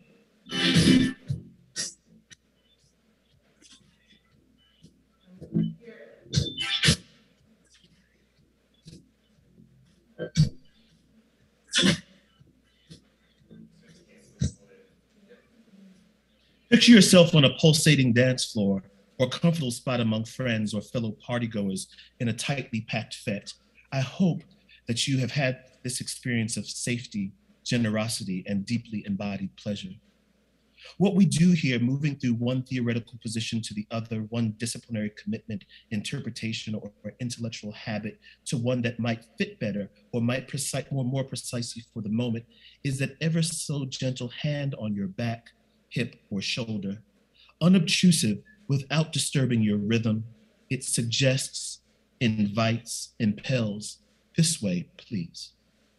We unconsciously move aside to let another stirred by the DJ or on the way to the bar pass on their way. Straighter texts brushly push past the writer whose pen precedes it. Not here. Our engagement is not a sidestep or a dance around, it is something more intimate and mutual.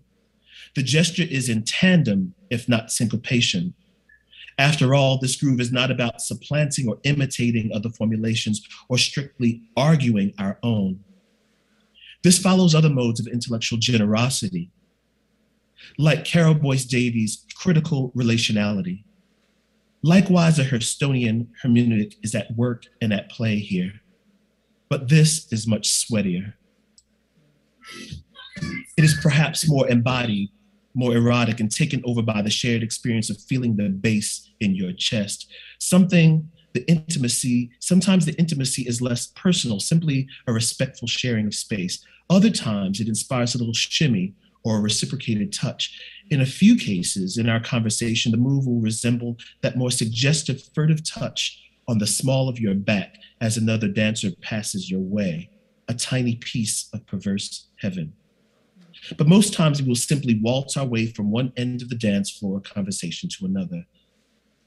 I understand that some, and unfortunately in increasing numbers, prefer to haunt the perimeters of the party, perhaps suspicious of the laughter and what may look like intramural ease or fluency.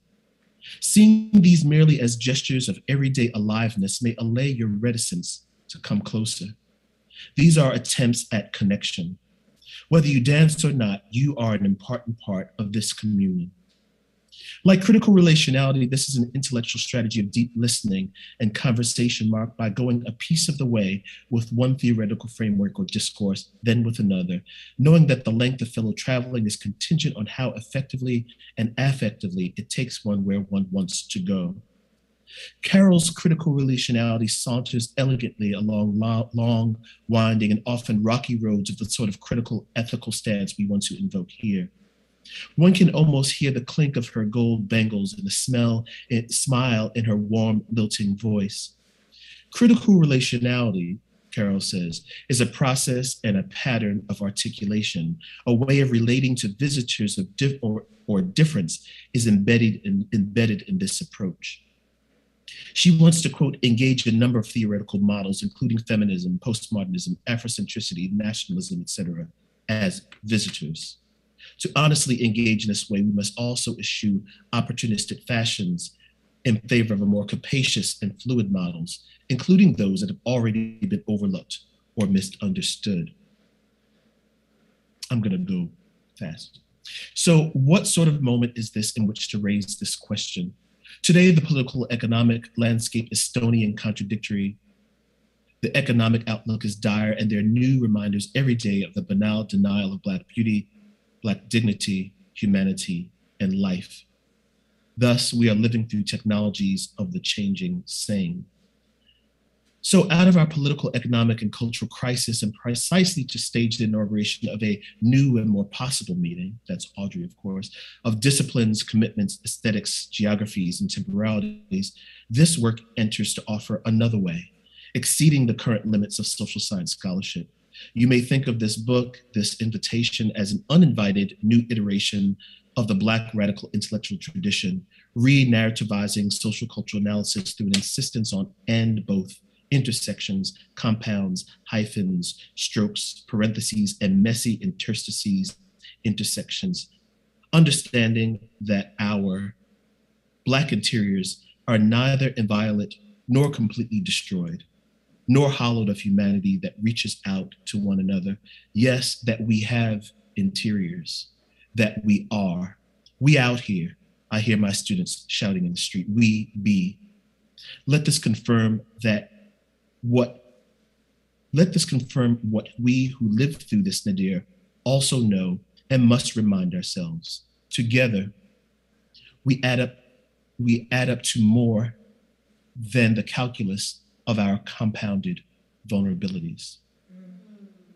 That's my nine minutes and 47 seconds. And I'll stop there to look forward to the conversation.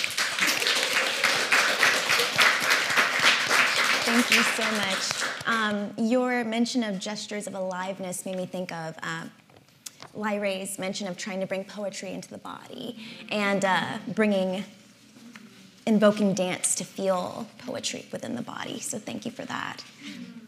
Next, we have Donna Aza Weir-Soley. Dr. Donna Aza Weir-Soley is the president of the Association of Caribbean Women Writers and Scholars, otherwise known as ACWWS, and former coordinator of the Mellon Foundation's Hispanic Serving Institutions Pathways to the Professoriate Fellowship at Florida Inst- International University. She's also an associate professor of English and affiliate faculty in African and African Diaspora Studies, the Center for Women and Gender Studies, and the Latin American and Caribbean Center, LACC, at FIU. And Andrew W. Mellon and Citizens and Scholars Fellow, formerly Woodrow Wilson, Weir-Soley is the author of Eroticism, Spirituality, and Resistance in Black Women's Writings, two poetry collections, First Rain and The Woman Who Knew, and co editor of Caribbean Erotic, which features essays, fiction, and poetry from 62 writers from the English speaking, Spanish speaking, and French speaking Caribbean. Her critical and creative writings have been widely published in national and international forums, including scholarly and literary journals and edited volumes. Thank you so much. Oh, you're muted.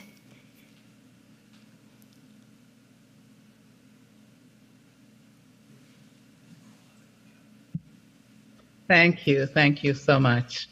And I must add, co editor of Caribbean Erotic with none other than Professor Opal Palmer Adisa, my dissertation director from the University of California, Berkeley. So if you are very, very good, you may get a chance to co edit a book with your dissertation director as well. And it is a pleasure to be on a panel with her again and with Jafari Allen for the very first time. I hope it won't be the last. And I just want to thank Professor Carole Boyce Davies and all of her graduate students, particularly Shakoya and Jehan, who responded to all of my questions really promptly and just made me feel like I was not just a old woman who did not understand the technology and, and, needed, and needed to be walked through everything. Thank you so much for your graciousness about that. And so I am under pressure having to go after br- the brilliant Professor Adisa and the brilliant uh, Dr. Allen, and also to keep time doing it. So let me see. It is now 4:16. Let me see if I can do it in 10 minutes. I don't know, but I will try. Sojourner, self-made woman. Truth is, Sojourner was a mystic and a sage. Consorting with Mama Bet's God in the sky, one by one she stacked her pain, her losses, and her many traumas into a stairway to heaven to rest to wrestle from God. The, that power the world told her was not her birthright and made a liar out of men, gods, and devils. Truth is, Sojourner was a natural mystic, a self-made black woman in the 19th century. In her groundbreaking essay, The Race for Theory, Dr. Barbara Christian champions Black women's creative theorizing in narrative forms, in the stories we create, in riddles and proverbs, in the play with language, because dynamic rather than fixed ideas seem more to our liking. I want us to think about the ways in which Sojourner Truth's self representation extends that idea and challenges us to read her, to see her the way she wanted to be seen and read based on the record she left for us. Sojourner called herself a self made woman. Critics argue that indeed she created an image that at times run counter to their, their ideas of who she was historically. For example, Sojourner did not live in the South, but when Frances Gage wrote her famous or infamous, depending on how you look at it, speech, Aren't I a Woman, in 1851, the speech that she said Sojourner Truth gave at the 1851 um, Women's Convention in Ohio, Gage represented Sojourner's speech as Southern dialect, dialect and made other spurious claims, such as that Truth had 13 children, which both of which I tries to identify um, Truth with Southern slavery, slavery when she was in fact um, a Northern slave. Um, the record only gives us five children, Truth never admitted to having 13, although her mother had 12. According to some critics, Truth's actions after the fact did not indicate that she soundly rejected those characterizations. They cite as example the fact that Gage's speech appears in Truth's Book of Life, a scrapbook of sorts that includes letters and other writings by famous individuals or by ordinary people who held her in high esteem. Taken together, the compilation in Book of Life demonstrates unequivocally the far reaching fame and influence of this woman who was born a slave and never learned to read and write. Critics who scrutinize Truth's failure to correct written misrepresentations of her seem to forget what it means to not be literate. Sojourner operates skillfully within the wheelhouse of orality. Do they then assume that she had the entire contents of these writings read to her, to her, or understood subtle cues and codes of written works? On what basis? Do they also assume that if indeed someone sat down and read all of these writings to her, there could have been no editorial changes made after that reading that she was not aware of? Critics are familiar with the publishing world and know how it works. So, how come? Whatever the agenda of these critics, what they managed to establish is that Sojourner deliberately and intentionally courted some of these misrepresentations or let some things slide because they served her larger agenda to set herself down in history in a particular way. But how did this come about? How did this woman who suffered systemic rape and physical abuse, typical to the slave experience, had her first child at age 13, had some of her children taken from her, lost her mother when she was fairly young, and was even subjected to sexual abuse from one of her mistresses as well as from her masters, develop such a strong sense of self that she was able to invent a new identity and make of herself an icon, a figure so well known and so highly respected that when writer Harriet Beecher Stowe of the infamous novel Uncle Tom's Cabin mistakenly thought Truth had died, she wrote a lengthy, if overly sentimental and chock full of Stowe's trademark racist caricatures, obituary for Sojourner. Titled The Libyan, uh, Libyan Sibyl, the piece not only increased Stowe's reputation as a writer, but also added to Sojourner Truth's national fame. Truth later included Stowe's piece in her book of life, along with letters from other famous Americans, including one from President Lincoln. Oh, I see you in truth, Mama Sojourner, rising from the wallow of self abnegation and self hate, where you let your children starve, worshiping some false god of immorality that stole their bread, trying to be good by someone else's definition, a definition that canceled you, broke you, hammered your life into submission and self sacrifice at the altar of white gods, feeding on your annihilation. How Sojourner grew from object to subject is instructive. Sojourner tells her amanuensis, Olive Gilbert, that she once denied food to her children in order to obey the dictates of her master against stealing, and prided herself on the fact that the fruits of her womb added to his acquisition of property, privilege, and power. Gilbert suggests that Sojourner told this story with some level of shame, chastising her former self for being naive and brainwashed. So, from whence came this dramatic turnaround from pitiful object to iconic subject? We can look to Isabella's conversion experiences for the answer. Imani Perry asserts that sojourner had two conversion experiences. The first is her religious conversion, and the second is her, na- is her change of name and identity. I submit that for truth, the above two conversions are imbricated and impossible to separate. Truth, like Jarena Lee, like old Elizabeth, who wrote um, spiritual, both of whom wrote spiritual narratives, all make the same claim in very similar language that their newly empowered identity after conversion came directly from and through their relationship with God. Sojourner learned about an all powerful, all seeing God in the sky from her mother, Mama Beth. When she's living with the Dumonts, Truth had no privacy and no place to pray. So she finds a place in the woods where she can meditate, pray, and petition for God as her mother, petition God as her mother had taught her to do. Truth's altar in the woods is a place of natural beauty, serenity, privacy, and peace, much like Baby Suggs' altar in the clearing in Morrison's Beloved. It is therefore not a stretch to imagine that she gathered scraps of spiritual knowledge from her mother that her mother intuited to her, what she gleaned from the limited religious teachings by her masters, and what was revealed to her through her conversion experiences. Over time, this syncretic fragmented, experimental, but powerful sense of spiritual agency, perhaps inclusive of Low Dutch religious practices, Protestant Christian teachings, West African beliefs and spiritual practices, mysticism, transcendentalism, and other extant doctrines and practices of that era, known as the Second Awakening, came to inform Sojourner Truth's foundational wheelhouse of spirituality, birthed and augmented her strong sense of self, and developed a powerful new identity for her, one that she used to reinvent herself, to fashion the sojourner self in opposition to the no self that slavery had pounded into her since birth.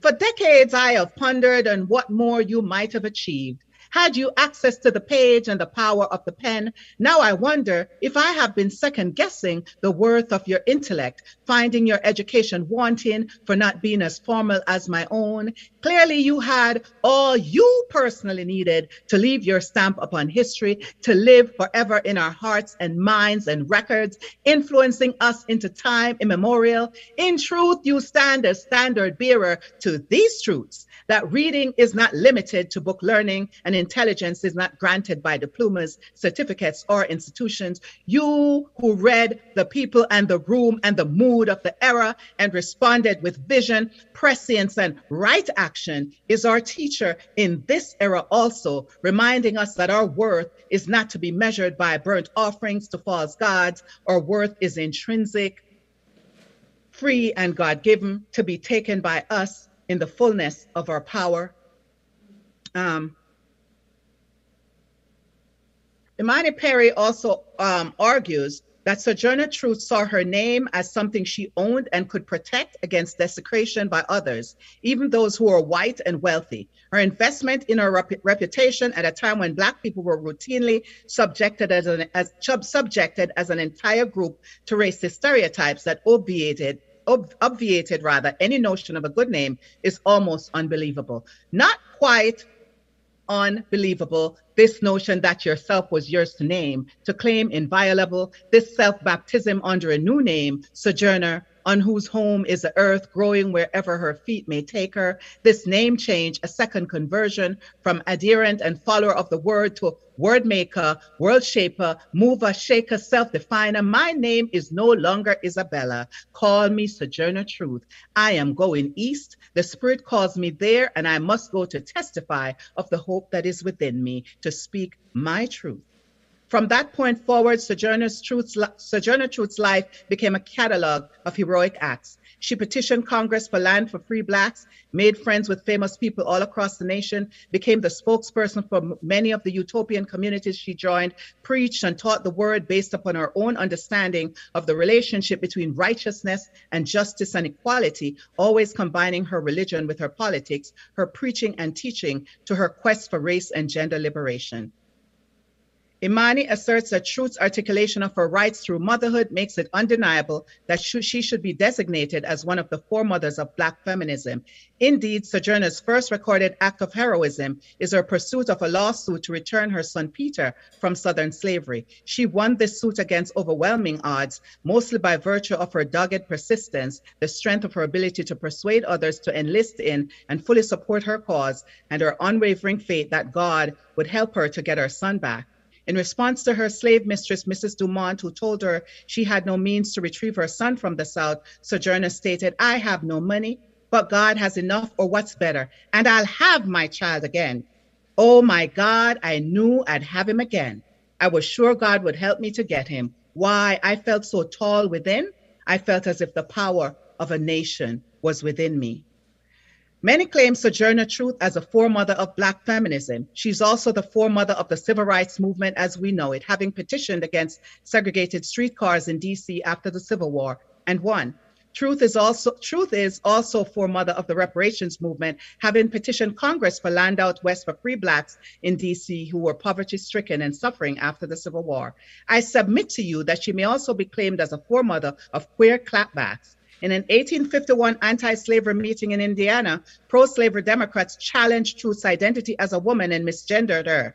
They tried to shame her by demanding that she bare her breasts to prove she was a woman. Sojourner subverted the shame tactic by telling them the shame was their own, not hers. She bared her breast to flaunt their shaming tactics that were purely based on respectability and conventions of feminine propriety. Then she issued a counter challenge of her own. Bared these breasts? These breasts that suckled white babes at the expense of my own? In truth, these breasts are makers of men, men far superior to you. You so wanting in manhood, you dare to deny us our humanity. You so starved of spiritual sustenance, you find yourself lacking in all that is good and God. These breasts you deride, hold your salvation. I bid you come, suck, make of yourself a man. Both um, critics argue that Truth took advantage of certain misrepresentations of herself some critics state that Truth represented her meeting with Pre President Lincoln more favor favorably than it actually went. Imani Perry argues that it is because Truth remembered that Truth recognized that she spoke for the Black race. Her cause needed Lincoln, a president, to be remembered as humane to an illiterate Black woman, so they might continue to hope and to hold dear the promises of Reconstruction. Critic Augusta Rohrbach argues that truth allows some depictions to stand because she found them useful in her self-fashioning. Rohrbach points to Truth's favorite picture, which is constructed to preserve an image of womanhood that was consistent with the conventions of femininity of that era. If y'all could put the picture back up, that would really be good. Both Perry and Rohrbach comment about the frequency with which Sojourner had herself photographed and her intentionality in the construction of these images. Perry argues that Truth was not just arguing for the recognition of her womanhood, but also for her unrecognized beauty. I see you standing outside the door after one of your fiery speeches, a stack of note cards in your hands, selling that clean cut image of a woman dressed modestly with a simple white covering, a fringed white shawl draping your shoulders, your knitting in your hand, the knitting needle announcing itself a table with a book on it that you could that you could not read, and a vase with flowers. The light hitting your cheekbones highlight gold undertones beneath that dark brown skin, akin to mine. Small horn-rimmed glasses suggest color, accentuating a humble elegance and sophistication, the way you want to be remembered the constructed you you want to sell us. In charge at last of your image, you put every convention to use, navigating and negotiating like a true baller, shot caller, selling the shadow of the self to support the substance, still hidden. We theorize and dissertate and turn ourselves inside out, trying to get to you, trying to push past what you show us, what you want us to see and know, as if there is a truer you to be discovered, as if you did not invent yourself, fashioned in your own image using all the tools and all the weapons made available, as if your efforts were not good enough for us, as if we need to see you and see you bleed more than we already knew you did, to see you dirtied, flawed to pieces, as if suffering is the real you. Oh, the violence of our desires for the one truth. Today, I fully declare myself satisfied with the way you work so hard to, with the you you work so hard to give to me the gift of you as beautiful, dressed up and sitting at your leisure, inviting the camera to come close, but not too close, calling the shots, Sojourner Truth.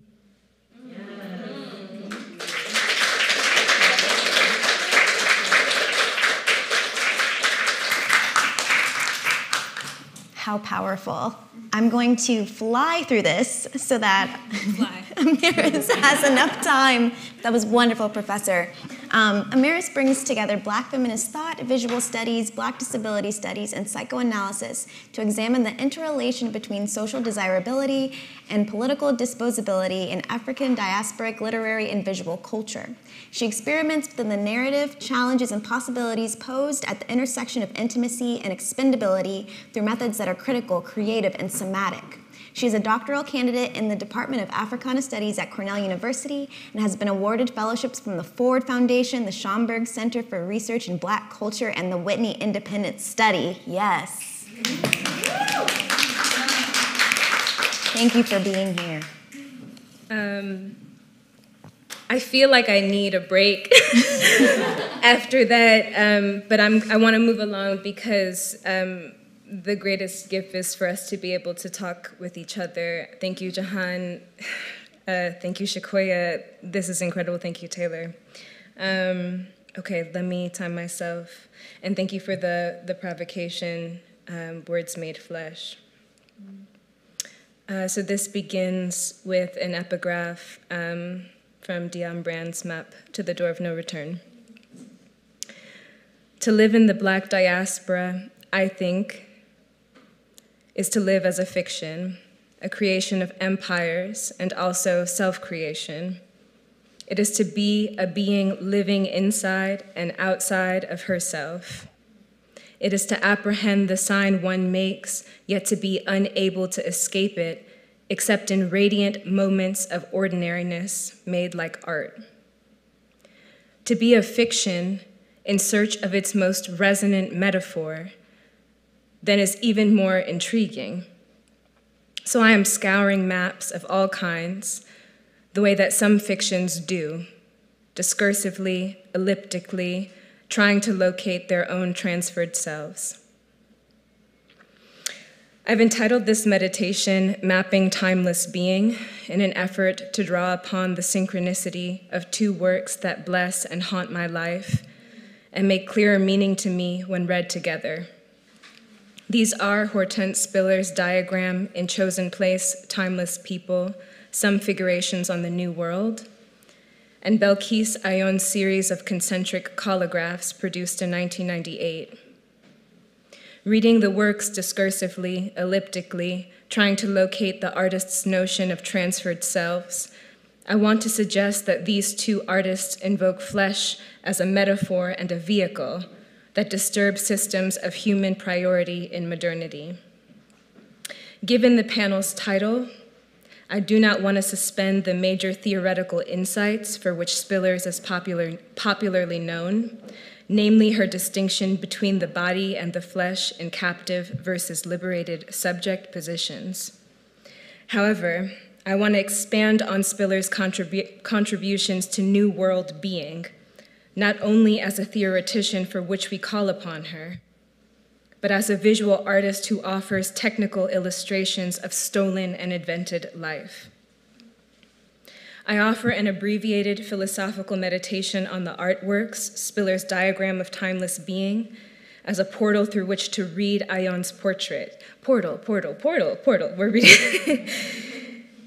in this excerpt from a chapter in my dissertation, I'm concerned with how these artists draw upon the fleshly thresholds of timelessness as a conceptual vantage point where prevailing notions of social revolution reconsider those it has sacrificed for the possibility of its gains.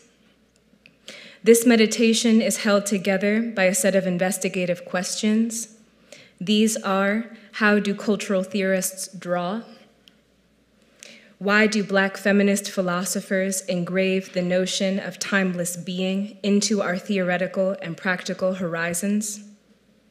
How do Spillers and Ayon narrate the event of self invention and self erasure as rituals for survival?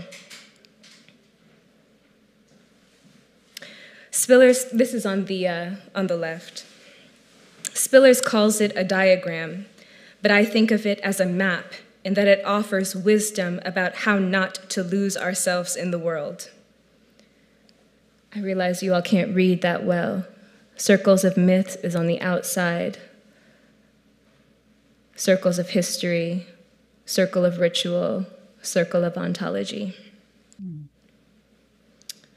She tells us these circles of involvement, myth, history, ritual, and ontology identify the primary structural and dramatic features of the world, and that our understanding of character and motivation takes shape. In a crisis, we sit at the center of a set of social rings. At the center is she who is afflicted, and beyond that are her rituals for survival, encircled by a sense of herself as a historical agent, and finally by the myth of her rumored life.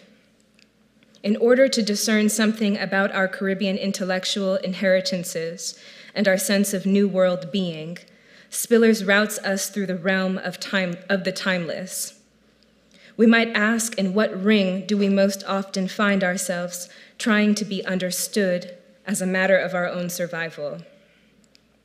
Spillers' map of timeless being gives us a sense of the problem space that Ayon inhabits between living as a fiction and the symbol of a self. Here lies the narrative entanglement where I believe the works make portals toward mapping an agent outside of her social meaning. Oh, cool, it got bigger. Um, so this is the left. Belkis Ayon was a prolific collagrapher, philosopher, and teacher.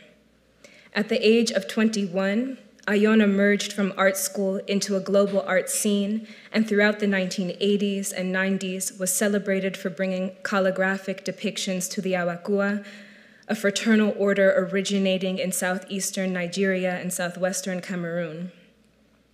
Critics have described her work as allegorical, iconographic, a, symbol, a symbolic representation of a religious order for which she did not practice as an Afro Cuban woman.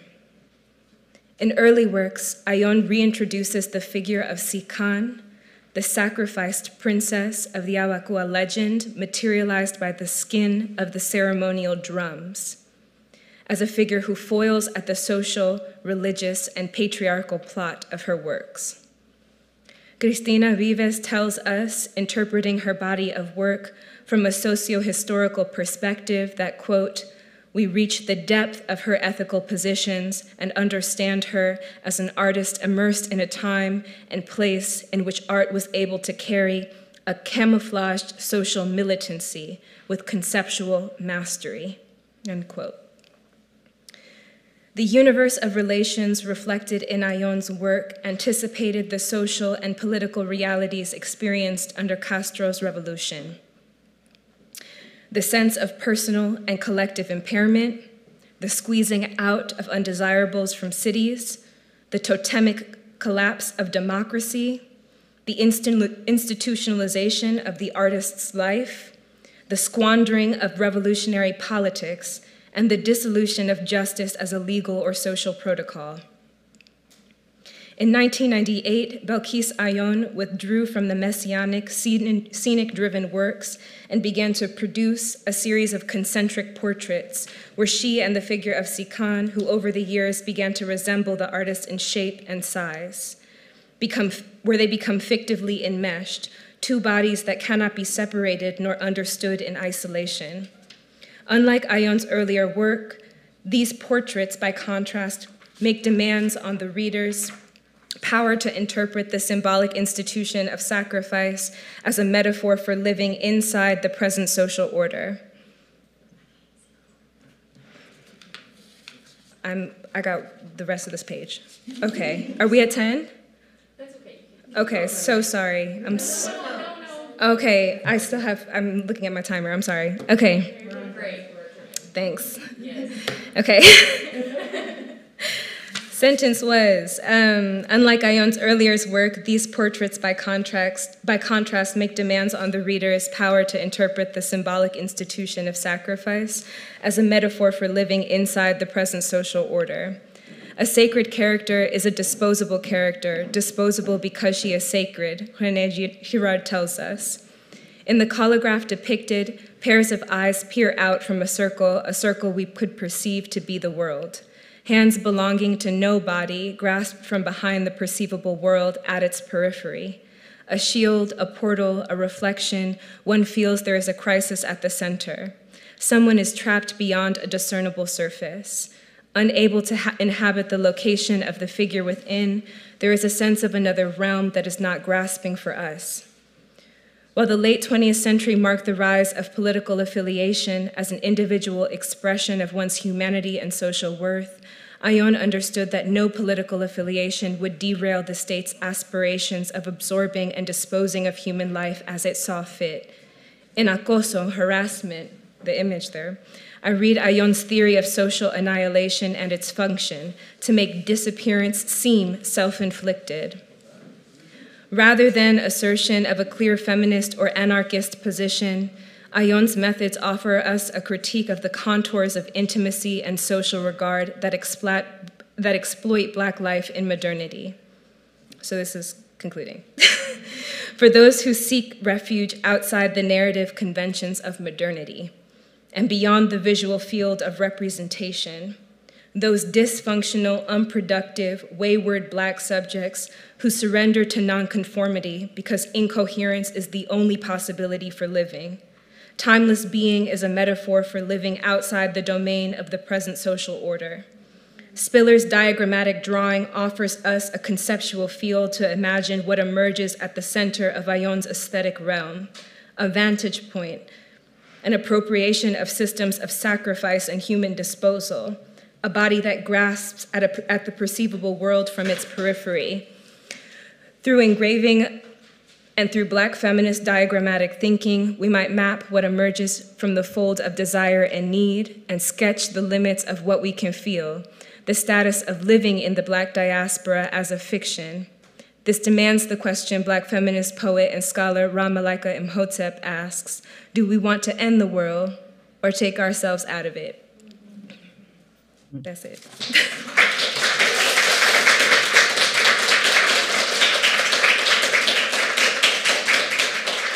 Thank you so, so, so, so much. Amazing. Um, so we're technically on break, but I feel awful about not having a Q&A. What do you want to do? Let's have a few minutes. Chris, is that okay? Yeah, let's have a, a few minutes of Q&A. Okay, perfect. Um, does anybody have any questions in the audience? Or in the chat? Is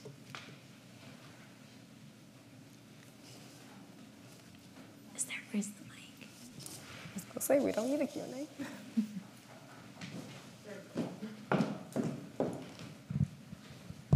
Can you hear me? Okay, awesome. Thank you all for your amazing generative discussion. Um, I found that each one of your pieces kind of talk about this powerful sense of returning home, whether that be a geographical place or whether that be bodily in sort of this fashioning worlds, whether that's in the dance floor or in the woods or at home or in the mind as well. But I wanted to know if, if you each can talk a little bit more about this sort of analysis of bodily proximity with other bodies while also being attuned to your own. Hmm. That's a big question. I'm sorry. time, but let me let me just say, in in conceptualizing and writing my piece, return the storyteller's return. In a sense, they're bodies that are interconnected because I'm looking at the griot. The storyteller is the griot in the new world, and in order for the, the storyteller is returning through the poet who is the person um, both spiritually and historically. So there are many bodies that are colliding and collapsing in, in the rendering of this piece. Um, and what we know is true of the Caribbean is that we're all storytellers because we carry our stories with us and we tell it to the different people we meet and encounter. And I'll let someone else pick it up from there.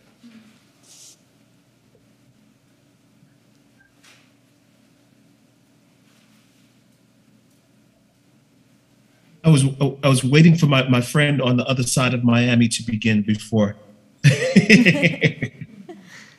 Well, um, I just want to say really quickly um, that for me, it's, I guess, wh- when I was working on the piece about Sojourner, I've been thinking about uh, Sojourner as one of my favorites from the 19th century. She's my, my favorite woman, actually, from the 19th century, and uh, my favorite favorite shero from the 19th century. And when I when I read some of what's written about her, I feel like I want to step into the, her time so I can do her makeup for her. You know what I mean? Because obviously she wants to be represented as fly.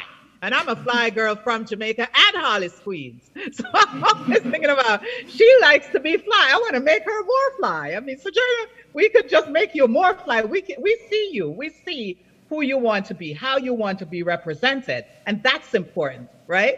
And so in that way, I guess bodies in that sense wanting to to, to have the body travel through space and time to have that interaction where I can actually make her do more, help her to be more of who she wants to be, rather than the less that I think some people want her to see her as. Mm. Mm. See, see, I knew, I knew, I knew that's why you, you should you should go first. From Hollis to Laurelton, I'm from Laurelton, right? next door, next door. Next door. But, but this is a, a very incisive thing that you're seeing between what, what's holding what's holding these these conversations together, and you know because I'm teaching uh, introduction to Afri- uh, to uh, Africana studies this semester, and returning over and over to Manning Marable's understanding of Black studies as as descriptive, corrective, and prescriptive. That when I hear when when I hear these, I'm thinking, okay, so we can be uh, to be corrective and descriptive is to say Sojourner was fly and is fly. That's right. And my re-descriptive, my re-narrativizing this is putting it in a way where you can see this, right? So, like a lot of pro- projects that are happening in Black study, we are, um, we are in, in some, we're honoring the dead, we're honoring ourselves by doing this. We are re-narrativizing ourselves also. And so for me, um, also the, the other the watershed the thing that that shifts this also the embodied piece is the piece of of black feminism and black womanism that insists that that uh, that we put our bodies in it that insists that we cannot leave uh, we cannot leave our sensuality our desires um, and our vulnerabilities outside of our theorization and so for me, you know, my book begins with one line that then shifts, but that's still where the book begins, which is Joseph Beam was my first, right? Joseph Beam was not really my first in that way, uh, you know, uh, but because of how much I wanted Joseph Beam and how my my my intellectual and my political and my literary lib- libidin, libidinal self collapsed through this figure. Um, it is it is so clear and important to me that that my my archival and ethnographic and writing research be embodied and that I remember and feel the bass in my chest. I feel the hand on the small of my back. I hear um, I hear the music. I feel it um, in ways that then when I see Belkis Ayon's uh, work, which uh, which I saw first in situ in Havana, you also get a sense um, and and to put in juxtaposition uh, uh, the, the the concentric circles um, of of Professor Wynter and and then Belkis's piece also that you even in those pieces there is a sense of the body's place in the body's place in space and our need to be in space with one another. And so I'm, I'm, I'm really thankful for this is going to cause a lot of um, a lot of my free writing tonight as I go back to um, go back to think about about these conversations. Thank you so much for all of you on the panel and for person who asked that that the question in the in Ithaca. Brilliant question. Mhm, mhm. Thank you. Is there anything you wanted to quickly add, Amaris? Oh, um, only that the concentric circles are a diagram I borrowed from Professor Spillers. I just wanted to um, make that um, clear. And then Mhm. also, I think one of the, the last thing I would just add is that um, I'm really curious about the way that Sojourner Truth um, entitles that work, I Sell This Shadow to Support the Substance. Yes. And so when I think about that, I'm thinking about in your question, um, what does Sojourner Truth not put on display? Like, what is, what is the substance that is kept for herself? So, I don't know, as a kind of order of intimacy, um, how in some ways might she be refusing a certain iconographic uh, representation or giving you just what she has and keeping the rest for herself? So, the rest for herself is, is the kind of relation that I'm interested in. Yeah. Yeah. Mhm, Nice. Okay, so thank you so much. I wish I had more time to sing your praises. This has been amazing. Thank you for being here in this space with us. And thank you all for coming. Thank you.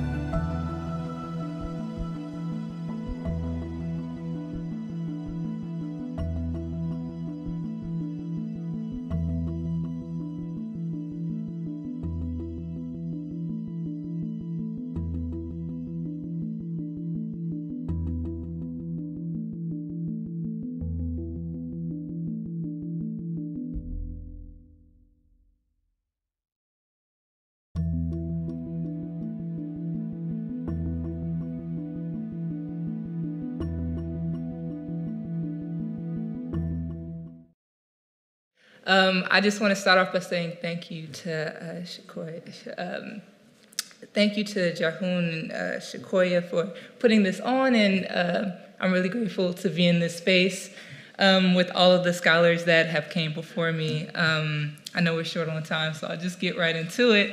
Um, I'm just going to be sharing one poem today. I'm going to start off with a little bit of background and uh, get right into it. So, on March 18th, 2018, officers responded to a call of a man wearing a black hood breaking car windows in Sacramento, California. Within minutes, he was executed in the backyard of his grandmother's home. He was shot eight times in the back. His younger sister and his grandmother were at the home at the time. His name was Stephon Clark, and he was 22 years old. So often, we focus on the death, how it happened, what happened. But what happens next? Um, what happens next for those that cannot just turn off the TV screen or uh, turn off social media to just escape, to just escape, rarely get seen? So, what is it like to sit there and see the general image, and not just see a general image of another one, but see your own loved one across the screen? What happens when it's your cousin that you see? Um, so I'm going to move into my poem. It's an emulation piece of June Jordan's Moving Towards Home. Okay. Dark brown casket cascade through the middle aisles of the church pew. Our family, your friends, and news reporters stood in heart-dropping stillness till dew-filled eyes and pain-filled souls became your weeping choir. Aunt Shaquita led us as she began wailing in anguish, calling out your name, Stephon, oh my baby Stephon. A cry that pierced through our chest like police bullets tore through yours. My eyes feared the box they put you in, the box that young brown boys know all too well. I stayed glued to the banner of your face with that infectious smile I remember. That is my cousin Steph, I thought, as Al Sharpton glided to the center, staring right into the news cameras as your brother, Stevante, clung to him like he was our savior, a man who will make the world feel our pain. We are all Stephon Clark, Sharp, Sharpton shouted. My lips grew silent. I do not wish to speak about the squad cars and the headlights, not quite illuminating all of the blood-soaked pavement and the gun shrapnel. Nor do I wish to speak about the Black Lives Matter chants that reach the police stations, where cops corroborate cover-ups. Nor do I wish to speak about the fearful mother who instructed her melanated son to follow the antagonistic officer's orders before government bullets blew him away. Nor do I wish to speak about the video game playing aunt who was fatally shot through her own bedroom window by an unannounced policeman, or the eyes of her nephew watching her brown body fall to the ground. Nor do I wish to speak about the militarized police force that fired tear gas and rubber bullets into picket sign protesters who have grown weary of officers using black bodies as target practice. Nor do I wish to speak about the hiding list of hashtag names, the lives that will not be forgotten. Nor do I wish to speak about the black boy again and again full of life before they slaughtered him for possession of a lethal cell phone. Nor do I wish to speak about the heartbroken mother that will not be granted justice in a system that refuses to put itself on trial. I need to speak about the promised land, where my children will live through a traffic stop. I need to speak about the promised land, where the men of my family are not packed down in jail cells. I need to speak about the promised land, where I can watch the news without boiling with rage at the sight of my own kin laying in a pool of his own blood for the world to see. Where I must not ask, Where is Steph? Because he will be at our family house. I need to talk about the promised land because I need to talk about unity. Thank you.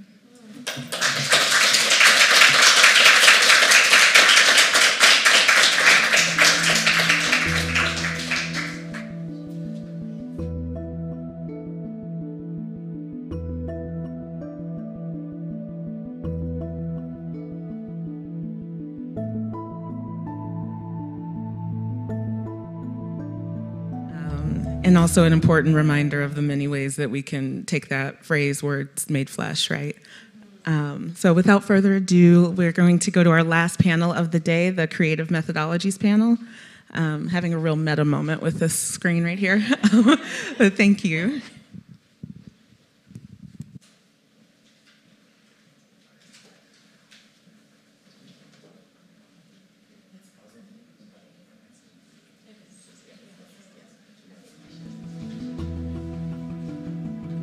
Faces, to see new faces.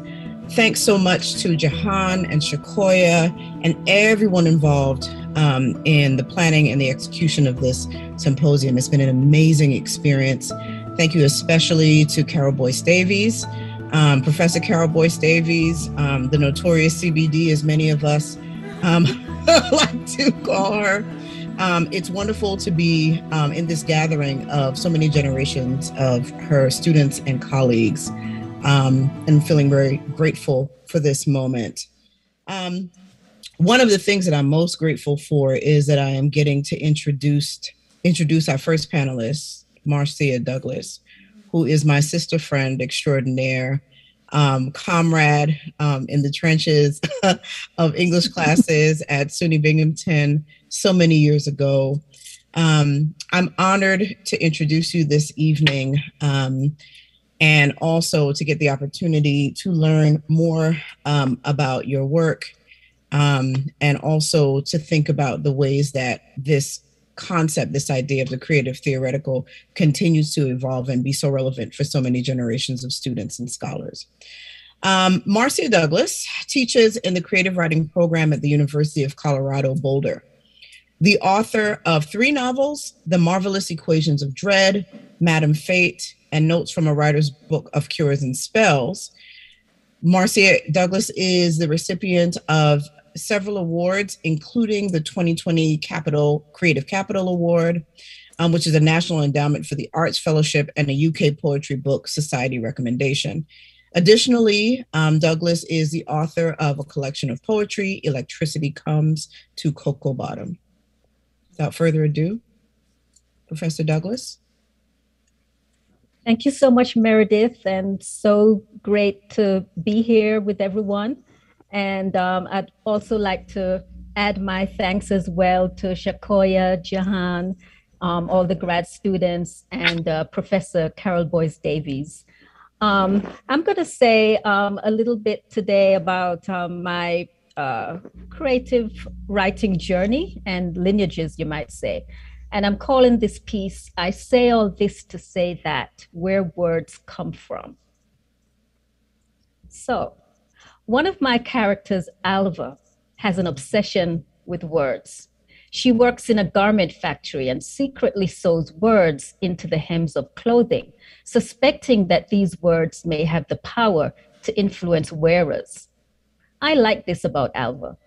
Left to her own devices, I have a feeling that she could sew a whole manuscript into the hems of 1,000 dresses ready for unsuspecting target customers. I think she could create a whole revolution that way. Her words go something like this Jump, pimento, fever, salt, river bottom, Zion, chicken wire, bend, shout, watch, swipe, sweet, gate, see, book, all. Alva does not know it, but her practice of sewing words into the hems of garments reminds of West African traditions of enclosing protective scripts inside charms and stitching them into clothing. Words are power. Alva enters realms I dare not tread except through her. But in tracing her creative lineage, she has me thinking about where words come from and what they do. And she has me thinking about my own lineages and this word novel and its empireness in the post colonial context. I come from a space where, out of necessity and imagination, European and African tongues become nation language. Rastafarian drumming, gospel, and R&B become reggae. Christianity and African spirituality become kumina.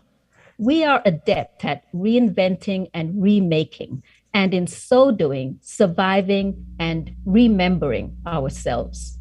What then might the novel become? This is the territory I have always been interested in charting. Thread, ocean, kotai, true, stitch, yellow, bones, new, maker, Babylon, craven, worn. And Alva has me wondering what to call myself.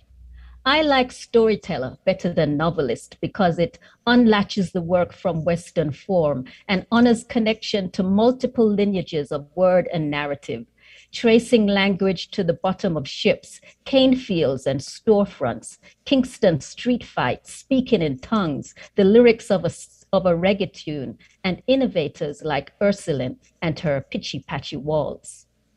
Ursuline, my grandmother, was a countrywoman who practiced the old time Jamaica tradition of papering the walls of one's home with newspaper clippings, magazine pages, and whatever pretty paper could be found.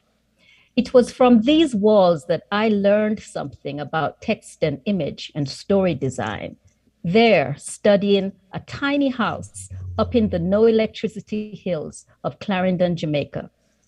When I was a little girl, I spent much time just looking at these walls, not so much to read the actual words, but to take in all the detailed wonder of them. The clippings interrupted every now and then by a black and white photo from a relative in England, or by an old calendar page, or an advertisement for Palmolive soap or hair pomade. All of it glued to the wall with a mixture of flour and water. I didn't know it then, but these flower water walls were a beginning apprenticeship.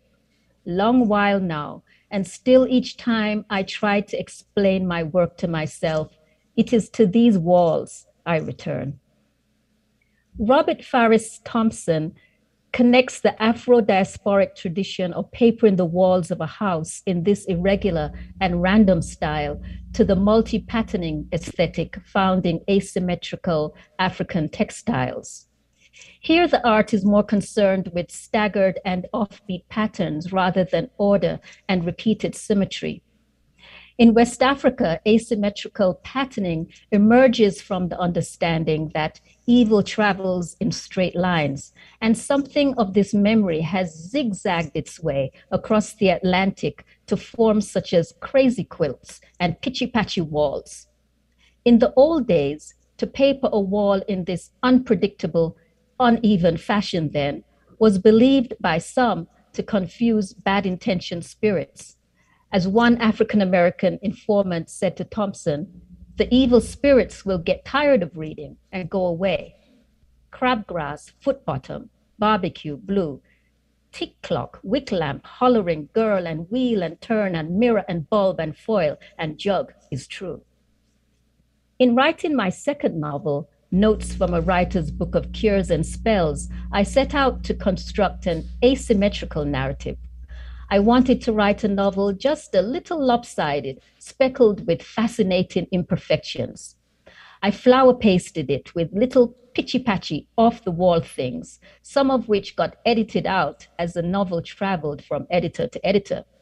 This is beautiful, they said, but we don't know how to market it or our readers will not have the patience for this, or this is much too busy.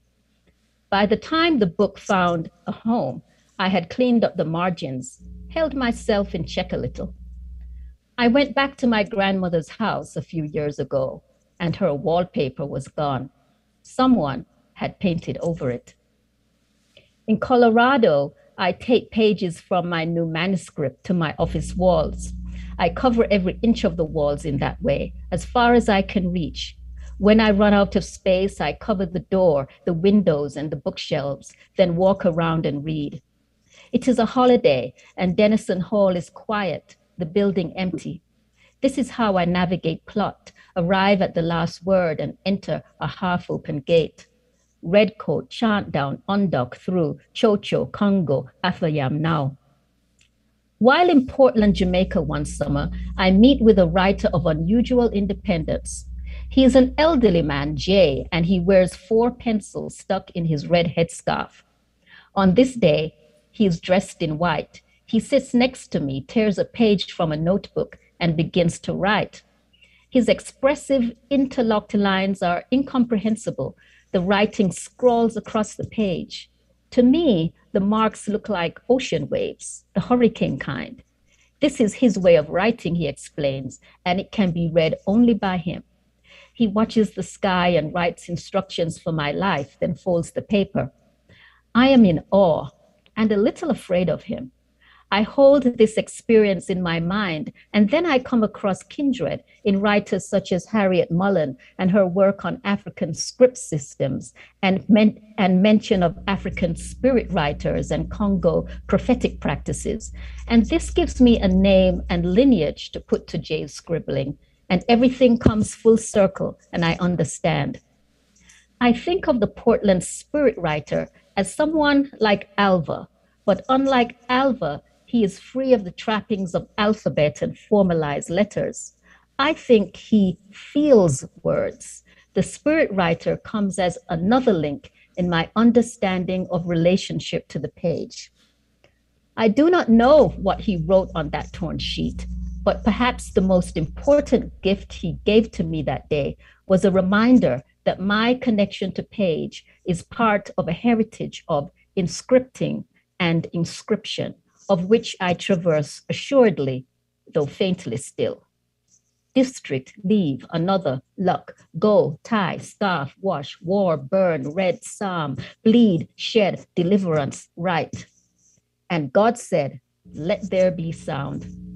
I am thinking of myself as a teenager sitting in church at 54 Chisholm Avenue, Kingston 11, Inside the church, there is clapping and singing and tongues of fire, while down the road, a mega amp reggae sound system blasts the feeling of the nation. The sisters in the pews begin to dance, and for an instant, it is not clear to me whether they are rocking to the church music or to the sound system. It is all happening so loud and at the same time. At home at night, I lay in bed, and there are two or three competing sound systems in the neighborhood. This is Kingston, and one gets used to music, develops a high tolerance for big sound. Soon, all the neighborhood dogs will begin to bark, and this will continue into the wee hours of the morning. The dogs and the music, the dogs and the music, the sound systems conscious of each other and layering over each other, answering one another, two and three, t- two and three tunes wailing at the same time in different parts of the neighborhood. There is a pause as the bass line drops and the dogs are silent for a while, feeling it.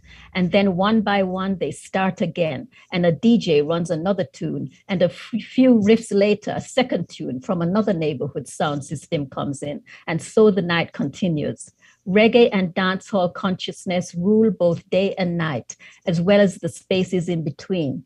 This is the pulse of Kingston. And I find here, wrought in sound, something akin to the multi patterning of the writing on the walls, sounds unpredictable and colliding.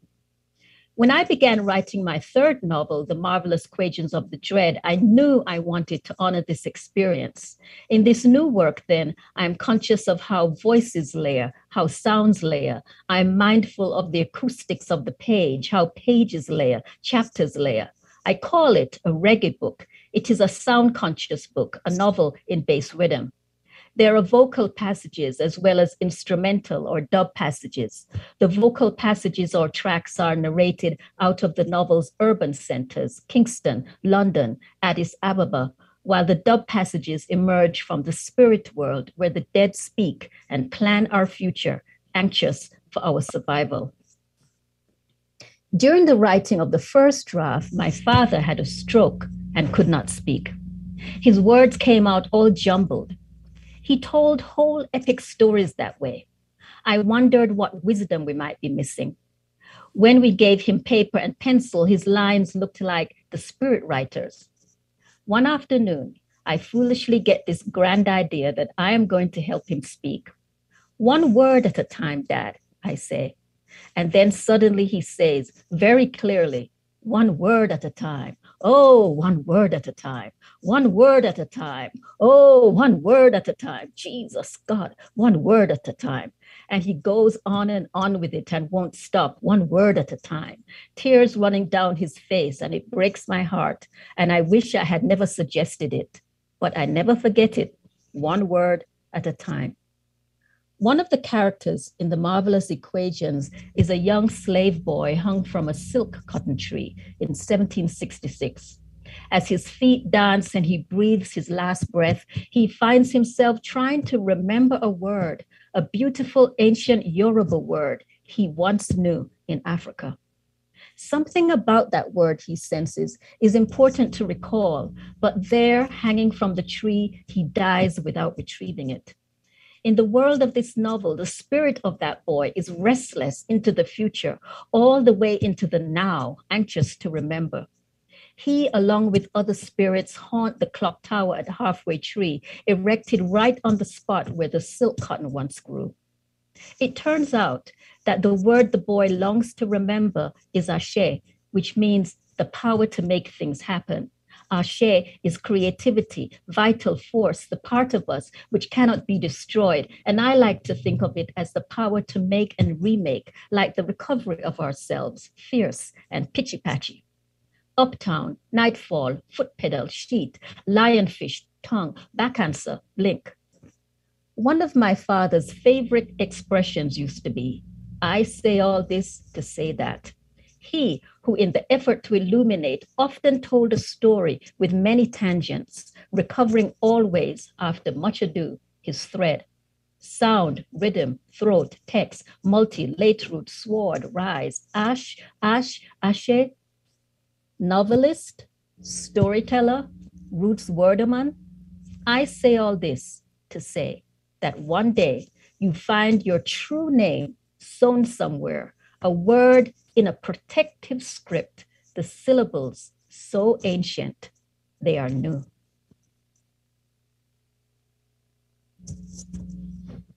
Thank you, Marcia. Thank you so much. Can you all imagine sitting in seminar with Marcia and then having to read a segment of your paper after that? It was terrifying. Thank you so much for that. Our next panelist is Dr. Christopher Smith um, who is a research associate at the Center for Ethics at the University of Toronto, um, with the ethic, with excuse me, with the Race, Ethics, and Power Project. They received their PhD from the Department of Social Justice Education um, and at the Ontario Institute for Studies in Education in 2020. Their research interests reside in the productive interstices of Black diaspora cultural studies, Black expressive cultures and practices, queer and feminist theory, including post-colonial and decolonial studies. Hello, everyone. Uh, uh, my um, my uh, my gratitude to uh, Jehan and Shakoya, and as well uh, Carole Boyce Davies for uh, extending this invitation uh, as well. and so, if we could, I just want to make sure the first slide is up. Yes, perfect. And so, uh, just as a kind of brief preamble, uh, part of the way in which I'm coming to this conversation, uh, despite the fact that uh, most of my work is oriented towards cultural studies, uh, for all intents and purposes, I'm formally trained as a sociologist, uh, specifically sociology and equity studies in education. And one of the things that I'd always found uh, arduous was that social uh, sociological writing is not always fun.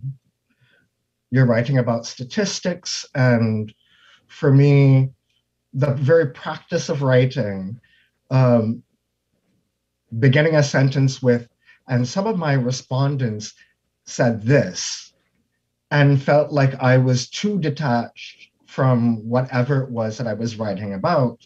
And this became even more apparent uh, as I was uh, at the stage of writing my dissertation, which will now turn into my manuscript, uh, Itinerant Hospitalities, Black, Queer, World Making.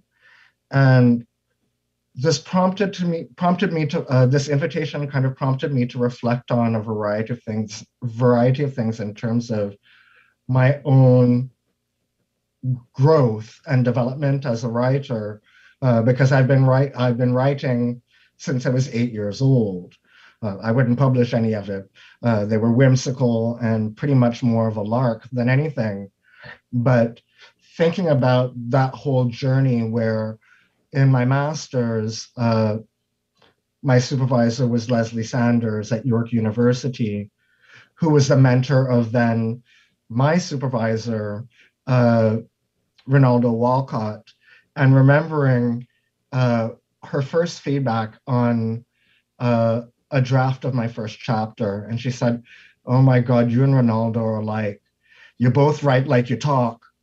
And I'm just like, okay, is that necessarily a bad thing? But I understood what she meant in terms of grammatical errors, structure, so on and so forth. But what I understood and what I took from that was also that ultimately I want to find my voice in some way, shape, or form.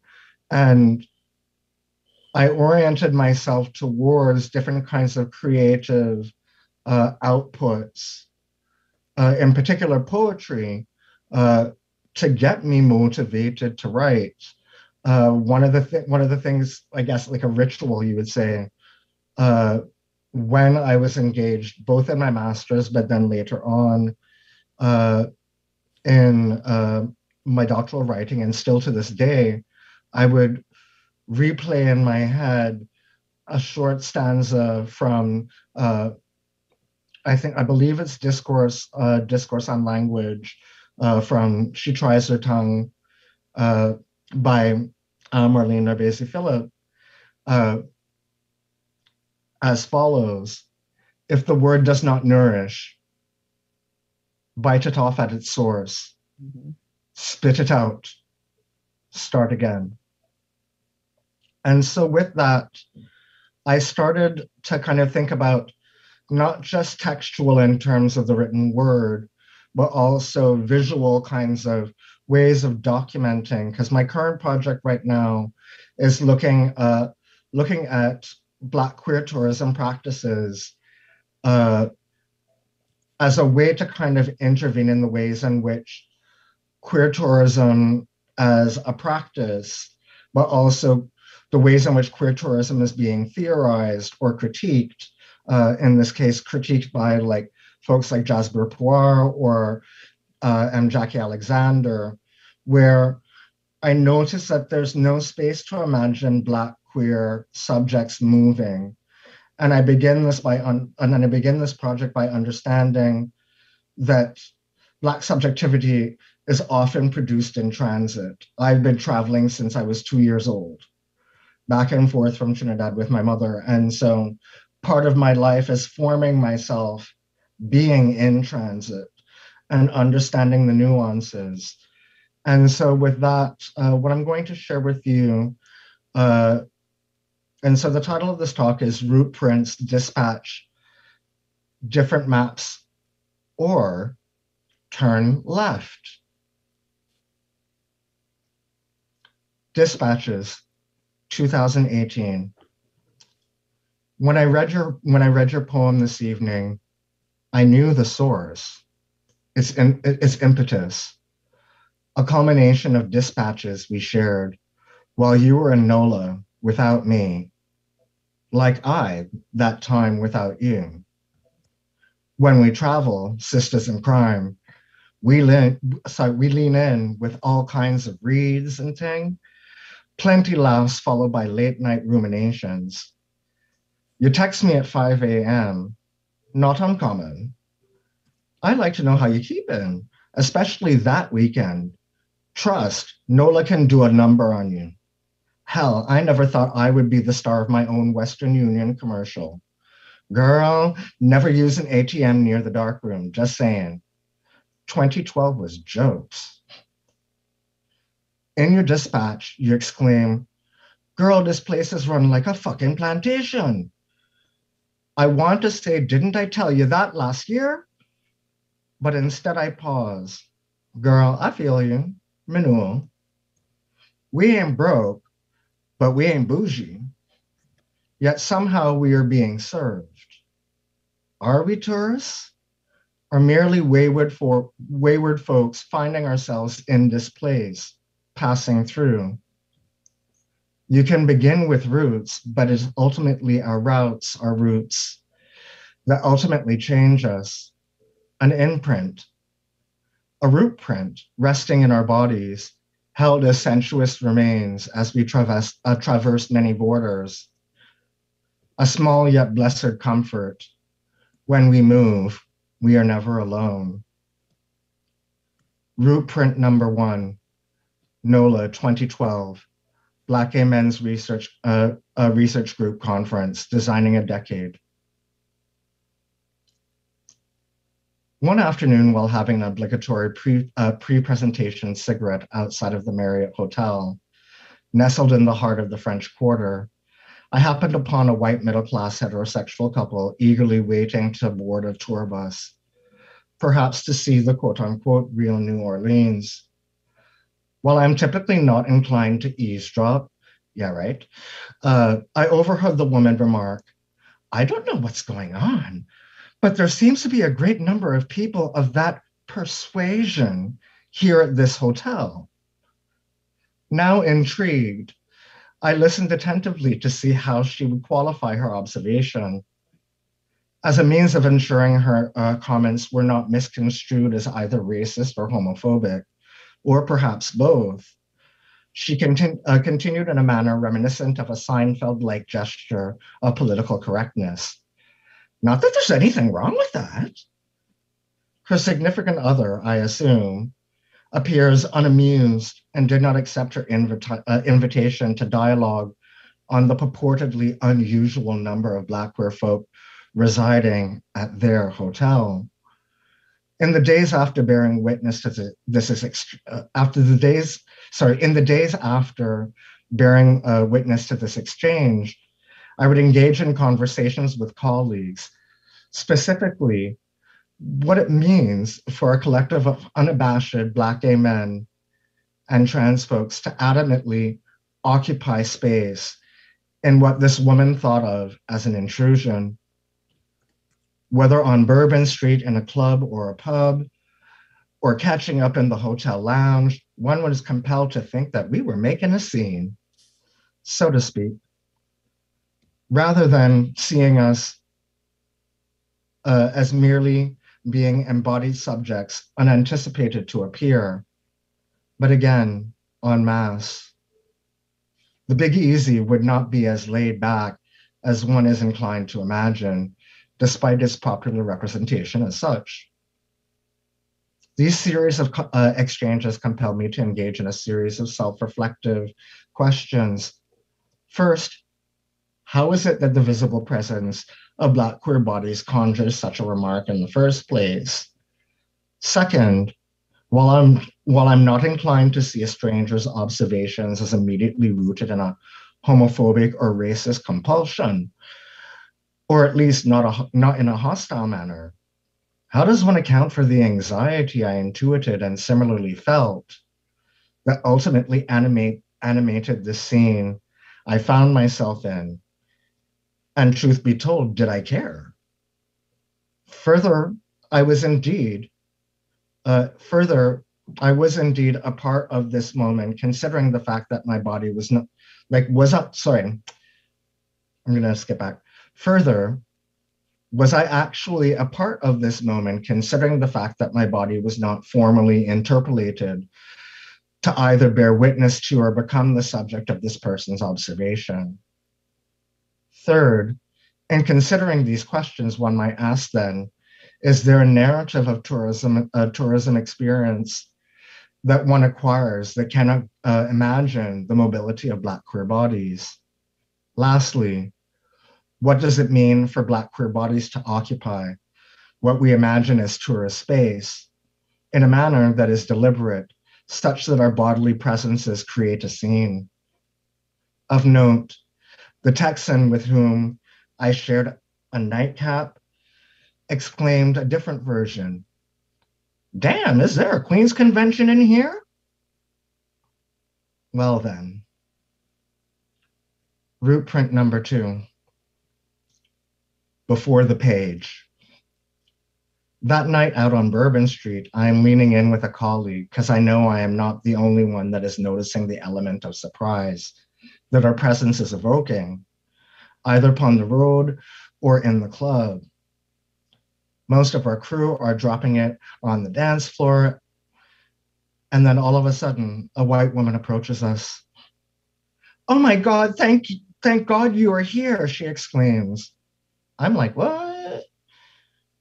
My friend sitting over there is gay too. And we have and we have not found any gay folks in the city. We are so glad to see more queer people out tonight. Leaning in, I whisper, um, did we just bring the party? But then I thought to myself, girl, you know, that was bound to happen anyway. It always does. Turn left. Uh, 2022. Girl, did you get those pictures I sent? No, not that one. The one with them white folks shuffling antique cotillion dresses on chartered bus on a chartered bus. I hope they are antiques. Who would make new versions? Anyway, apparently Scarlett wears Batty Riders in the daylight. I tell you, go left. Follow the bacchanal until it seems party done. Turn left, hit Rampart. Trust, you will find it, and the page will turn you. Ain't nothing like running in the rain in heels to find there are still gentlemen that will say, How do? while a cocktail slides in your hand. Maybe I'm partial to old school things like jukeboxes and late night slow jams, dancing under candlelight. Every dollar in the jukebox holds a wish, a desire, a song that must be heard, a story yet to be written. I pause as his I, I pause as his arm curl up my waist, hands hanging on his shoulders, fingers stroking all the tickly parts, prompting giggles. Bliss. Girl, I'm to tell you more next week when I get home. Thank you. Thank you. Our next panelist is uh, Dr. La Marr Jurelle Bruce who is a cultural and literary critic, um, Black Studies devotee, first generation college graduate, and associate professor of American Studies at the University of Maryland, College Park. His debut book, titled "How um, How to Go Mad Without Losing Your Mind: Madness and Black Racial Creativity," earned the Nicolas Guillen Outstanding Book Award. His next book experiments in the convergence in the convergences of love and madness, or what he titles the Afromantic. Dr. Bruce. Good evening, friends. I'm delighted to be in community and in conversation with you all today. Thank you especially to Jahan Robinson, Shakoya Kidwell, Carole Boyce Davies, Chris Walford, my co-panelists, and everyone else involved in uh, making this marvelous event happening and gathering to participate. Today, I'm going to unfurl a very brief, very quick and dirty account of a creative theoretical paradigm and tradition that blooms at the convergence of madness and blackness. Um, so I'll leap right in. Um, so I recently, slide, I recently published a book called How to Go Mad Without Losing Your Mind Madness and Black Radical Creativity, which is a study of 20th and 21st century Black cultural producers who mobilize madness in radical cultural forms and world making. Among the prominent protagonists in the project are uh, Buddy Bolden, Charles Mingus, Sun Ra, Richard Wright, Nina Simone, Ntozake Shange, Gayl Jones, Richard Pryor, Lauryn Hill, Dave Chappelle, Kendrick Lamar, Kanye West, among others. And in the works of these artists, what I claim is that madness animates and sometimes agitates Black radical art making, self making, and world making. Madness becomes content, form, symbol, idiom, aesthetic, existential posture, philosophy, strategy, energy, and methodology in an enduring Black radical tradition. So in the book, I propose that madness signifies at least four entities in the modern West. Next slide. First is what I call phenomenal madness, which encompasses the lived first person experience of psychic turmoil and unruliness of mind. Second is what I call medicalized madness, the psychiatric diagnosis of mental illness right, as arbitrated by uh, medical experts and medical authority. Third is furious madness, right? Anger, wrath, rage, um, an emotional state of intense and aggressive displeasure. And fourth is psychosocial madness, the most capacious of these, um, these categories. Psychosocial madness or psychosocial alterity, which, which entails a sort of drastic deviation from psychosocial norms, right? Anything, any person, behavior, articulation that sort of radically vexes and perplexes the psychosocial status quo is liable to be labeled crazy. I want to be clear. I'm not attempting to establish a rigid, exhaustive definition of madness. Madness is too messy to be placed in tidy boxes and too restless to hold still for rigid definitions. I'm sketching um, an account uh, of four ways among potentially infinite other ways that madness manifests and circulates in Western modernity. But for my purposes today, I want us to think together about what I call mad methodology. Beyond regarding madness as an object of analysis, I activate in my work and in my life, life world more broadly, I activate madness as methodology, mad methodology. is what I want to center today.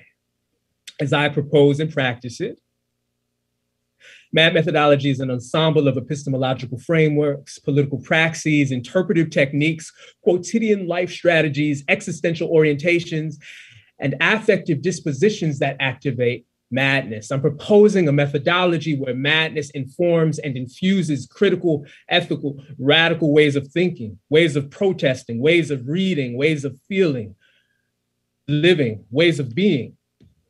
Mad methodology chases and rides the unruly movements of madness without intent to capture what it chases. It attunes itself to and is conversant in the expressivity of the purported rants and raves of mad persons. Mad methodology, as I propose it, ponders the sporadic violence of madness. And listen closely to this the sporadic violence of madness in tandem and intense in, intention with the structural violence of reason. Right? I can think of modern atrocities, both mundane and momentous. We can think about the transatlantic slave trade.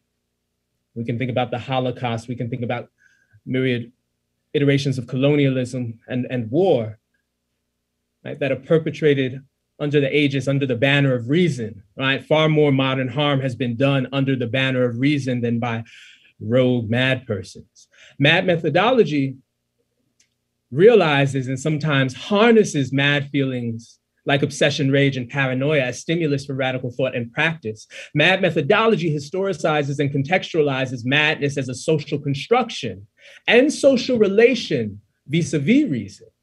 And reason, for my purposes, capital R reason, uh, for my purposes, is a proper noun de- denoting a positivist, secularist, enlightenment root in episteme is purported to uphold objective truth, truth always in scare quotes, uh, while mapping and mastering the world. I'll say that again a, a, a positivist, secularist, enlightenment rooted episteme um, purported to uphold objective, quote unquote, truth while mapping and mastering the world. In normative Western philosophy since the age of enlightenment, reason and rationality are believed essential for achieving modern, modern personhood, for joining civil society, and participating in liberal politics. However, reason has been entangled, right, from those Enlightenment roots with misogynist, colonialist, ableist, anti Black, and other pernicious ideologies.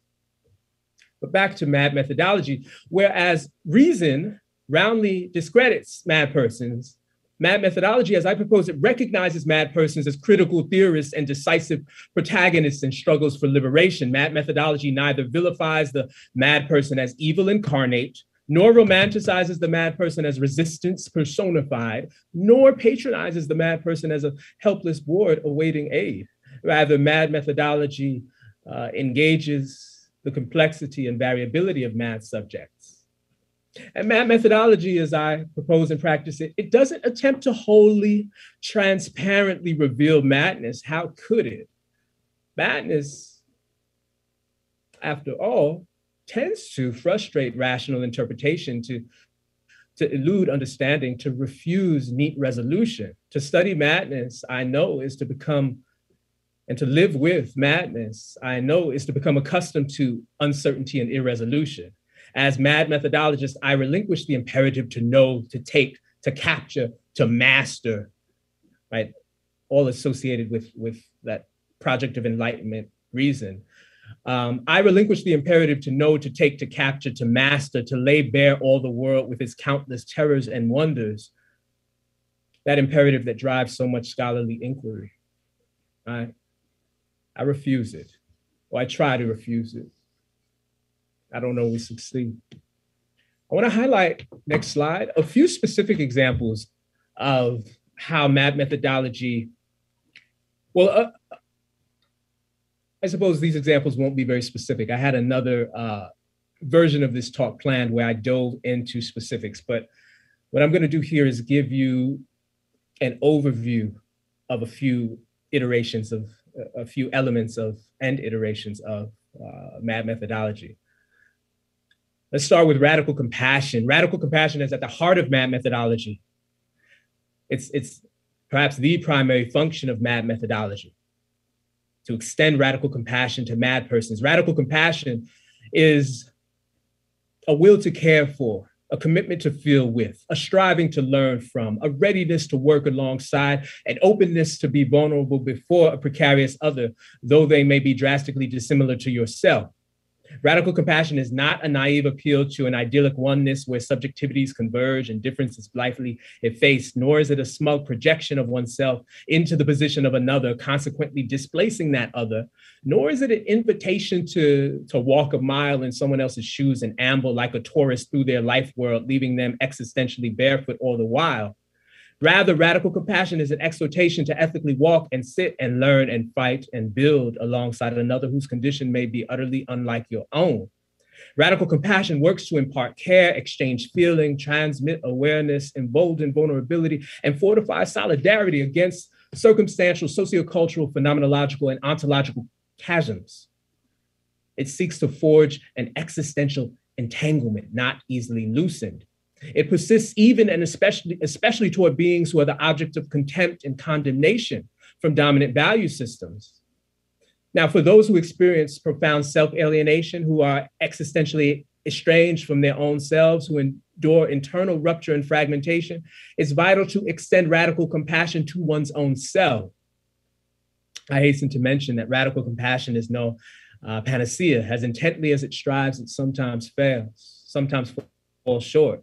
After all, it is subject to the limits of human comprehension, imagination, and will, and maybe there are some chasms too wide to cross. These contingencies should not be cause for resignation or despair.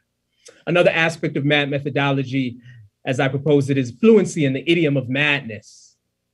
MAD methodology re- reads, hears, amplifies, and respects idioms of madness, uh, modes of radical utterance that are incomprehensible to normative logics, that are inaudible to rational hearing, that subvert the grammars of reason.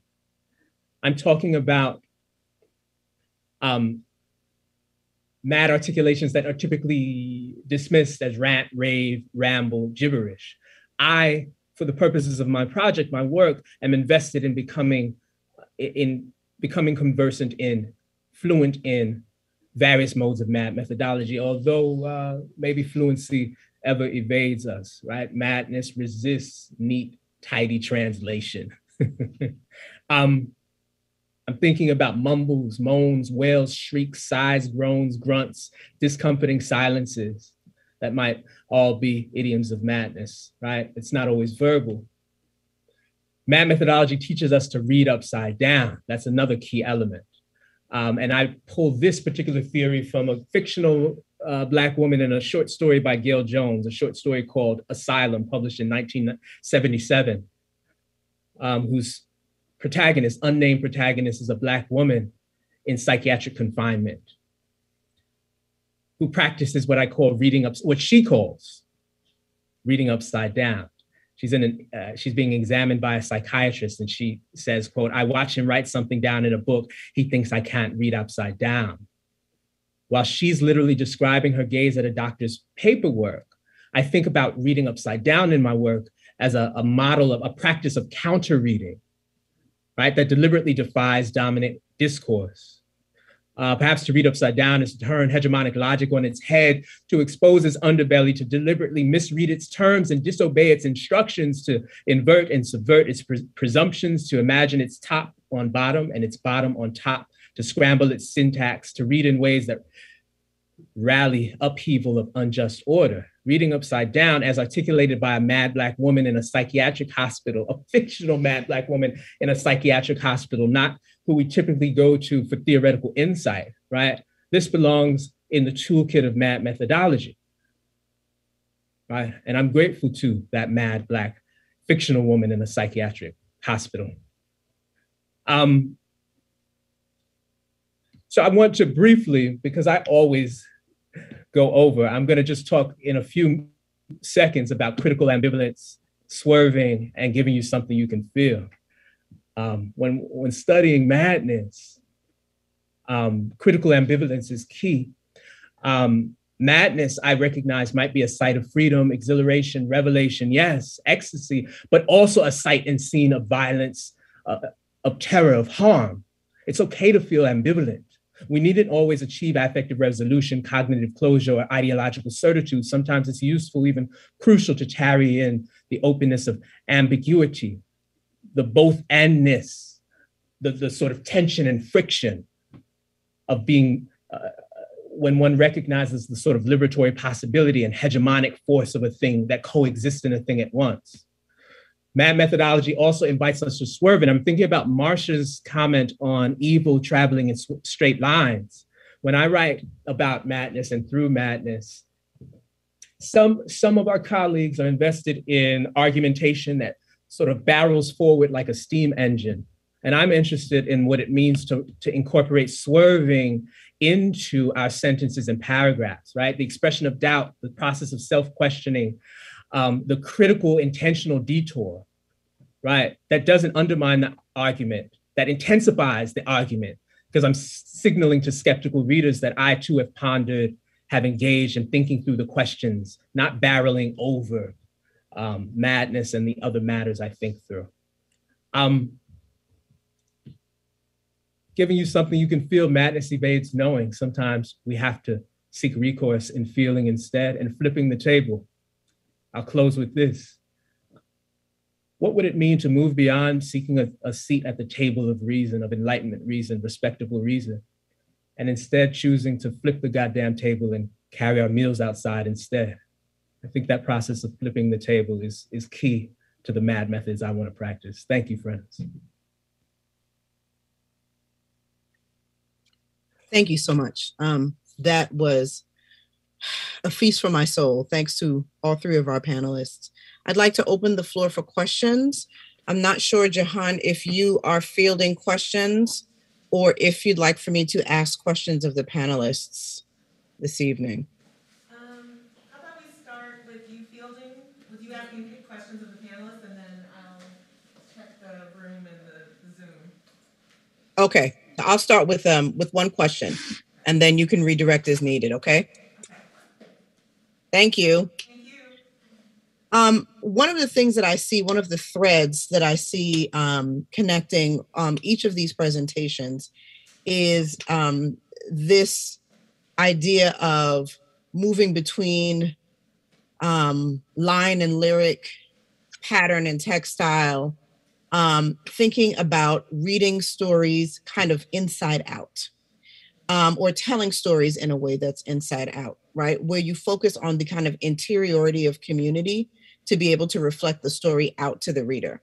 And so I'm wondering if you could talk to us a little bit more about that process. Um, I recall that um, Christopher mentioned um, the idea of somewhat like eavesdropping. Um, I know in your field there's the, the term strategic lur- lurking. Um, another term I really like is skylark. I love a skylark.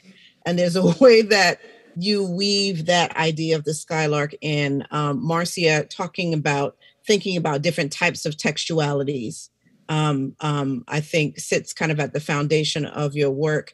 And Lamara, this idea of flipping the table, kind of flipping the way that we do theory and recognize theory, right? We know Patricia Hill Collins gives us a really powerful example of thinking about um, theory, not from below, I don't like that term as much, but thinking about different kinds of um, theoretical authority. And I think each of you um, is playing with that a bit. Can you talk a bit more about how you embed that in your process? Who'd like to start? Shall I call on you? how about how about um, Marcia? Would you like to begin? Unmute myself. Yeah, thank, thanks for that question, Meredith. Um, you know, I I see myself as um, interested in uh, different sites or sources, spaces of story, you might say, you know. Um, and so, you know, wh- when I think of my creative lineage, so to speak, um, it's not necessarily a literary one, um, but it's one which encompasses um, uh, music or, you know, tracing, as we say in Jamaica, when you cuss somebody and you trace them. And I love this word tracing, you know, because it suggests going back, you know, it suggests this kind of um, um, archaeology almost. Um, it's speaking in tongues, you know, it's it's preaching, it's um, it's it's all kinds of things. It's it's the it, it's music li- lyrics. Um, to me, all of all of these um, are texts and sites of story and, and poetry, um, which, to be quite frank, are um, just as important, if not more important to me than um, maybe certain literary texts. So th- that's what I'm that's what I'm drawing from and plugging into and spinning around. My uh, so I have no problem jumping in next. Uh, to answer uh, answer your question. And my apologies to the audience because uh, La Marr, you talk about going over time. Sometimes I try to push too much into 12 minutes that I forget things. And so one of the slides that should have been shown was a picture of my friend Brian Riggs' book, mm-hmm. uh, which I had intended to recite from, where uh, he wrote a triptych to New Orleans and I was going to read triptych number two, but available in bookstores near you. Mm-hmm. Uh, shameless plug. Uh, but uh, yeah, no. Uh, Look at that. Oh, yes, perfect. There we go. And so on Bourbon Street. And I mean, I mean, part of my process because I'm kind of pushing against certain kinds of practices uh, is that I'm I'm relying on my own memory for a lot of what's going to end up on the page in the manuscript, mm-hmm. and uh, and again, this very kind of en- enlightenment and post enlightenment kinds of uh, notions of reason, where it's like truth has to be validated in a particular kind of way, and yet we consider memory as fallible not easily documented. And so one of the things that I was, I want to say, being playful with, mm. uh, and still being playful with in my manuscript is how can I share memory while at the same time adhering to uh, this notion that it has to be validated. And so I'm just like, well, you were there, you tell me. Mm-hmm. Like, am, am I, am I, is this a fabulation? Mm-hmm. Or, you know, like, have I gone mad? And so this is where, like, I was so happy to have a con- uh, be on this panel with La Marr uh, and Marcy. Your presentation was amazing as well. Uh, like thinking about like how because it all comes down to legibility ultimately, right? And so for me, like experiences of the ways in which we move, not only do we carry memories in our body, but they require some sort of dialogic engagement. And so that's also something that I've engaged in my practice uh, as, as a method, uh, in part precisely to honor the conversations that we have, because they gain greater meaning or greater substance when they last and live among and between different bodies, different folks. And so I guess that would be my short-ish answer. I appreciate that. Um, you know, and um, La Marr, if you'd respond as well, I just wanted to interject that this, all of this reminds me so much of so many different conversations about liminality um, and literacy. I keep thinking about VèVè Clark here. And um, I think one of you quoted um, NourbeSe Philip, and I keep thinking about Grace Nichols. I have crossed an ocean, I have lost my tongue from the root of the old one, a new one has sprung, um, which for me is, is a, a wonderful kind of um, connective, a bit of connective tissue that helps us think about these different movements, travels, de- uh, I think dislocations, displacement, displacements, but then also this ongoing process of regeneration, right? That's iterative. La Marr? I'll just say briefly, because I know that we're low on time, that I'm I'm at the core of my project, that the crux of my project is an investment in respecting, respecting, honoring, illuminating, taking seriously, right? Thinkers, creators, theorists who are categorically um, discredited, dismissed, disregarded, reviled, and exiled, um, Mhm. insofar as they inhabit the, the um, convergence of madness and blackness. They're so readily um, dismissed. The most, I, I sort of call and think through the most trenchant theories of, for example, anti-Black modernity um, that come from figures whose theories are only heard, are illegible, right? Are inaudible to rational hearing, are only heard as rant, rave, rave, ramble, gibberish. So that's that's at the core. And the process of reading it upside down, think about that in relation to literacy, right? Uh, being able to read upside down, a, a sort of faculty with reading in reading upside down. The fact is that that woman in that psyche, psychiatric holding space, right, is capable of reading upside down, but the doctor doesn't think so, right? At his peril. And I'm interested in the ways in which the refusal to for sort of dominant anti-black white supremacist ableist et cetera et cetera logics to sort of un- to, to recognize the, the sort of wisdom being generated by these marginalized peoples these vulnerabilized peoples comes at the maybe there's an opening there. Mm-hmm.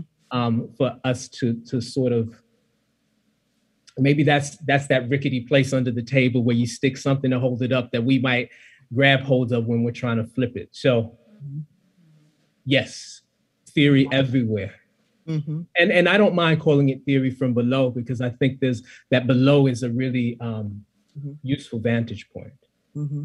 Mm-hmm. I have 15 million questions, but I'm going to step back so that others can step forward. Jahan, are there questions from the floor? I cannot see them, so I will have to rely on you to share them. Okay. Any questions? Uh, we might go to the chat first, actually. We've got a couple questions there. Um, I can do it.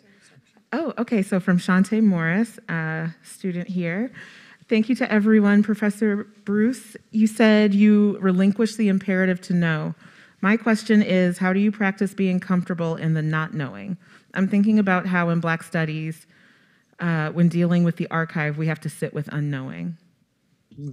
Yeah, yeah. Um, so what I said very briefly during my comments is that um,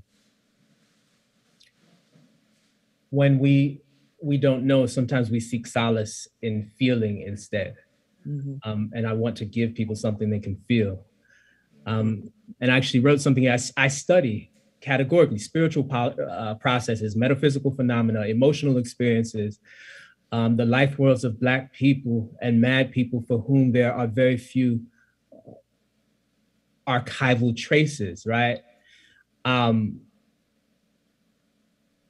I try always to open up space, hold space for the opaque, the mysterious, the ghostly, the unknowable, the unimaginable, the sublime, the speculative, right?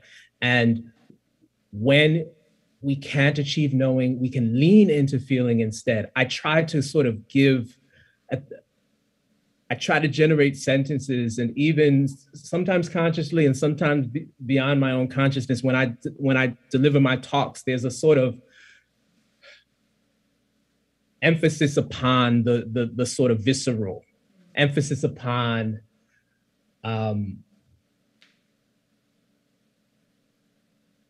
how even if the if the content of my words evade your understanding, something about the melody, uh, the sensory quality of my delivery will will kind of lead you forward nonetheless. And it's okay to not understand it's it's I tell my students all the time we have to move beyond understanding as the sort of categorical paradigm for a, a sort of successful outcome in a classroom encounter like let's let's engage let's think through let's grapple with let's let's sit in our frustration. Frustration is a genre i tell them of inspiration. That frustration is going to move you um, and it's going to sort of keep you from the sort of complacency of of that sort of neat glib belief that one knows for sure. Thank you for that. Of course yeah professor boyce davies just said he's so smart Is there uh, any other question in the room or in the chat? It's so funny. It's like the old people used to say, you don't have to know everything. and you were like, of course I do. And you're like, but then you realize that you actually, you don't, but it is, it's the process of getting to know and the sitting with that discomfort. That's really important. That's where the sweetness is, no? Yes. Exactly. Mm. Thank you all for your amazing presentations. My name is Amir, first year PhD student in Africana Studies. Um, Professor Lamardra Bruce, I'm really interested in how madness can propel to the sonic space from exhaustion. Um, the reason why I ask that is because I'm reading um, Incidents of the Life of a Slave Girl, and it reminds me of Harriet Jacobs' quote when she talks about she listens to music until it sounds like screams. I was wondering to hear your perspective on that. Hmm. Yeah. Um, I want to spend more time studying sort of paralinguistic utterances and outbursts that are often associated with madness. I, I gave a, a, list, a litany at one point shrieks, howls, moans, grunts, unseemly silences also. Um, you know, rants, raves, and rambles tend to be associated with language, but I'm interested in the spaces of madness that refuse language, that obliterate, disintegrate language, and music can become, particularly again, these paralinguistic utterances can become a really fascinating, infinitely fascinating space. Like, how does I don't know, one of Fantasia, I'm thinking about Fantasia Barrino, a contemporary singer who squawks in particular ways, right? When words just won't do it, when melody just won't do it either, when sort of rhythm won't contain it, like a squawk, an outburst, when it comes to sort of a, an ecstatic feeling that sometimes that, that, that uh, black folks within the sort of religious tradition that from which Fantasia emerged associate with God right? But also uh, a sort of the mad feeling. The first blues, the first uh, commercial blues recording by a, a, a, a black vocalist was called "Crazy Blues" by Mamie Smith, 1920, right? And the way the spaces in that song, where again language fails, and a grunt or a moan is far more apt. So those are some of the spaces that I'm, I'm interested in. I, I, I do this with Lauryn Hill. I think about Lauryn Hill's uh, Peace of Mind performance where she, where language disintegrates. This is on her Unplugged 2.0 album, um, recorded in 2001, released in 20 uh, in 2002. Um, at a certain point, language comes undone, mm-hmm. and a, and a sputter and a moan and a stammer mm-hmm. are far more apt to convey this mad, this ecstatic, this unspeakable, but perhaps soundable, perhaps mm-hmm. process. Mm-hmm. Uh, Marcy, I wonder if you'd want to respond to that um, question as well, because I know that you have some characters in your fiction who occupy that space as well.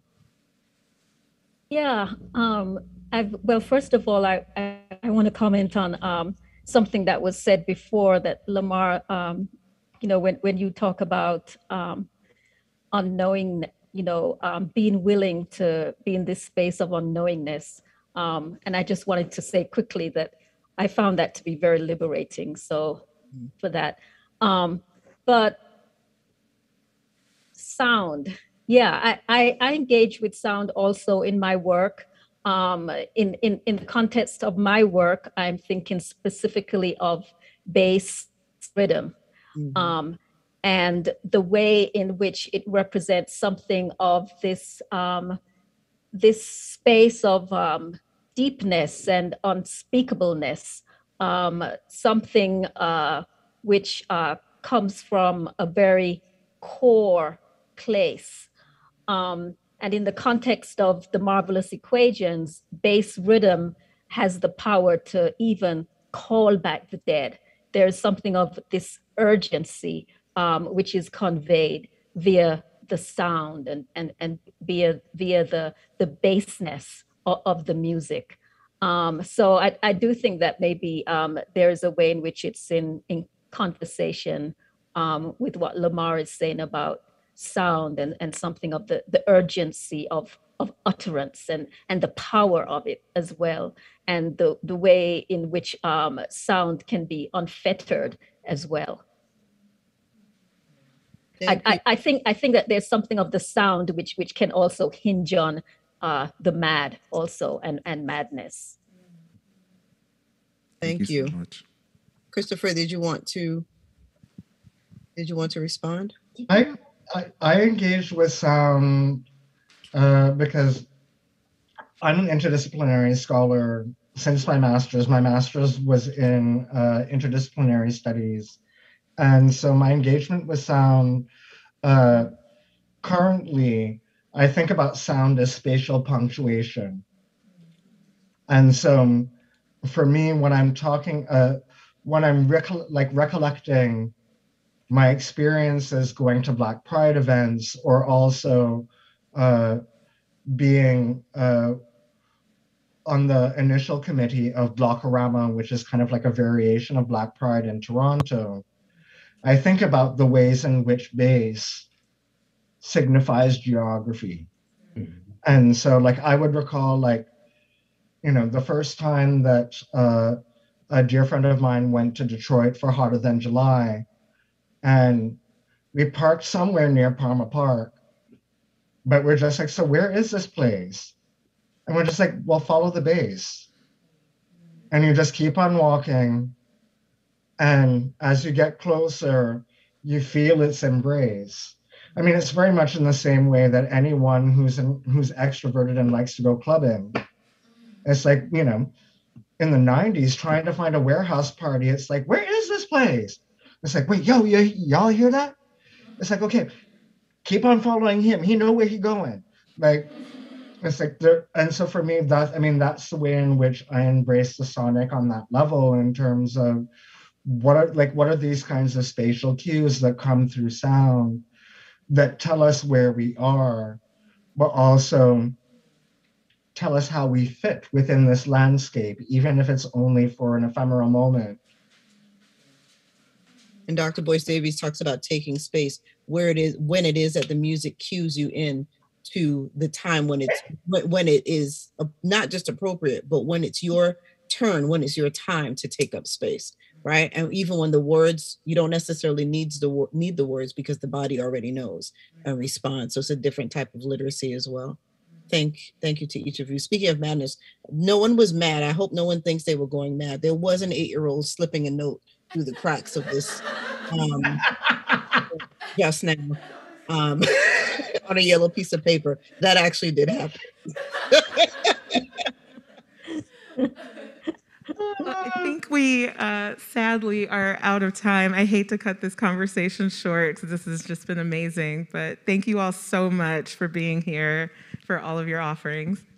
Thank It's a wonderful opportunity. Thanks to all of you.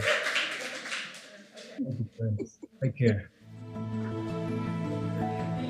Thank you. That's it.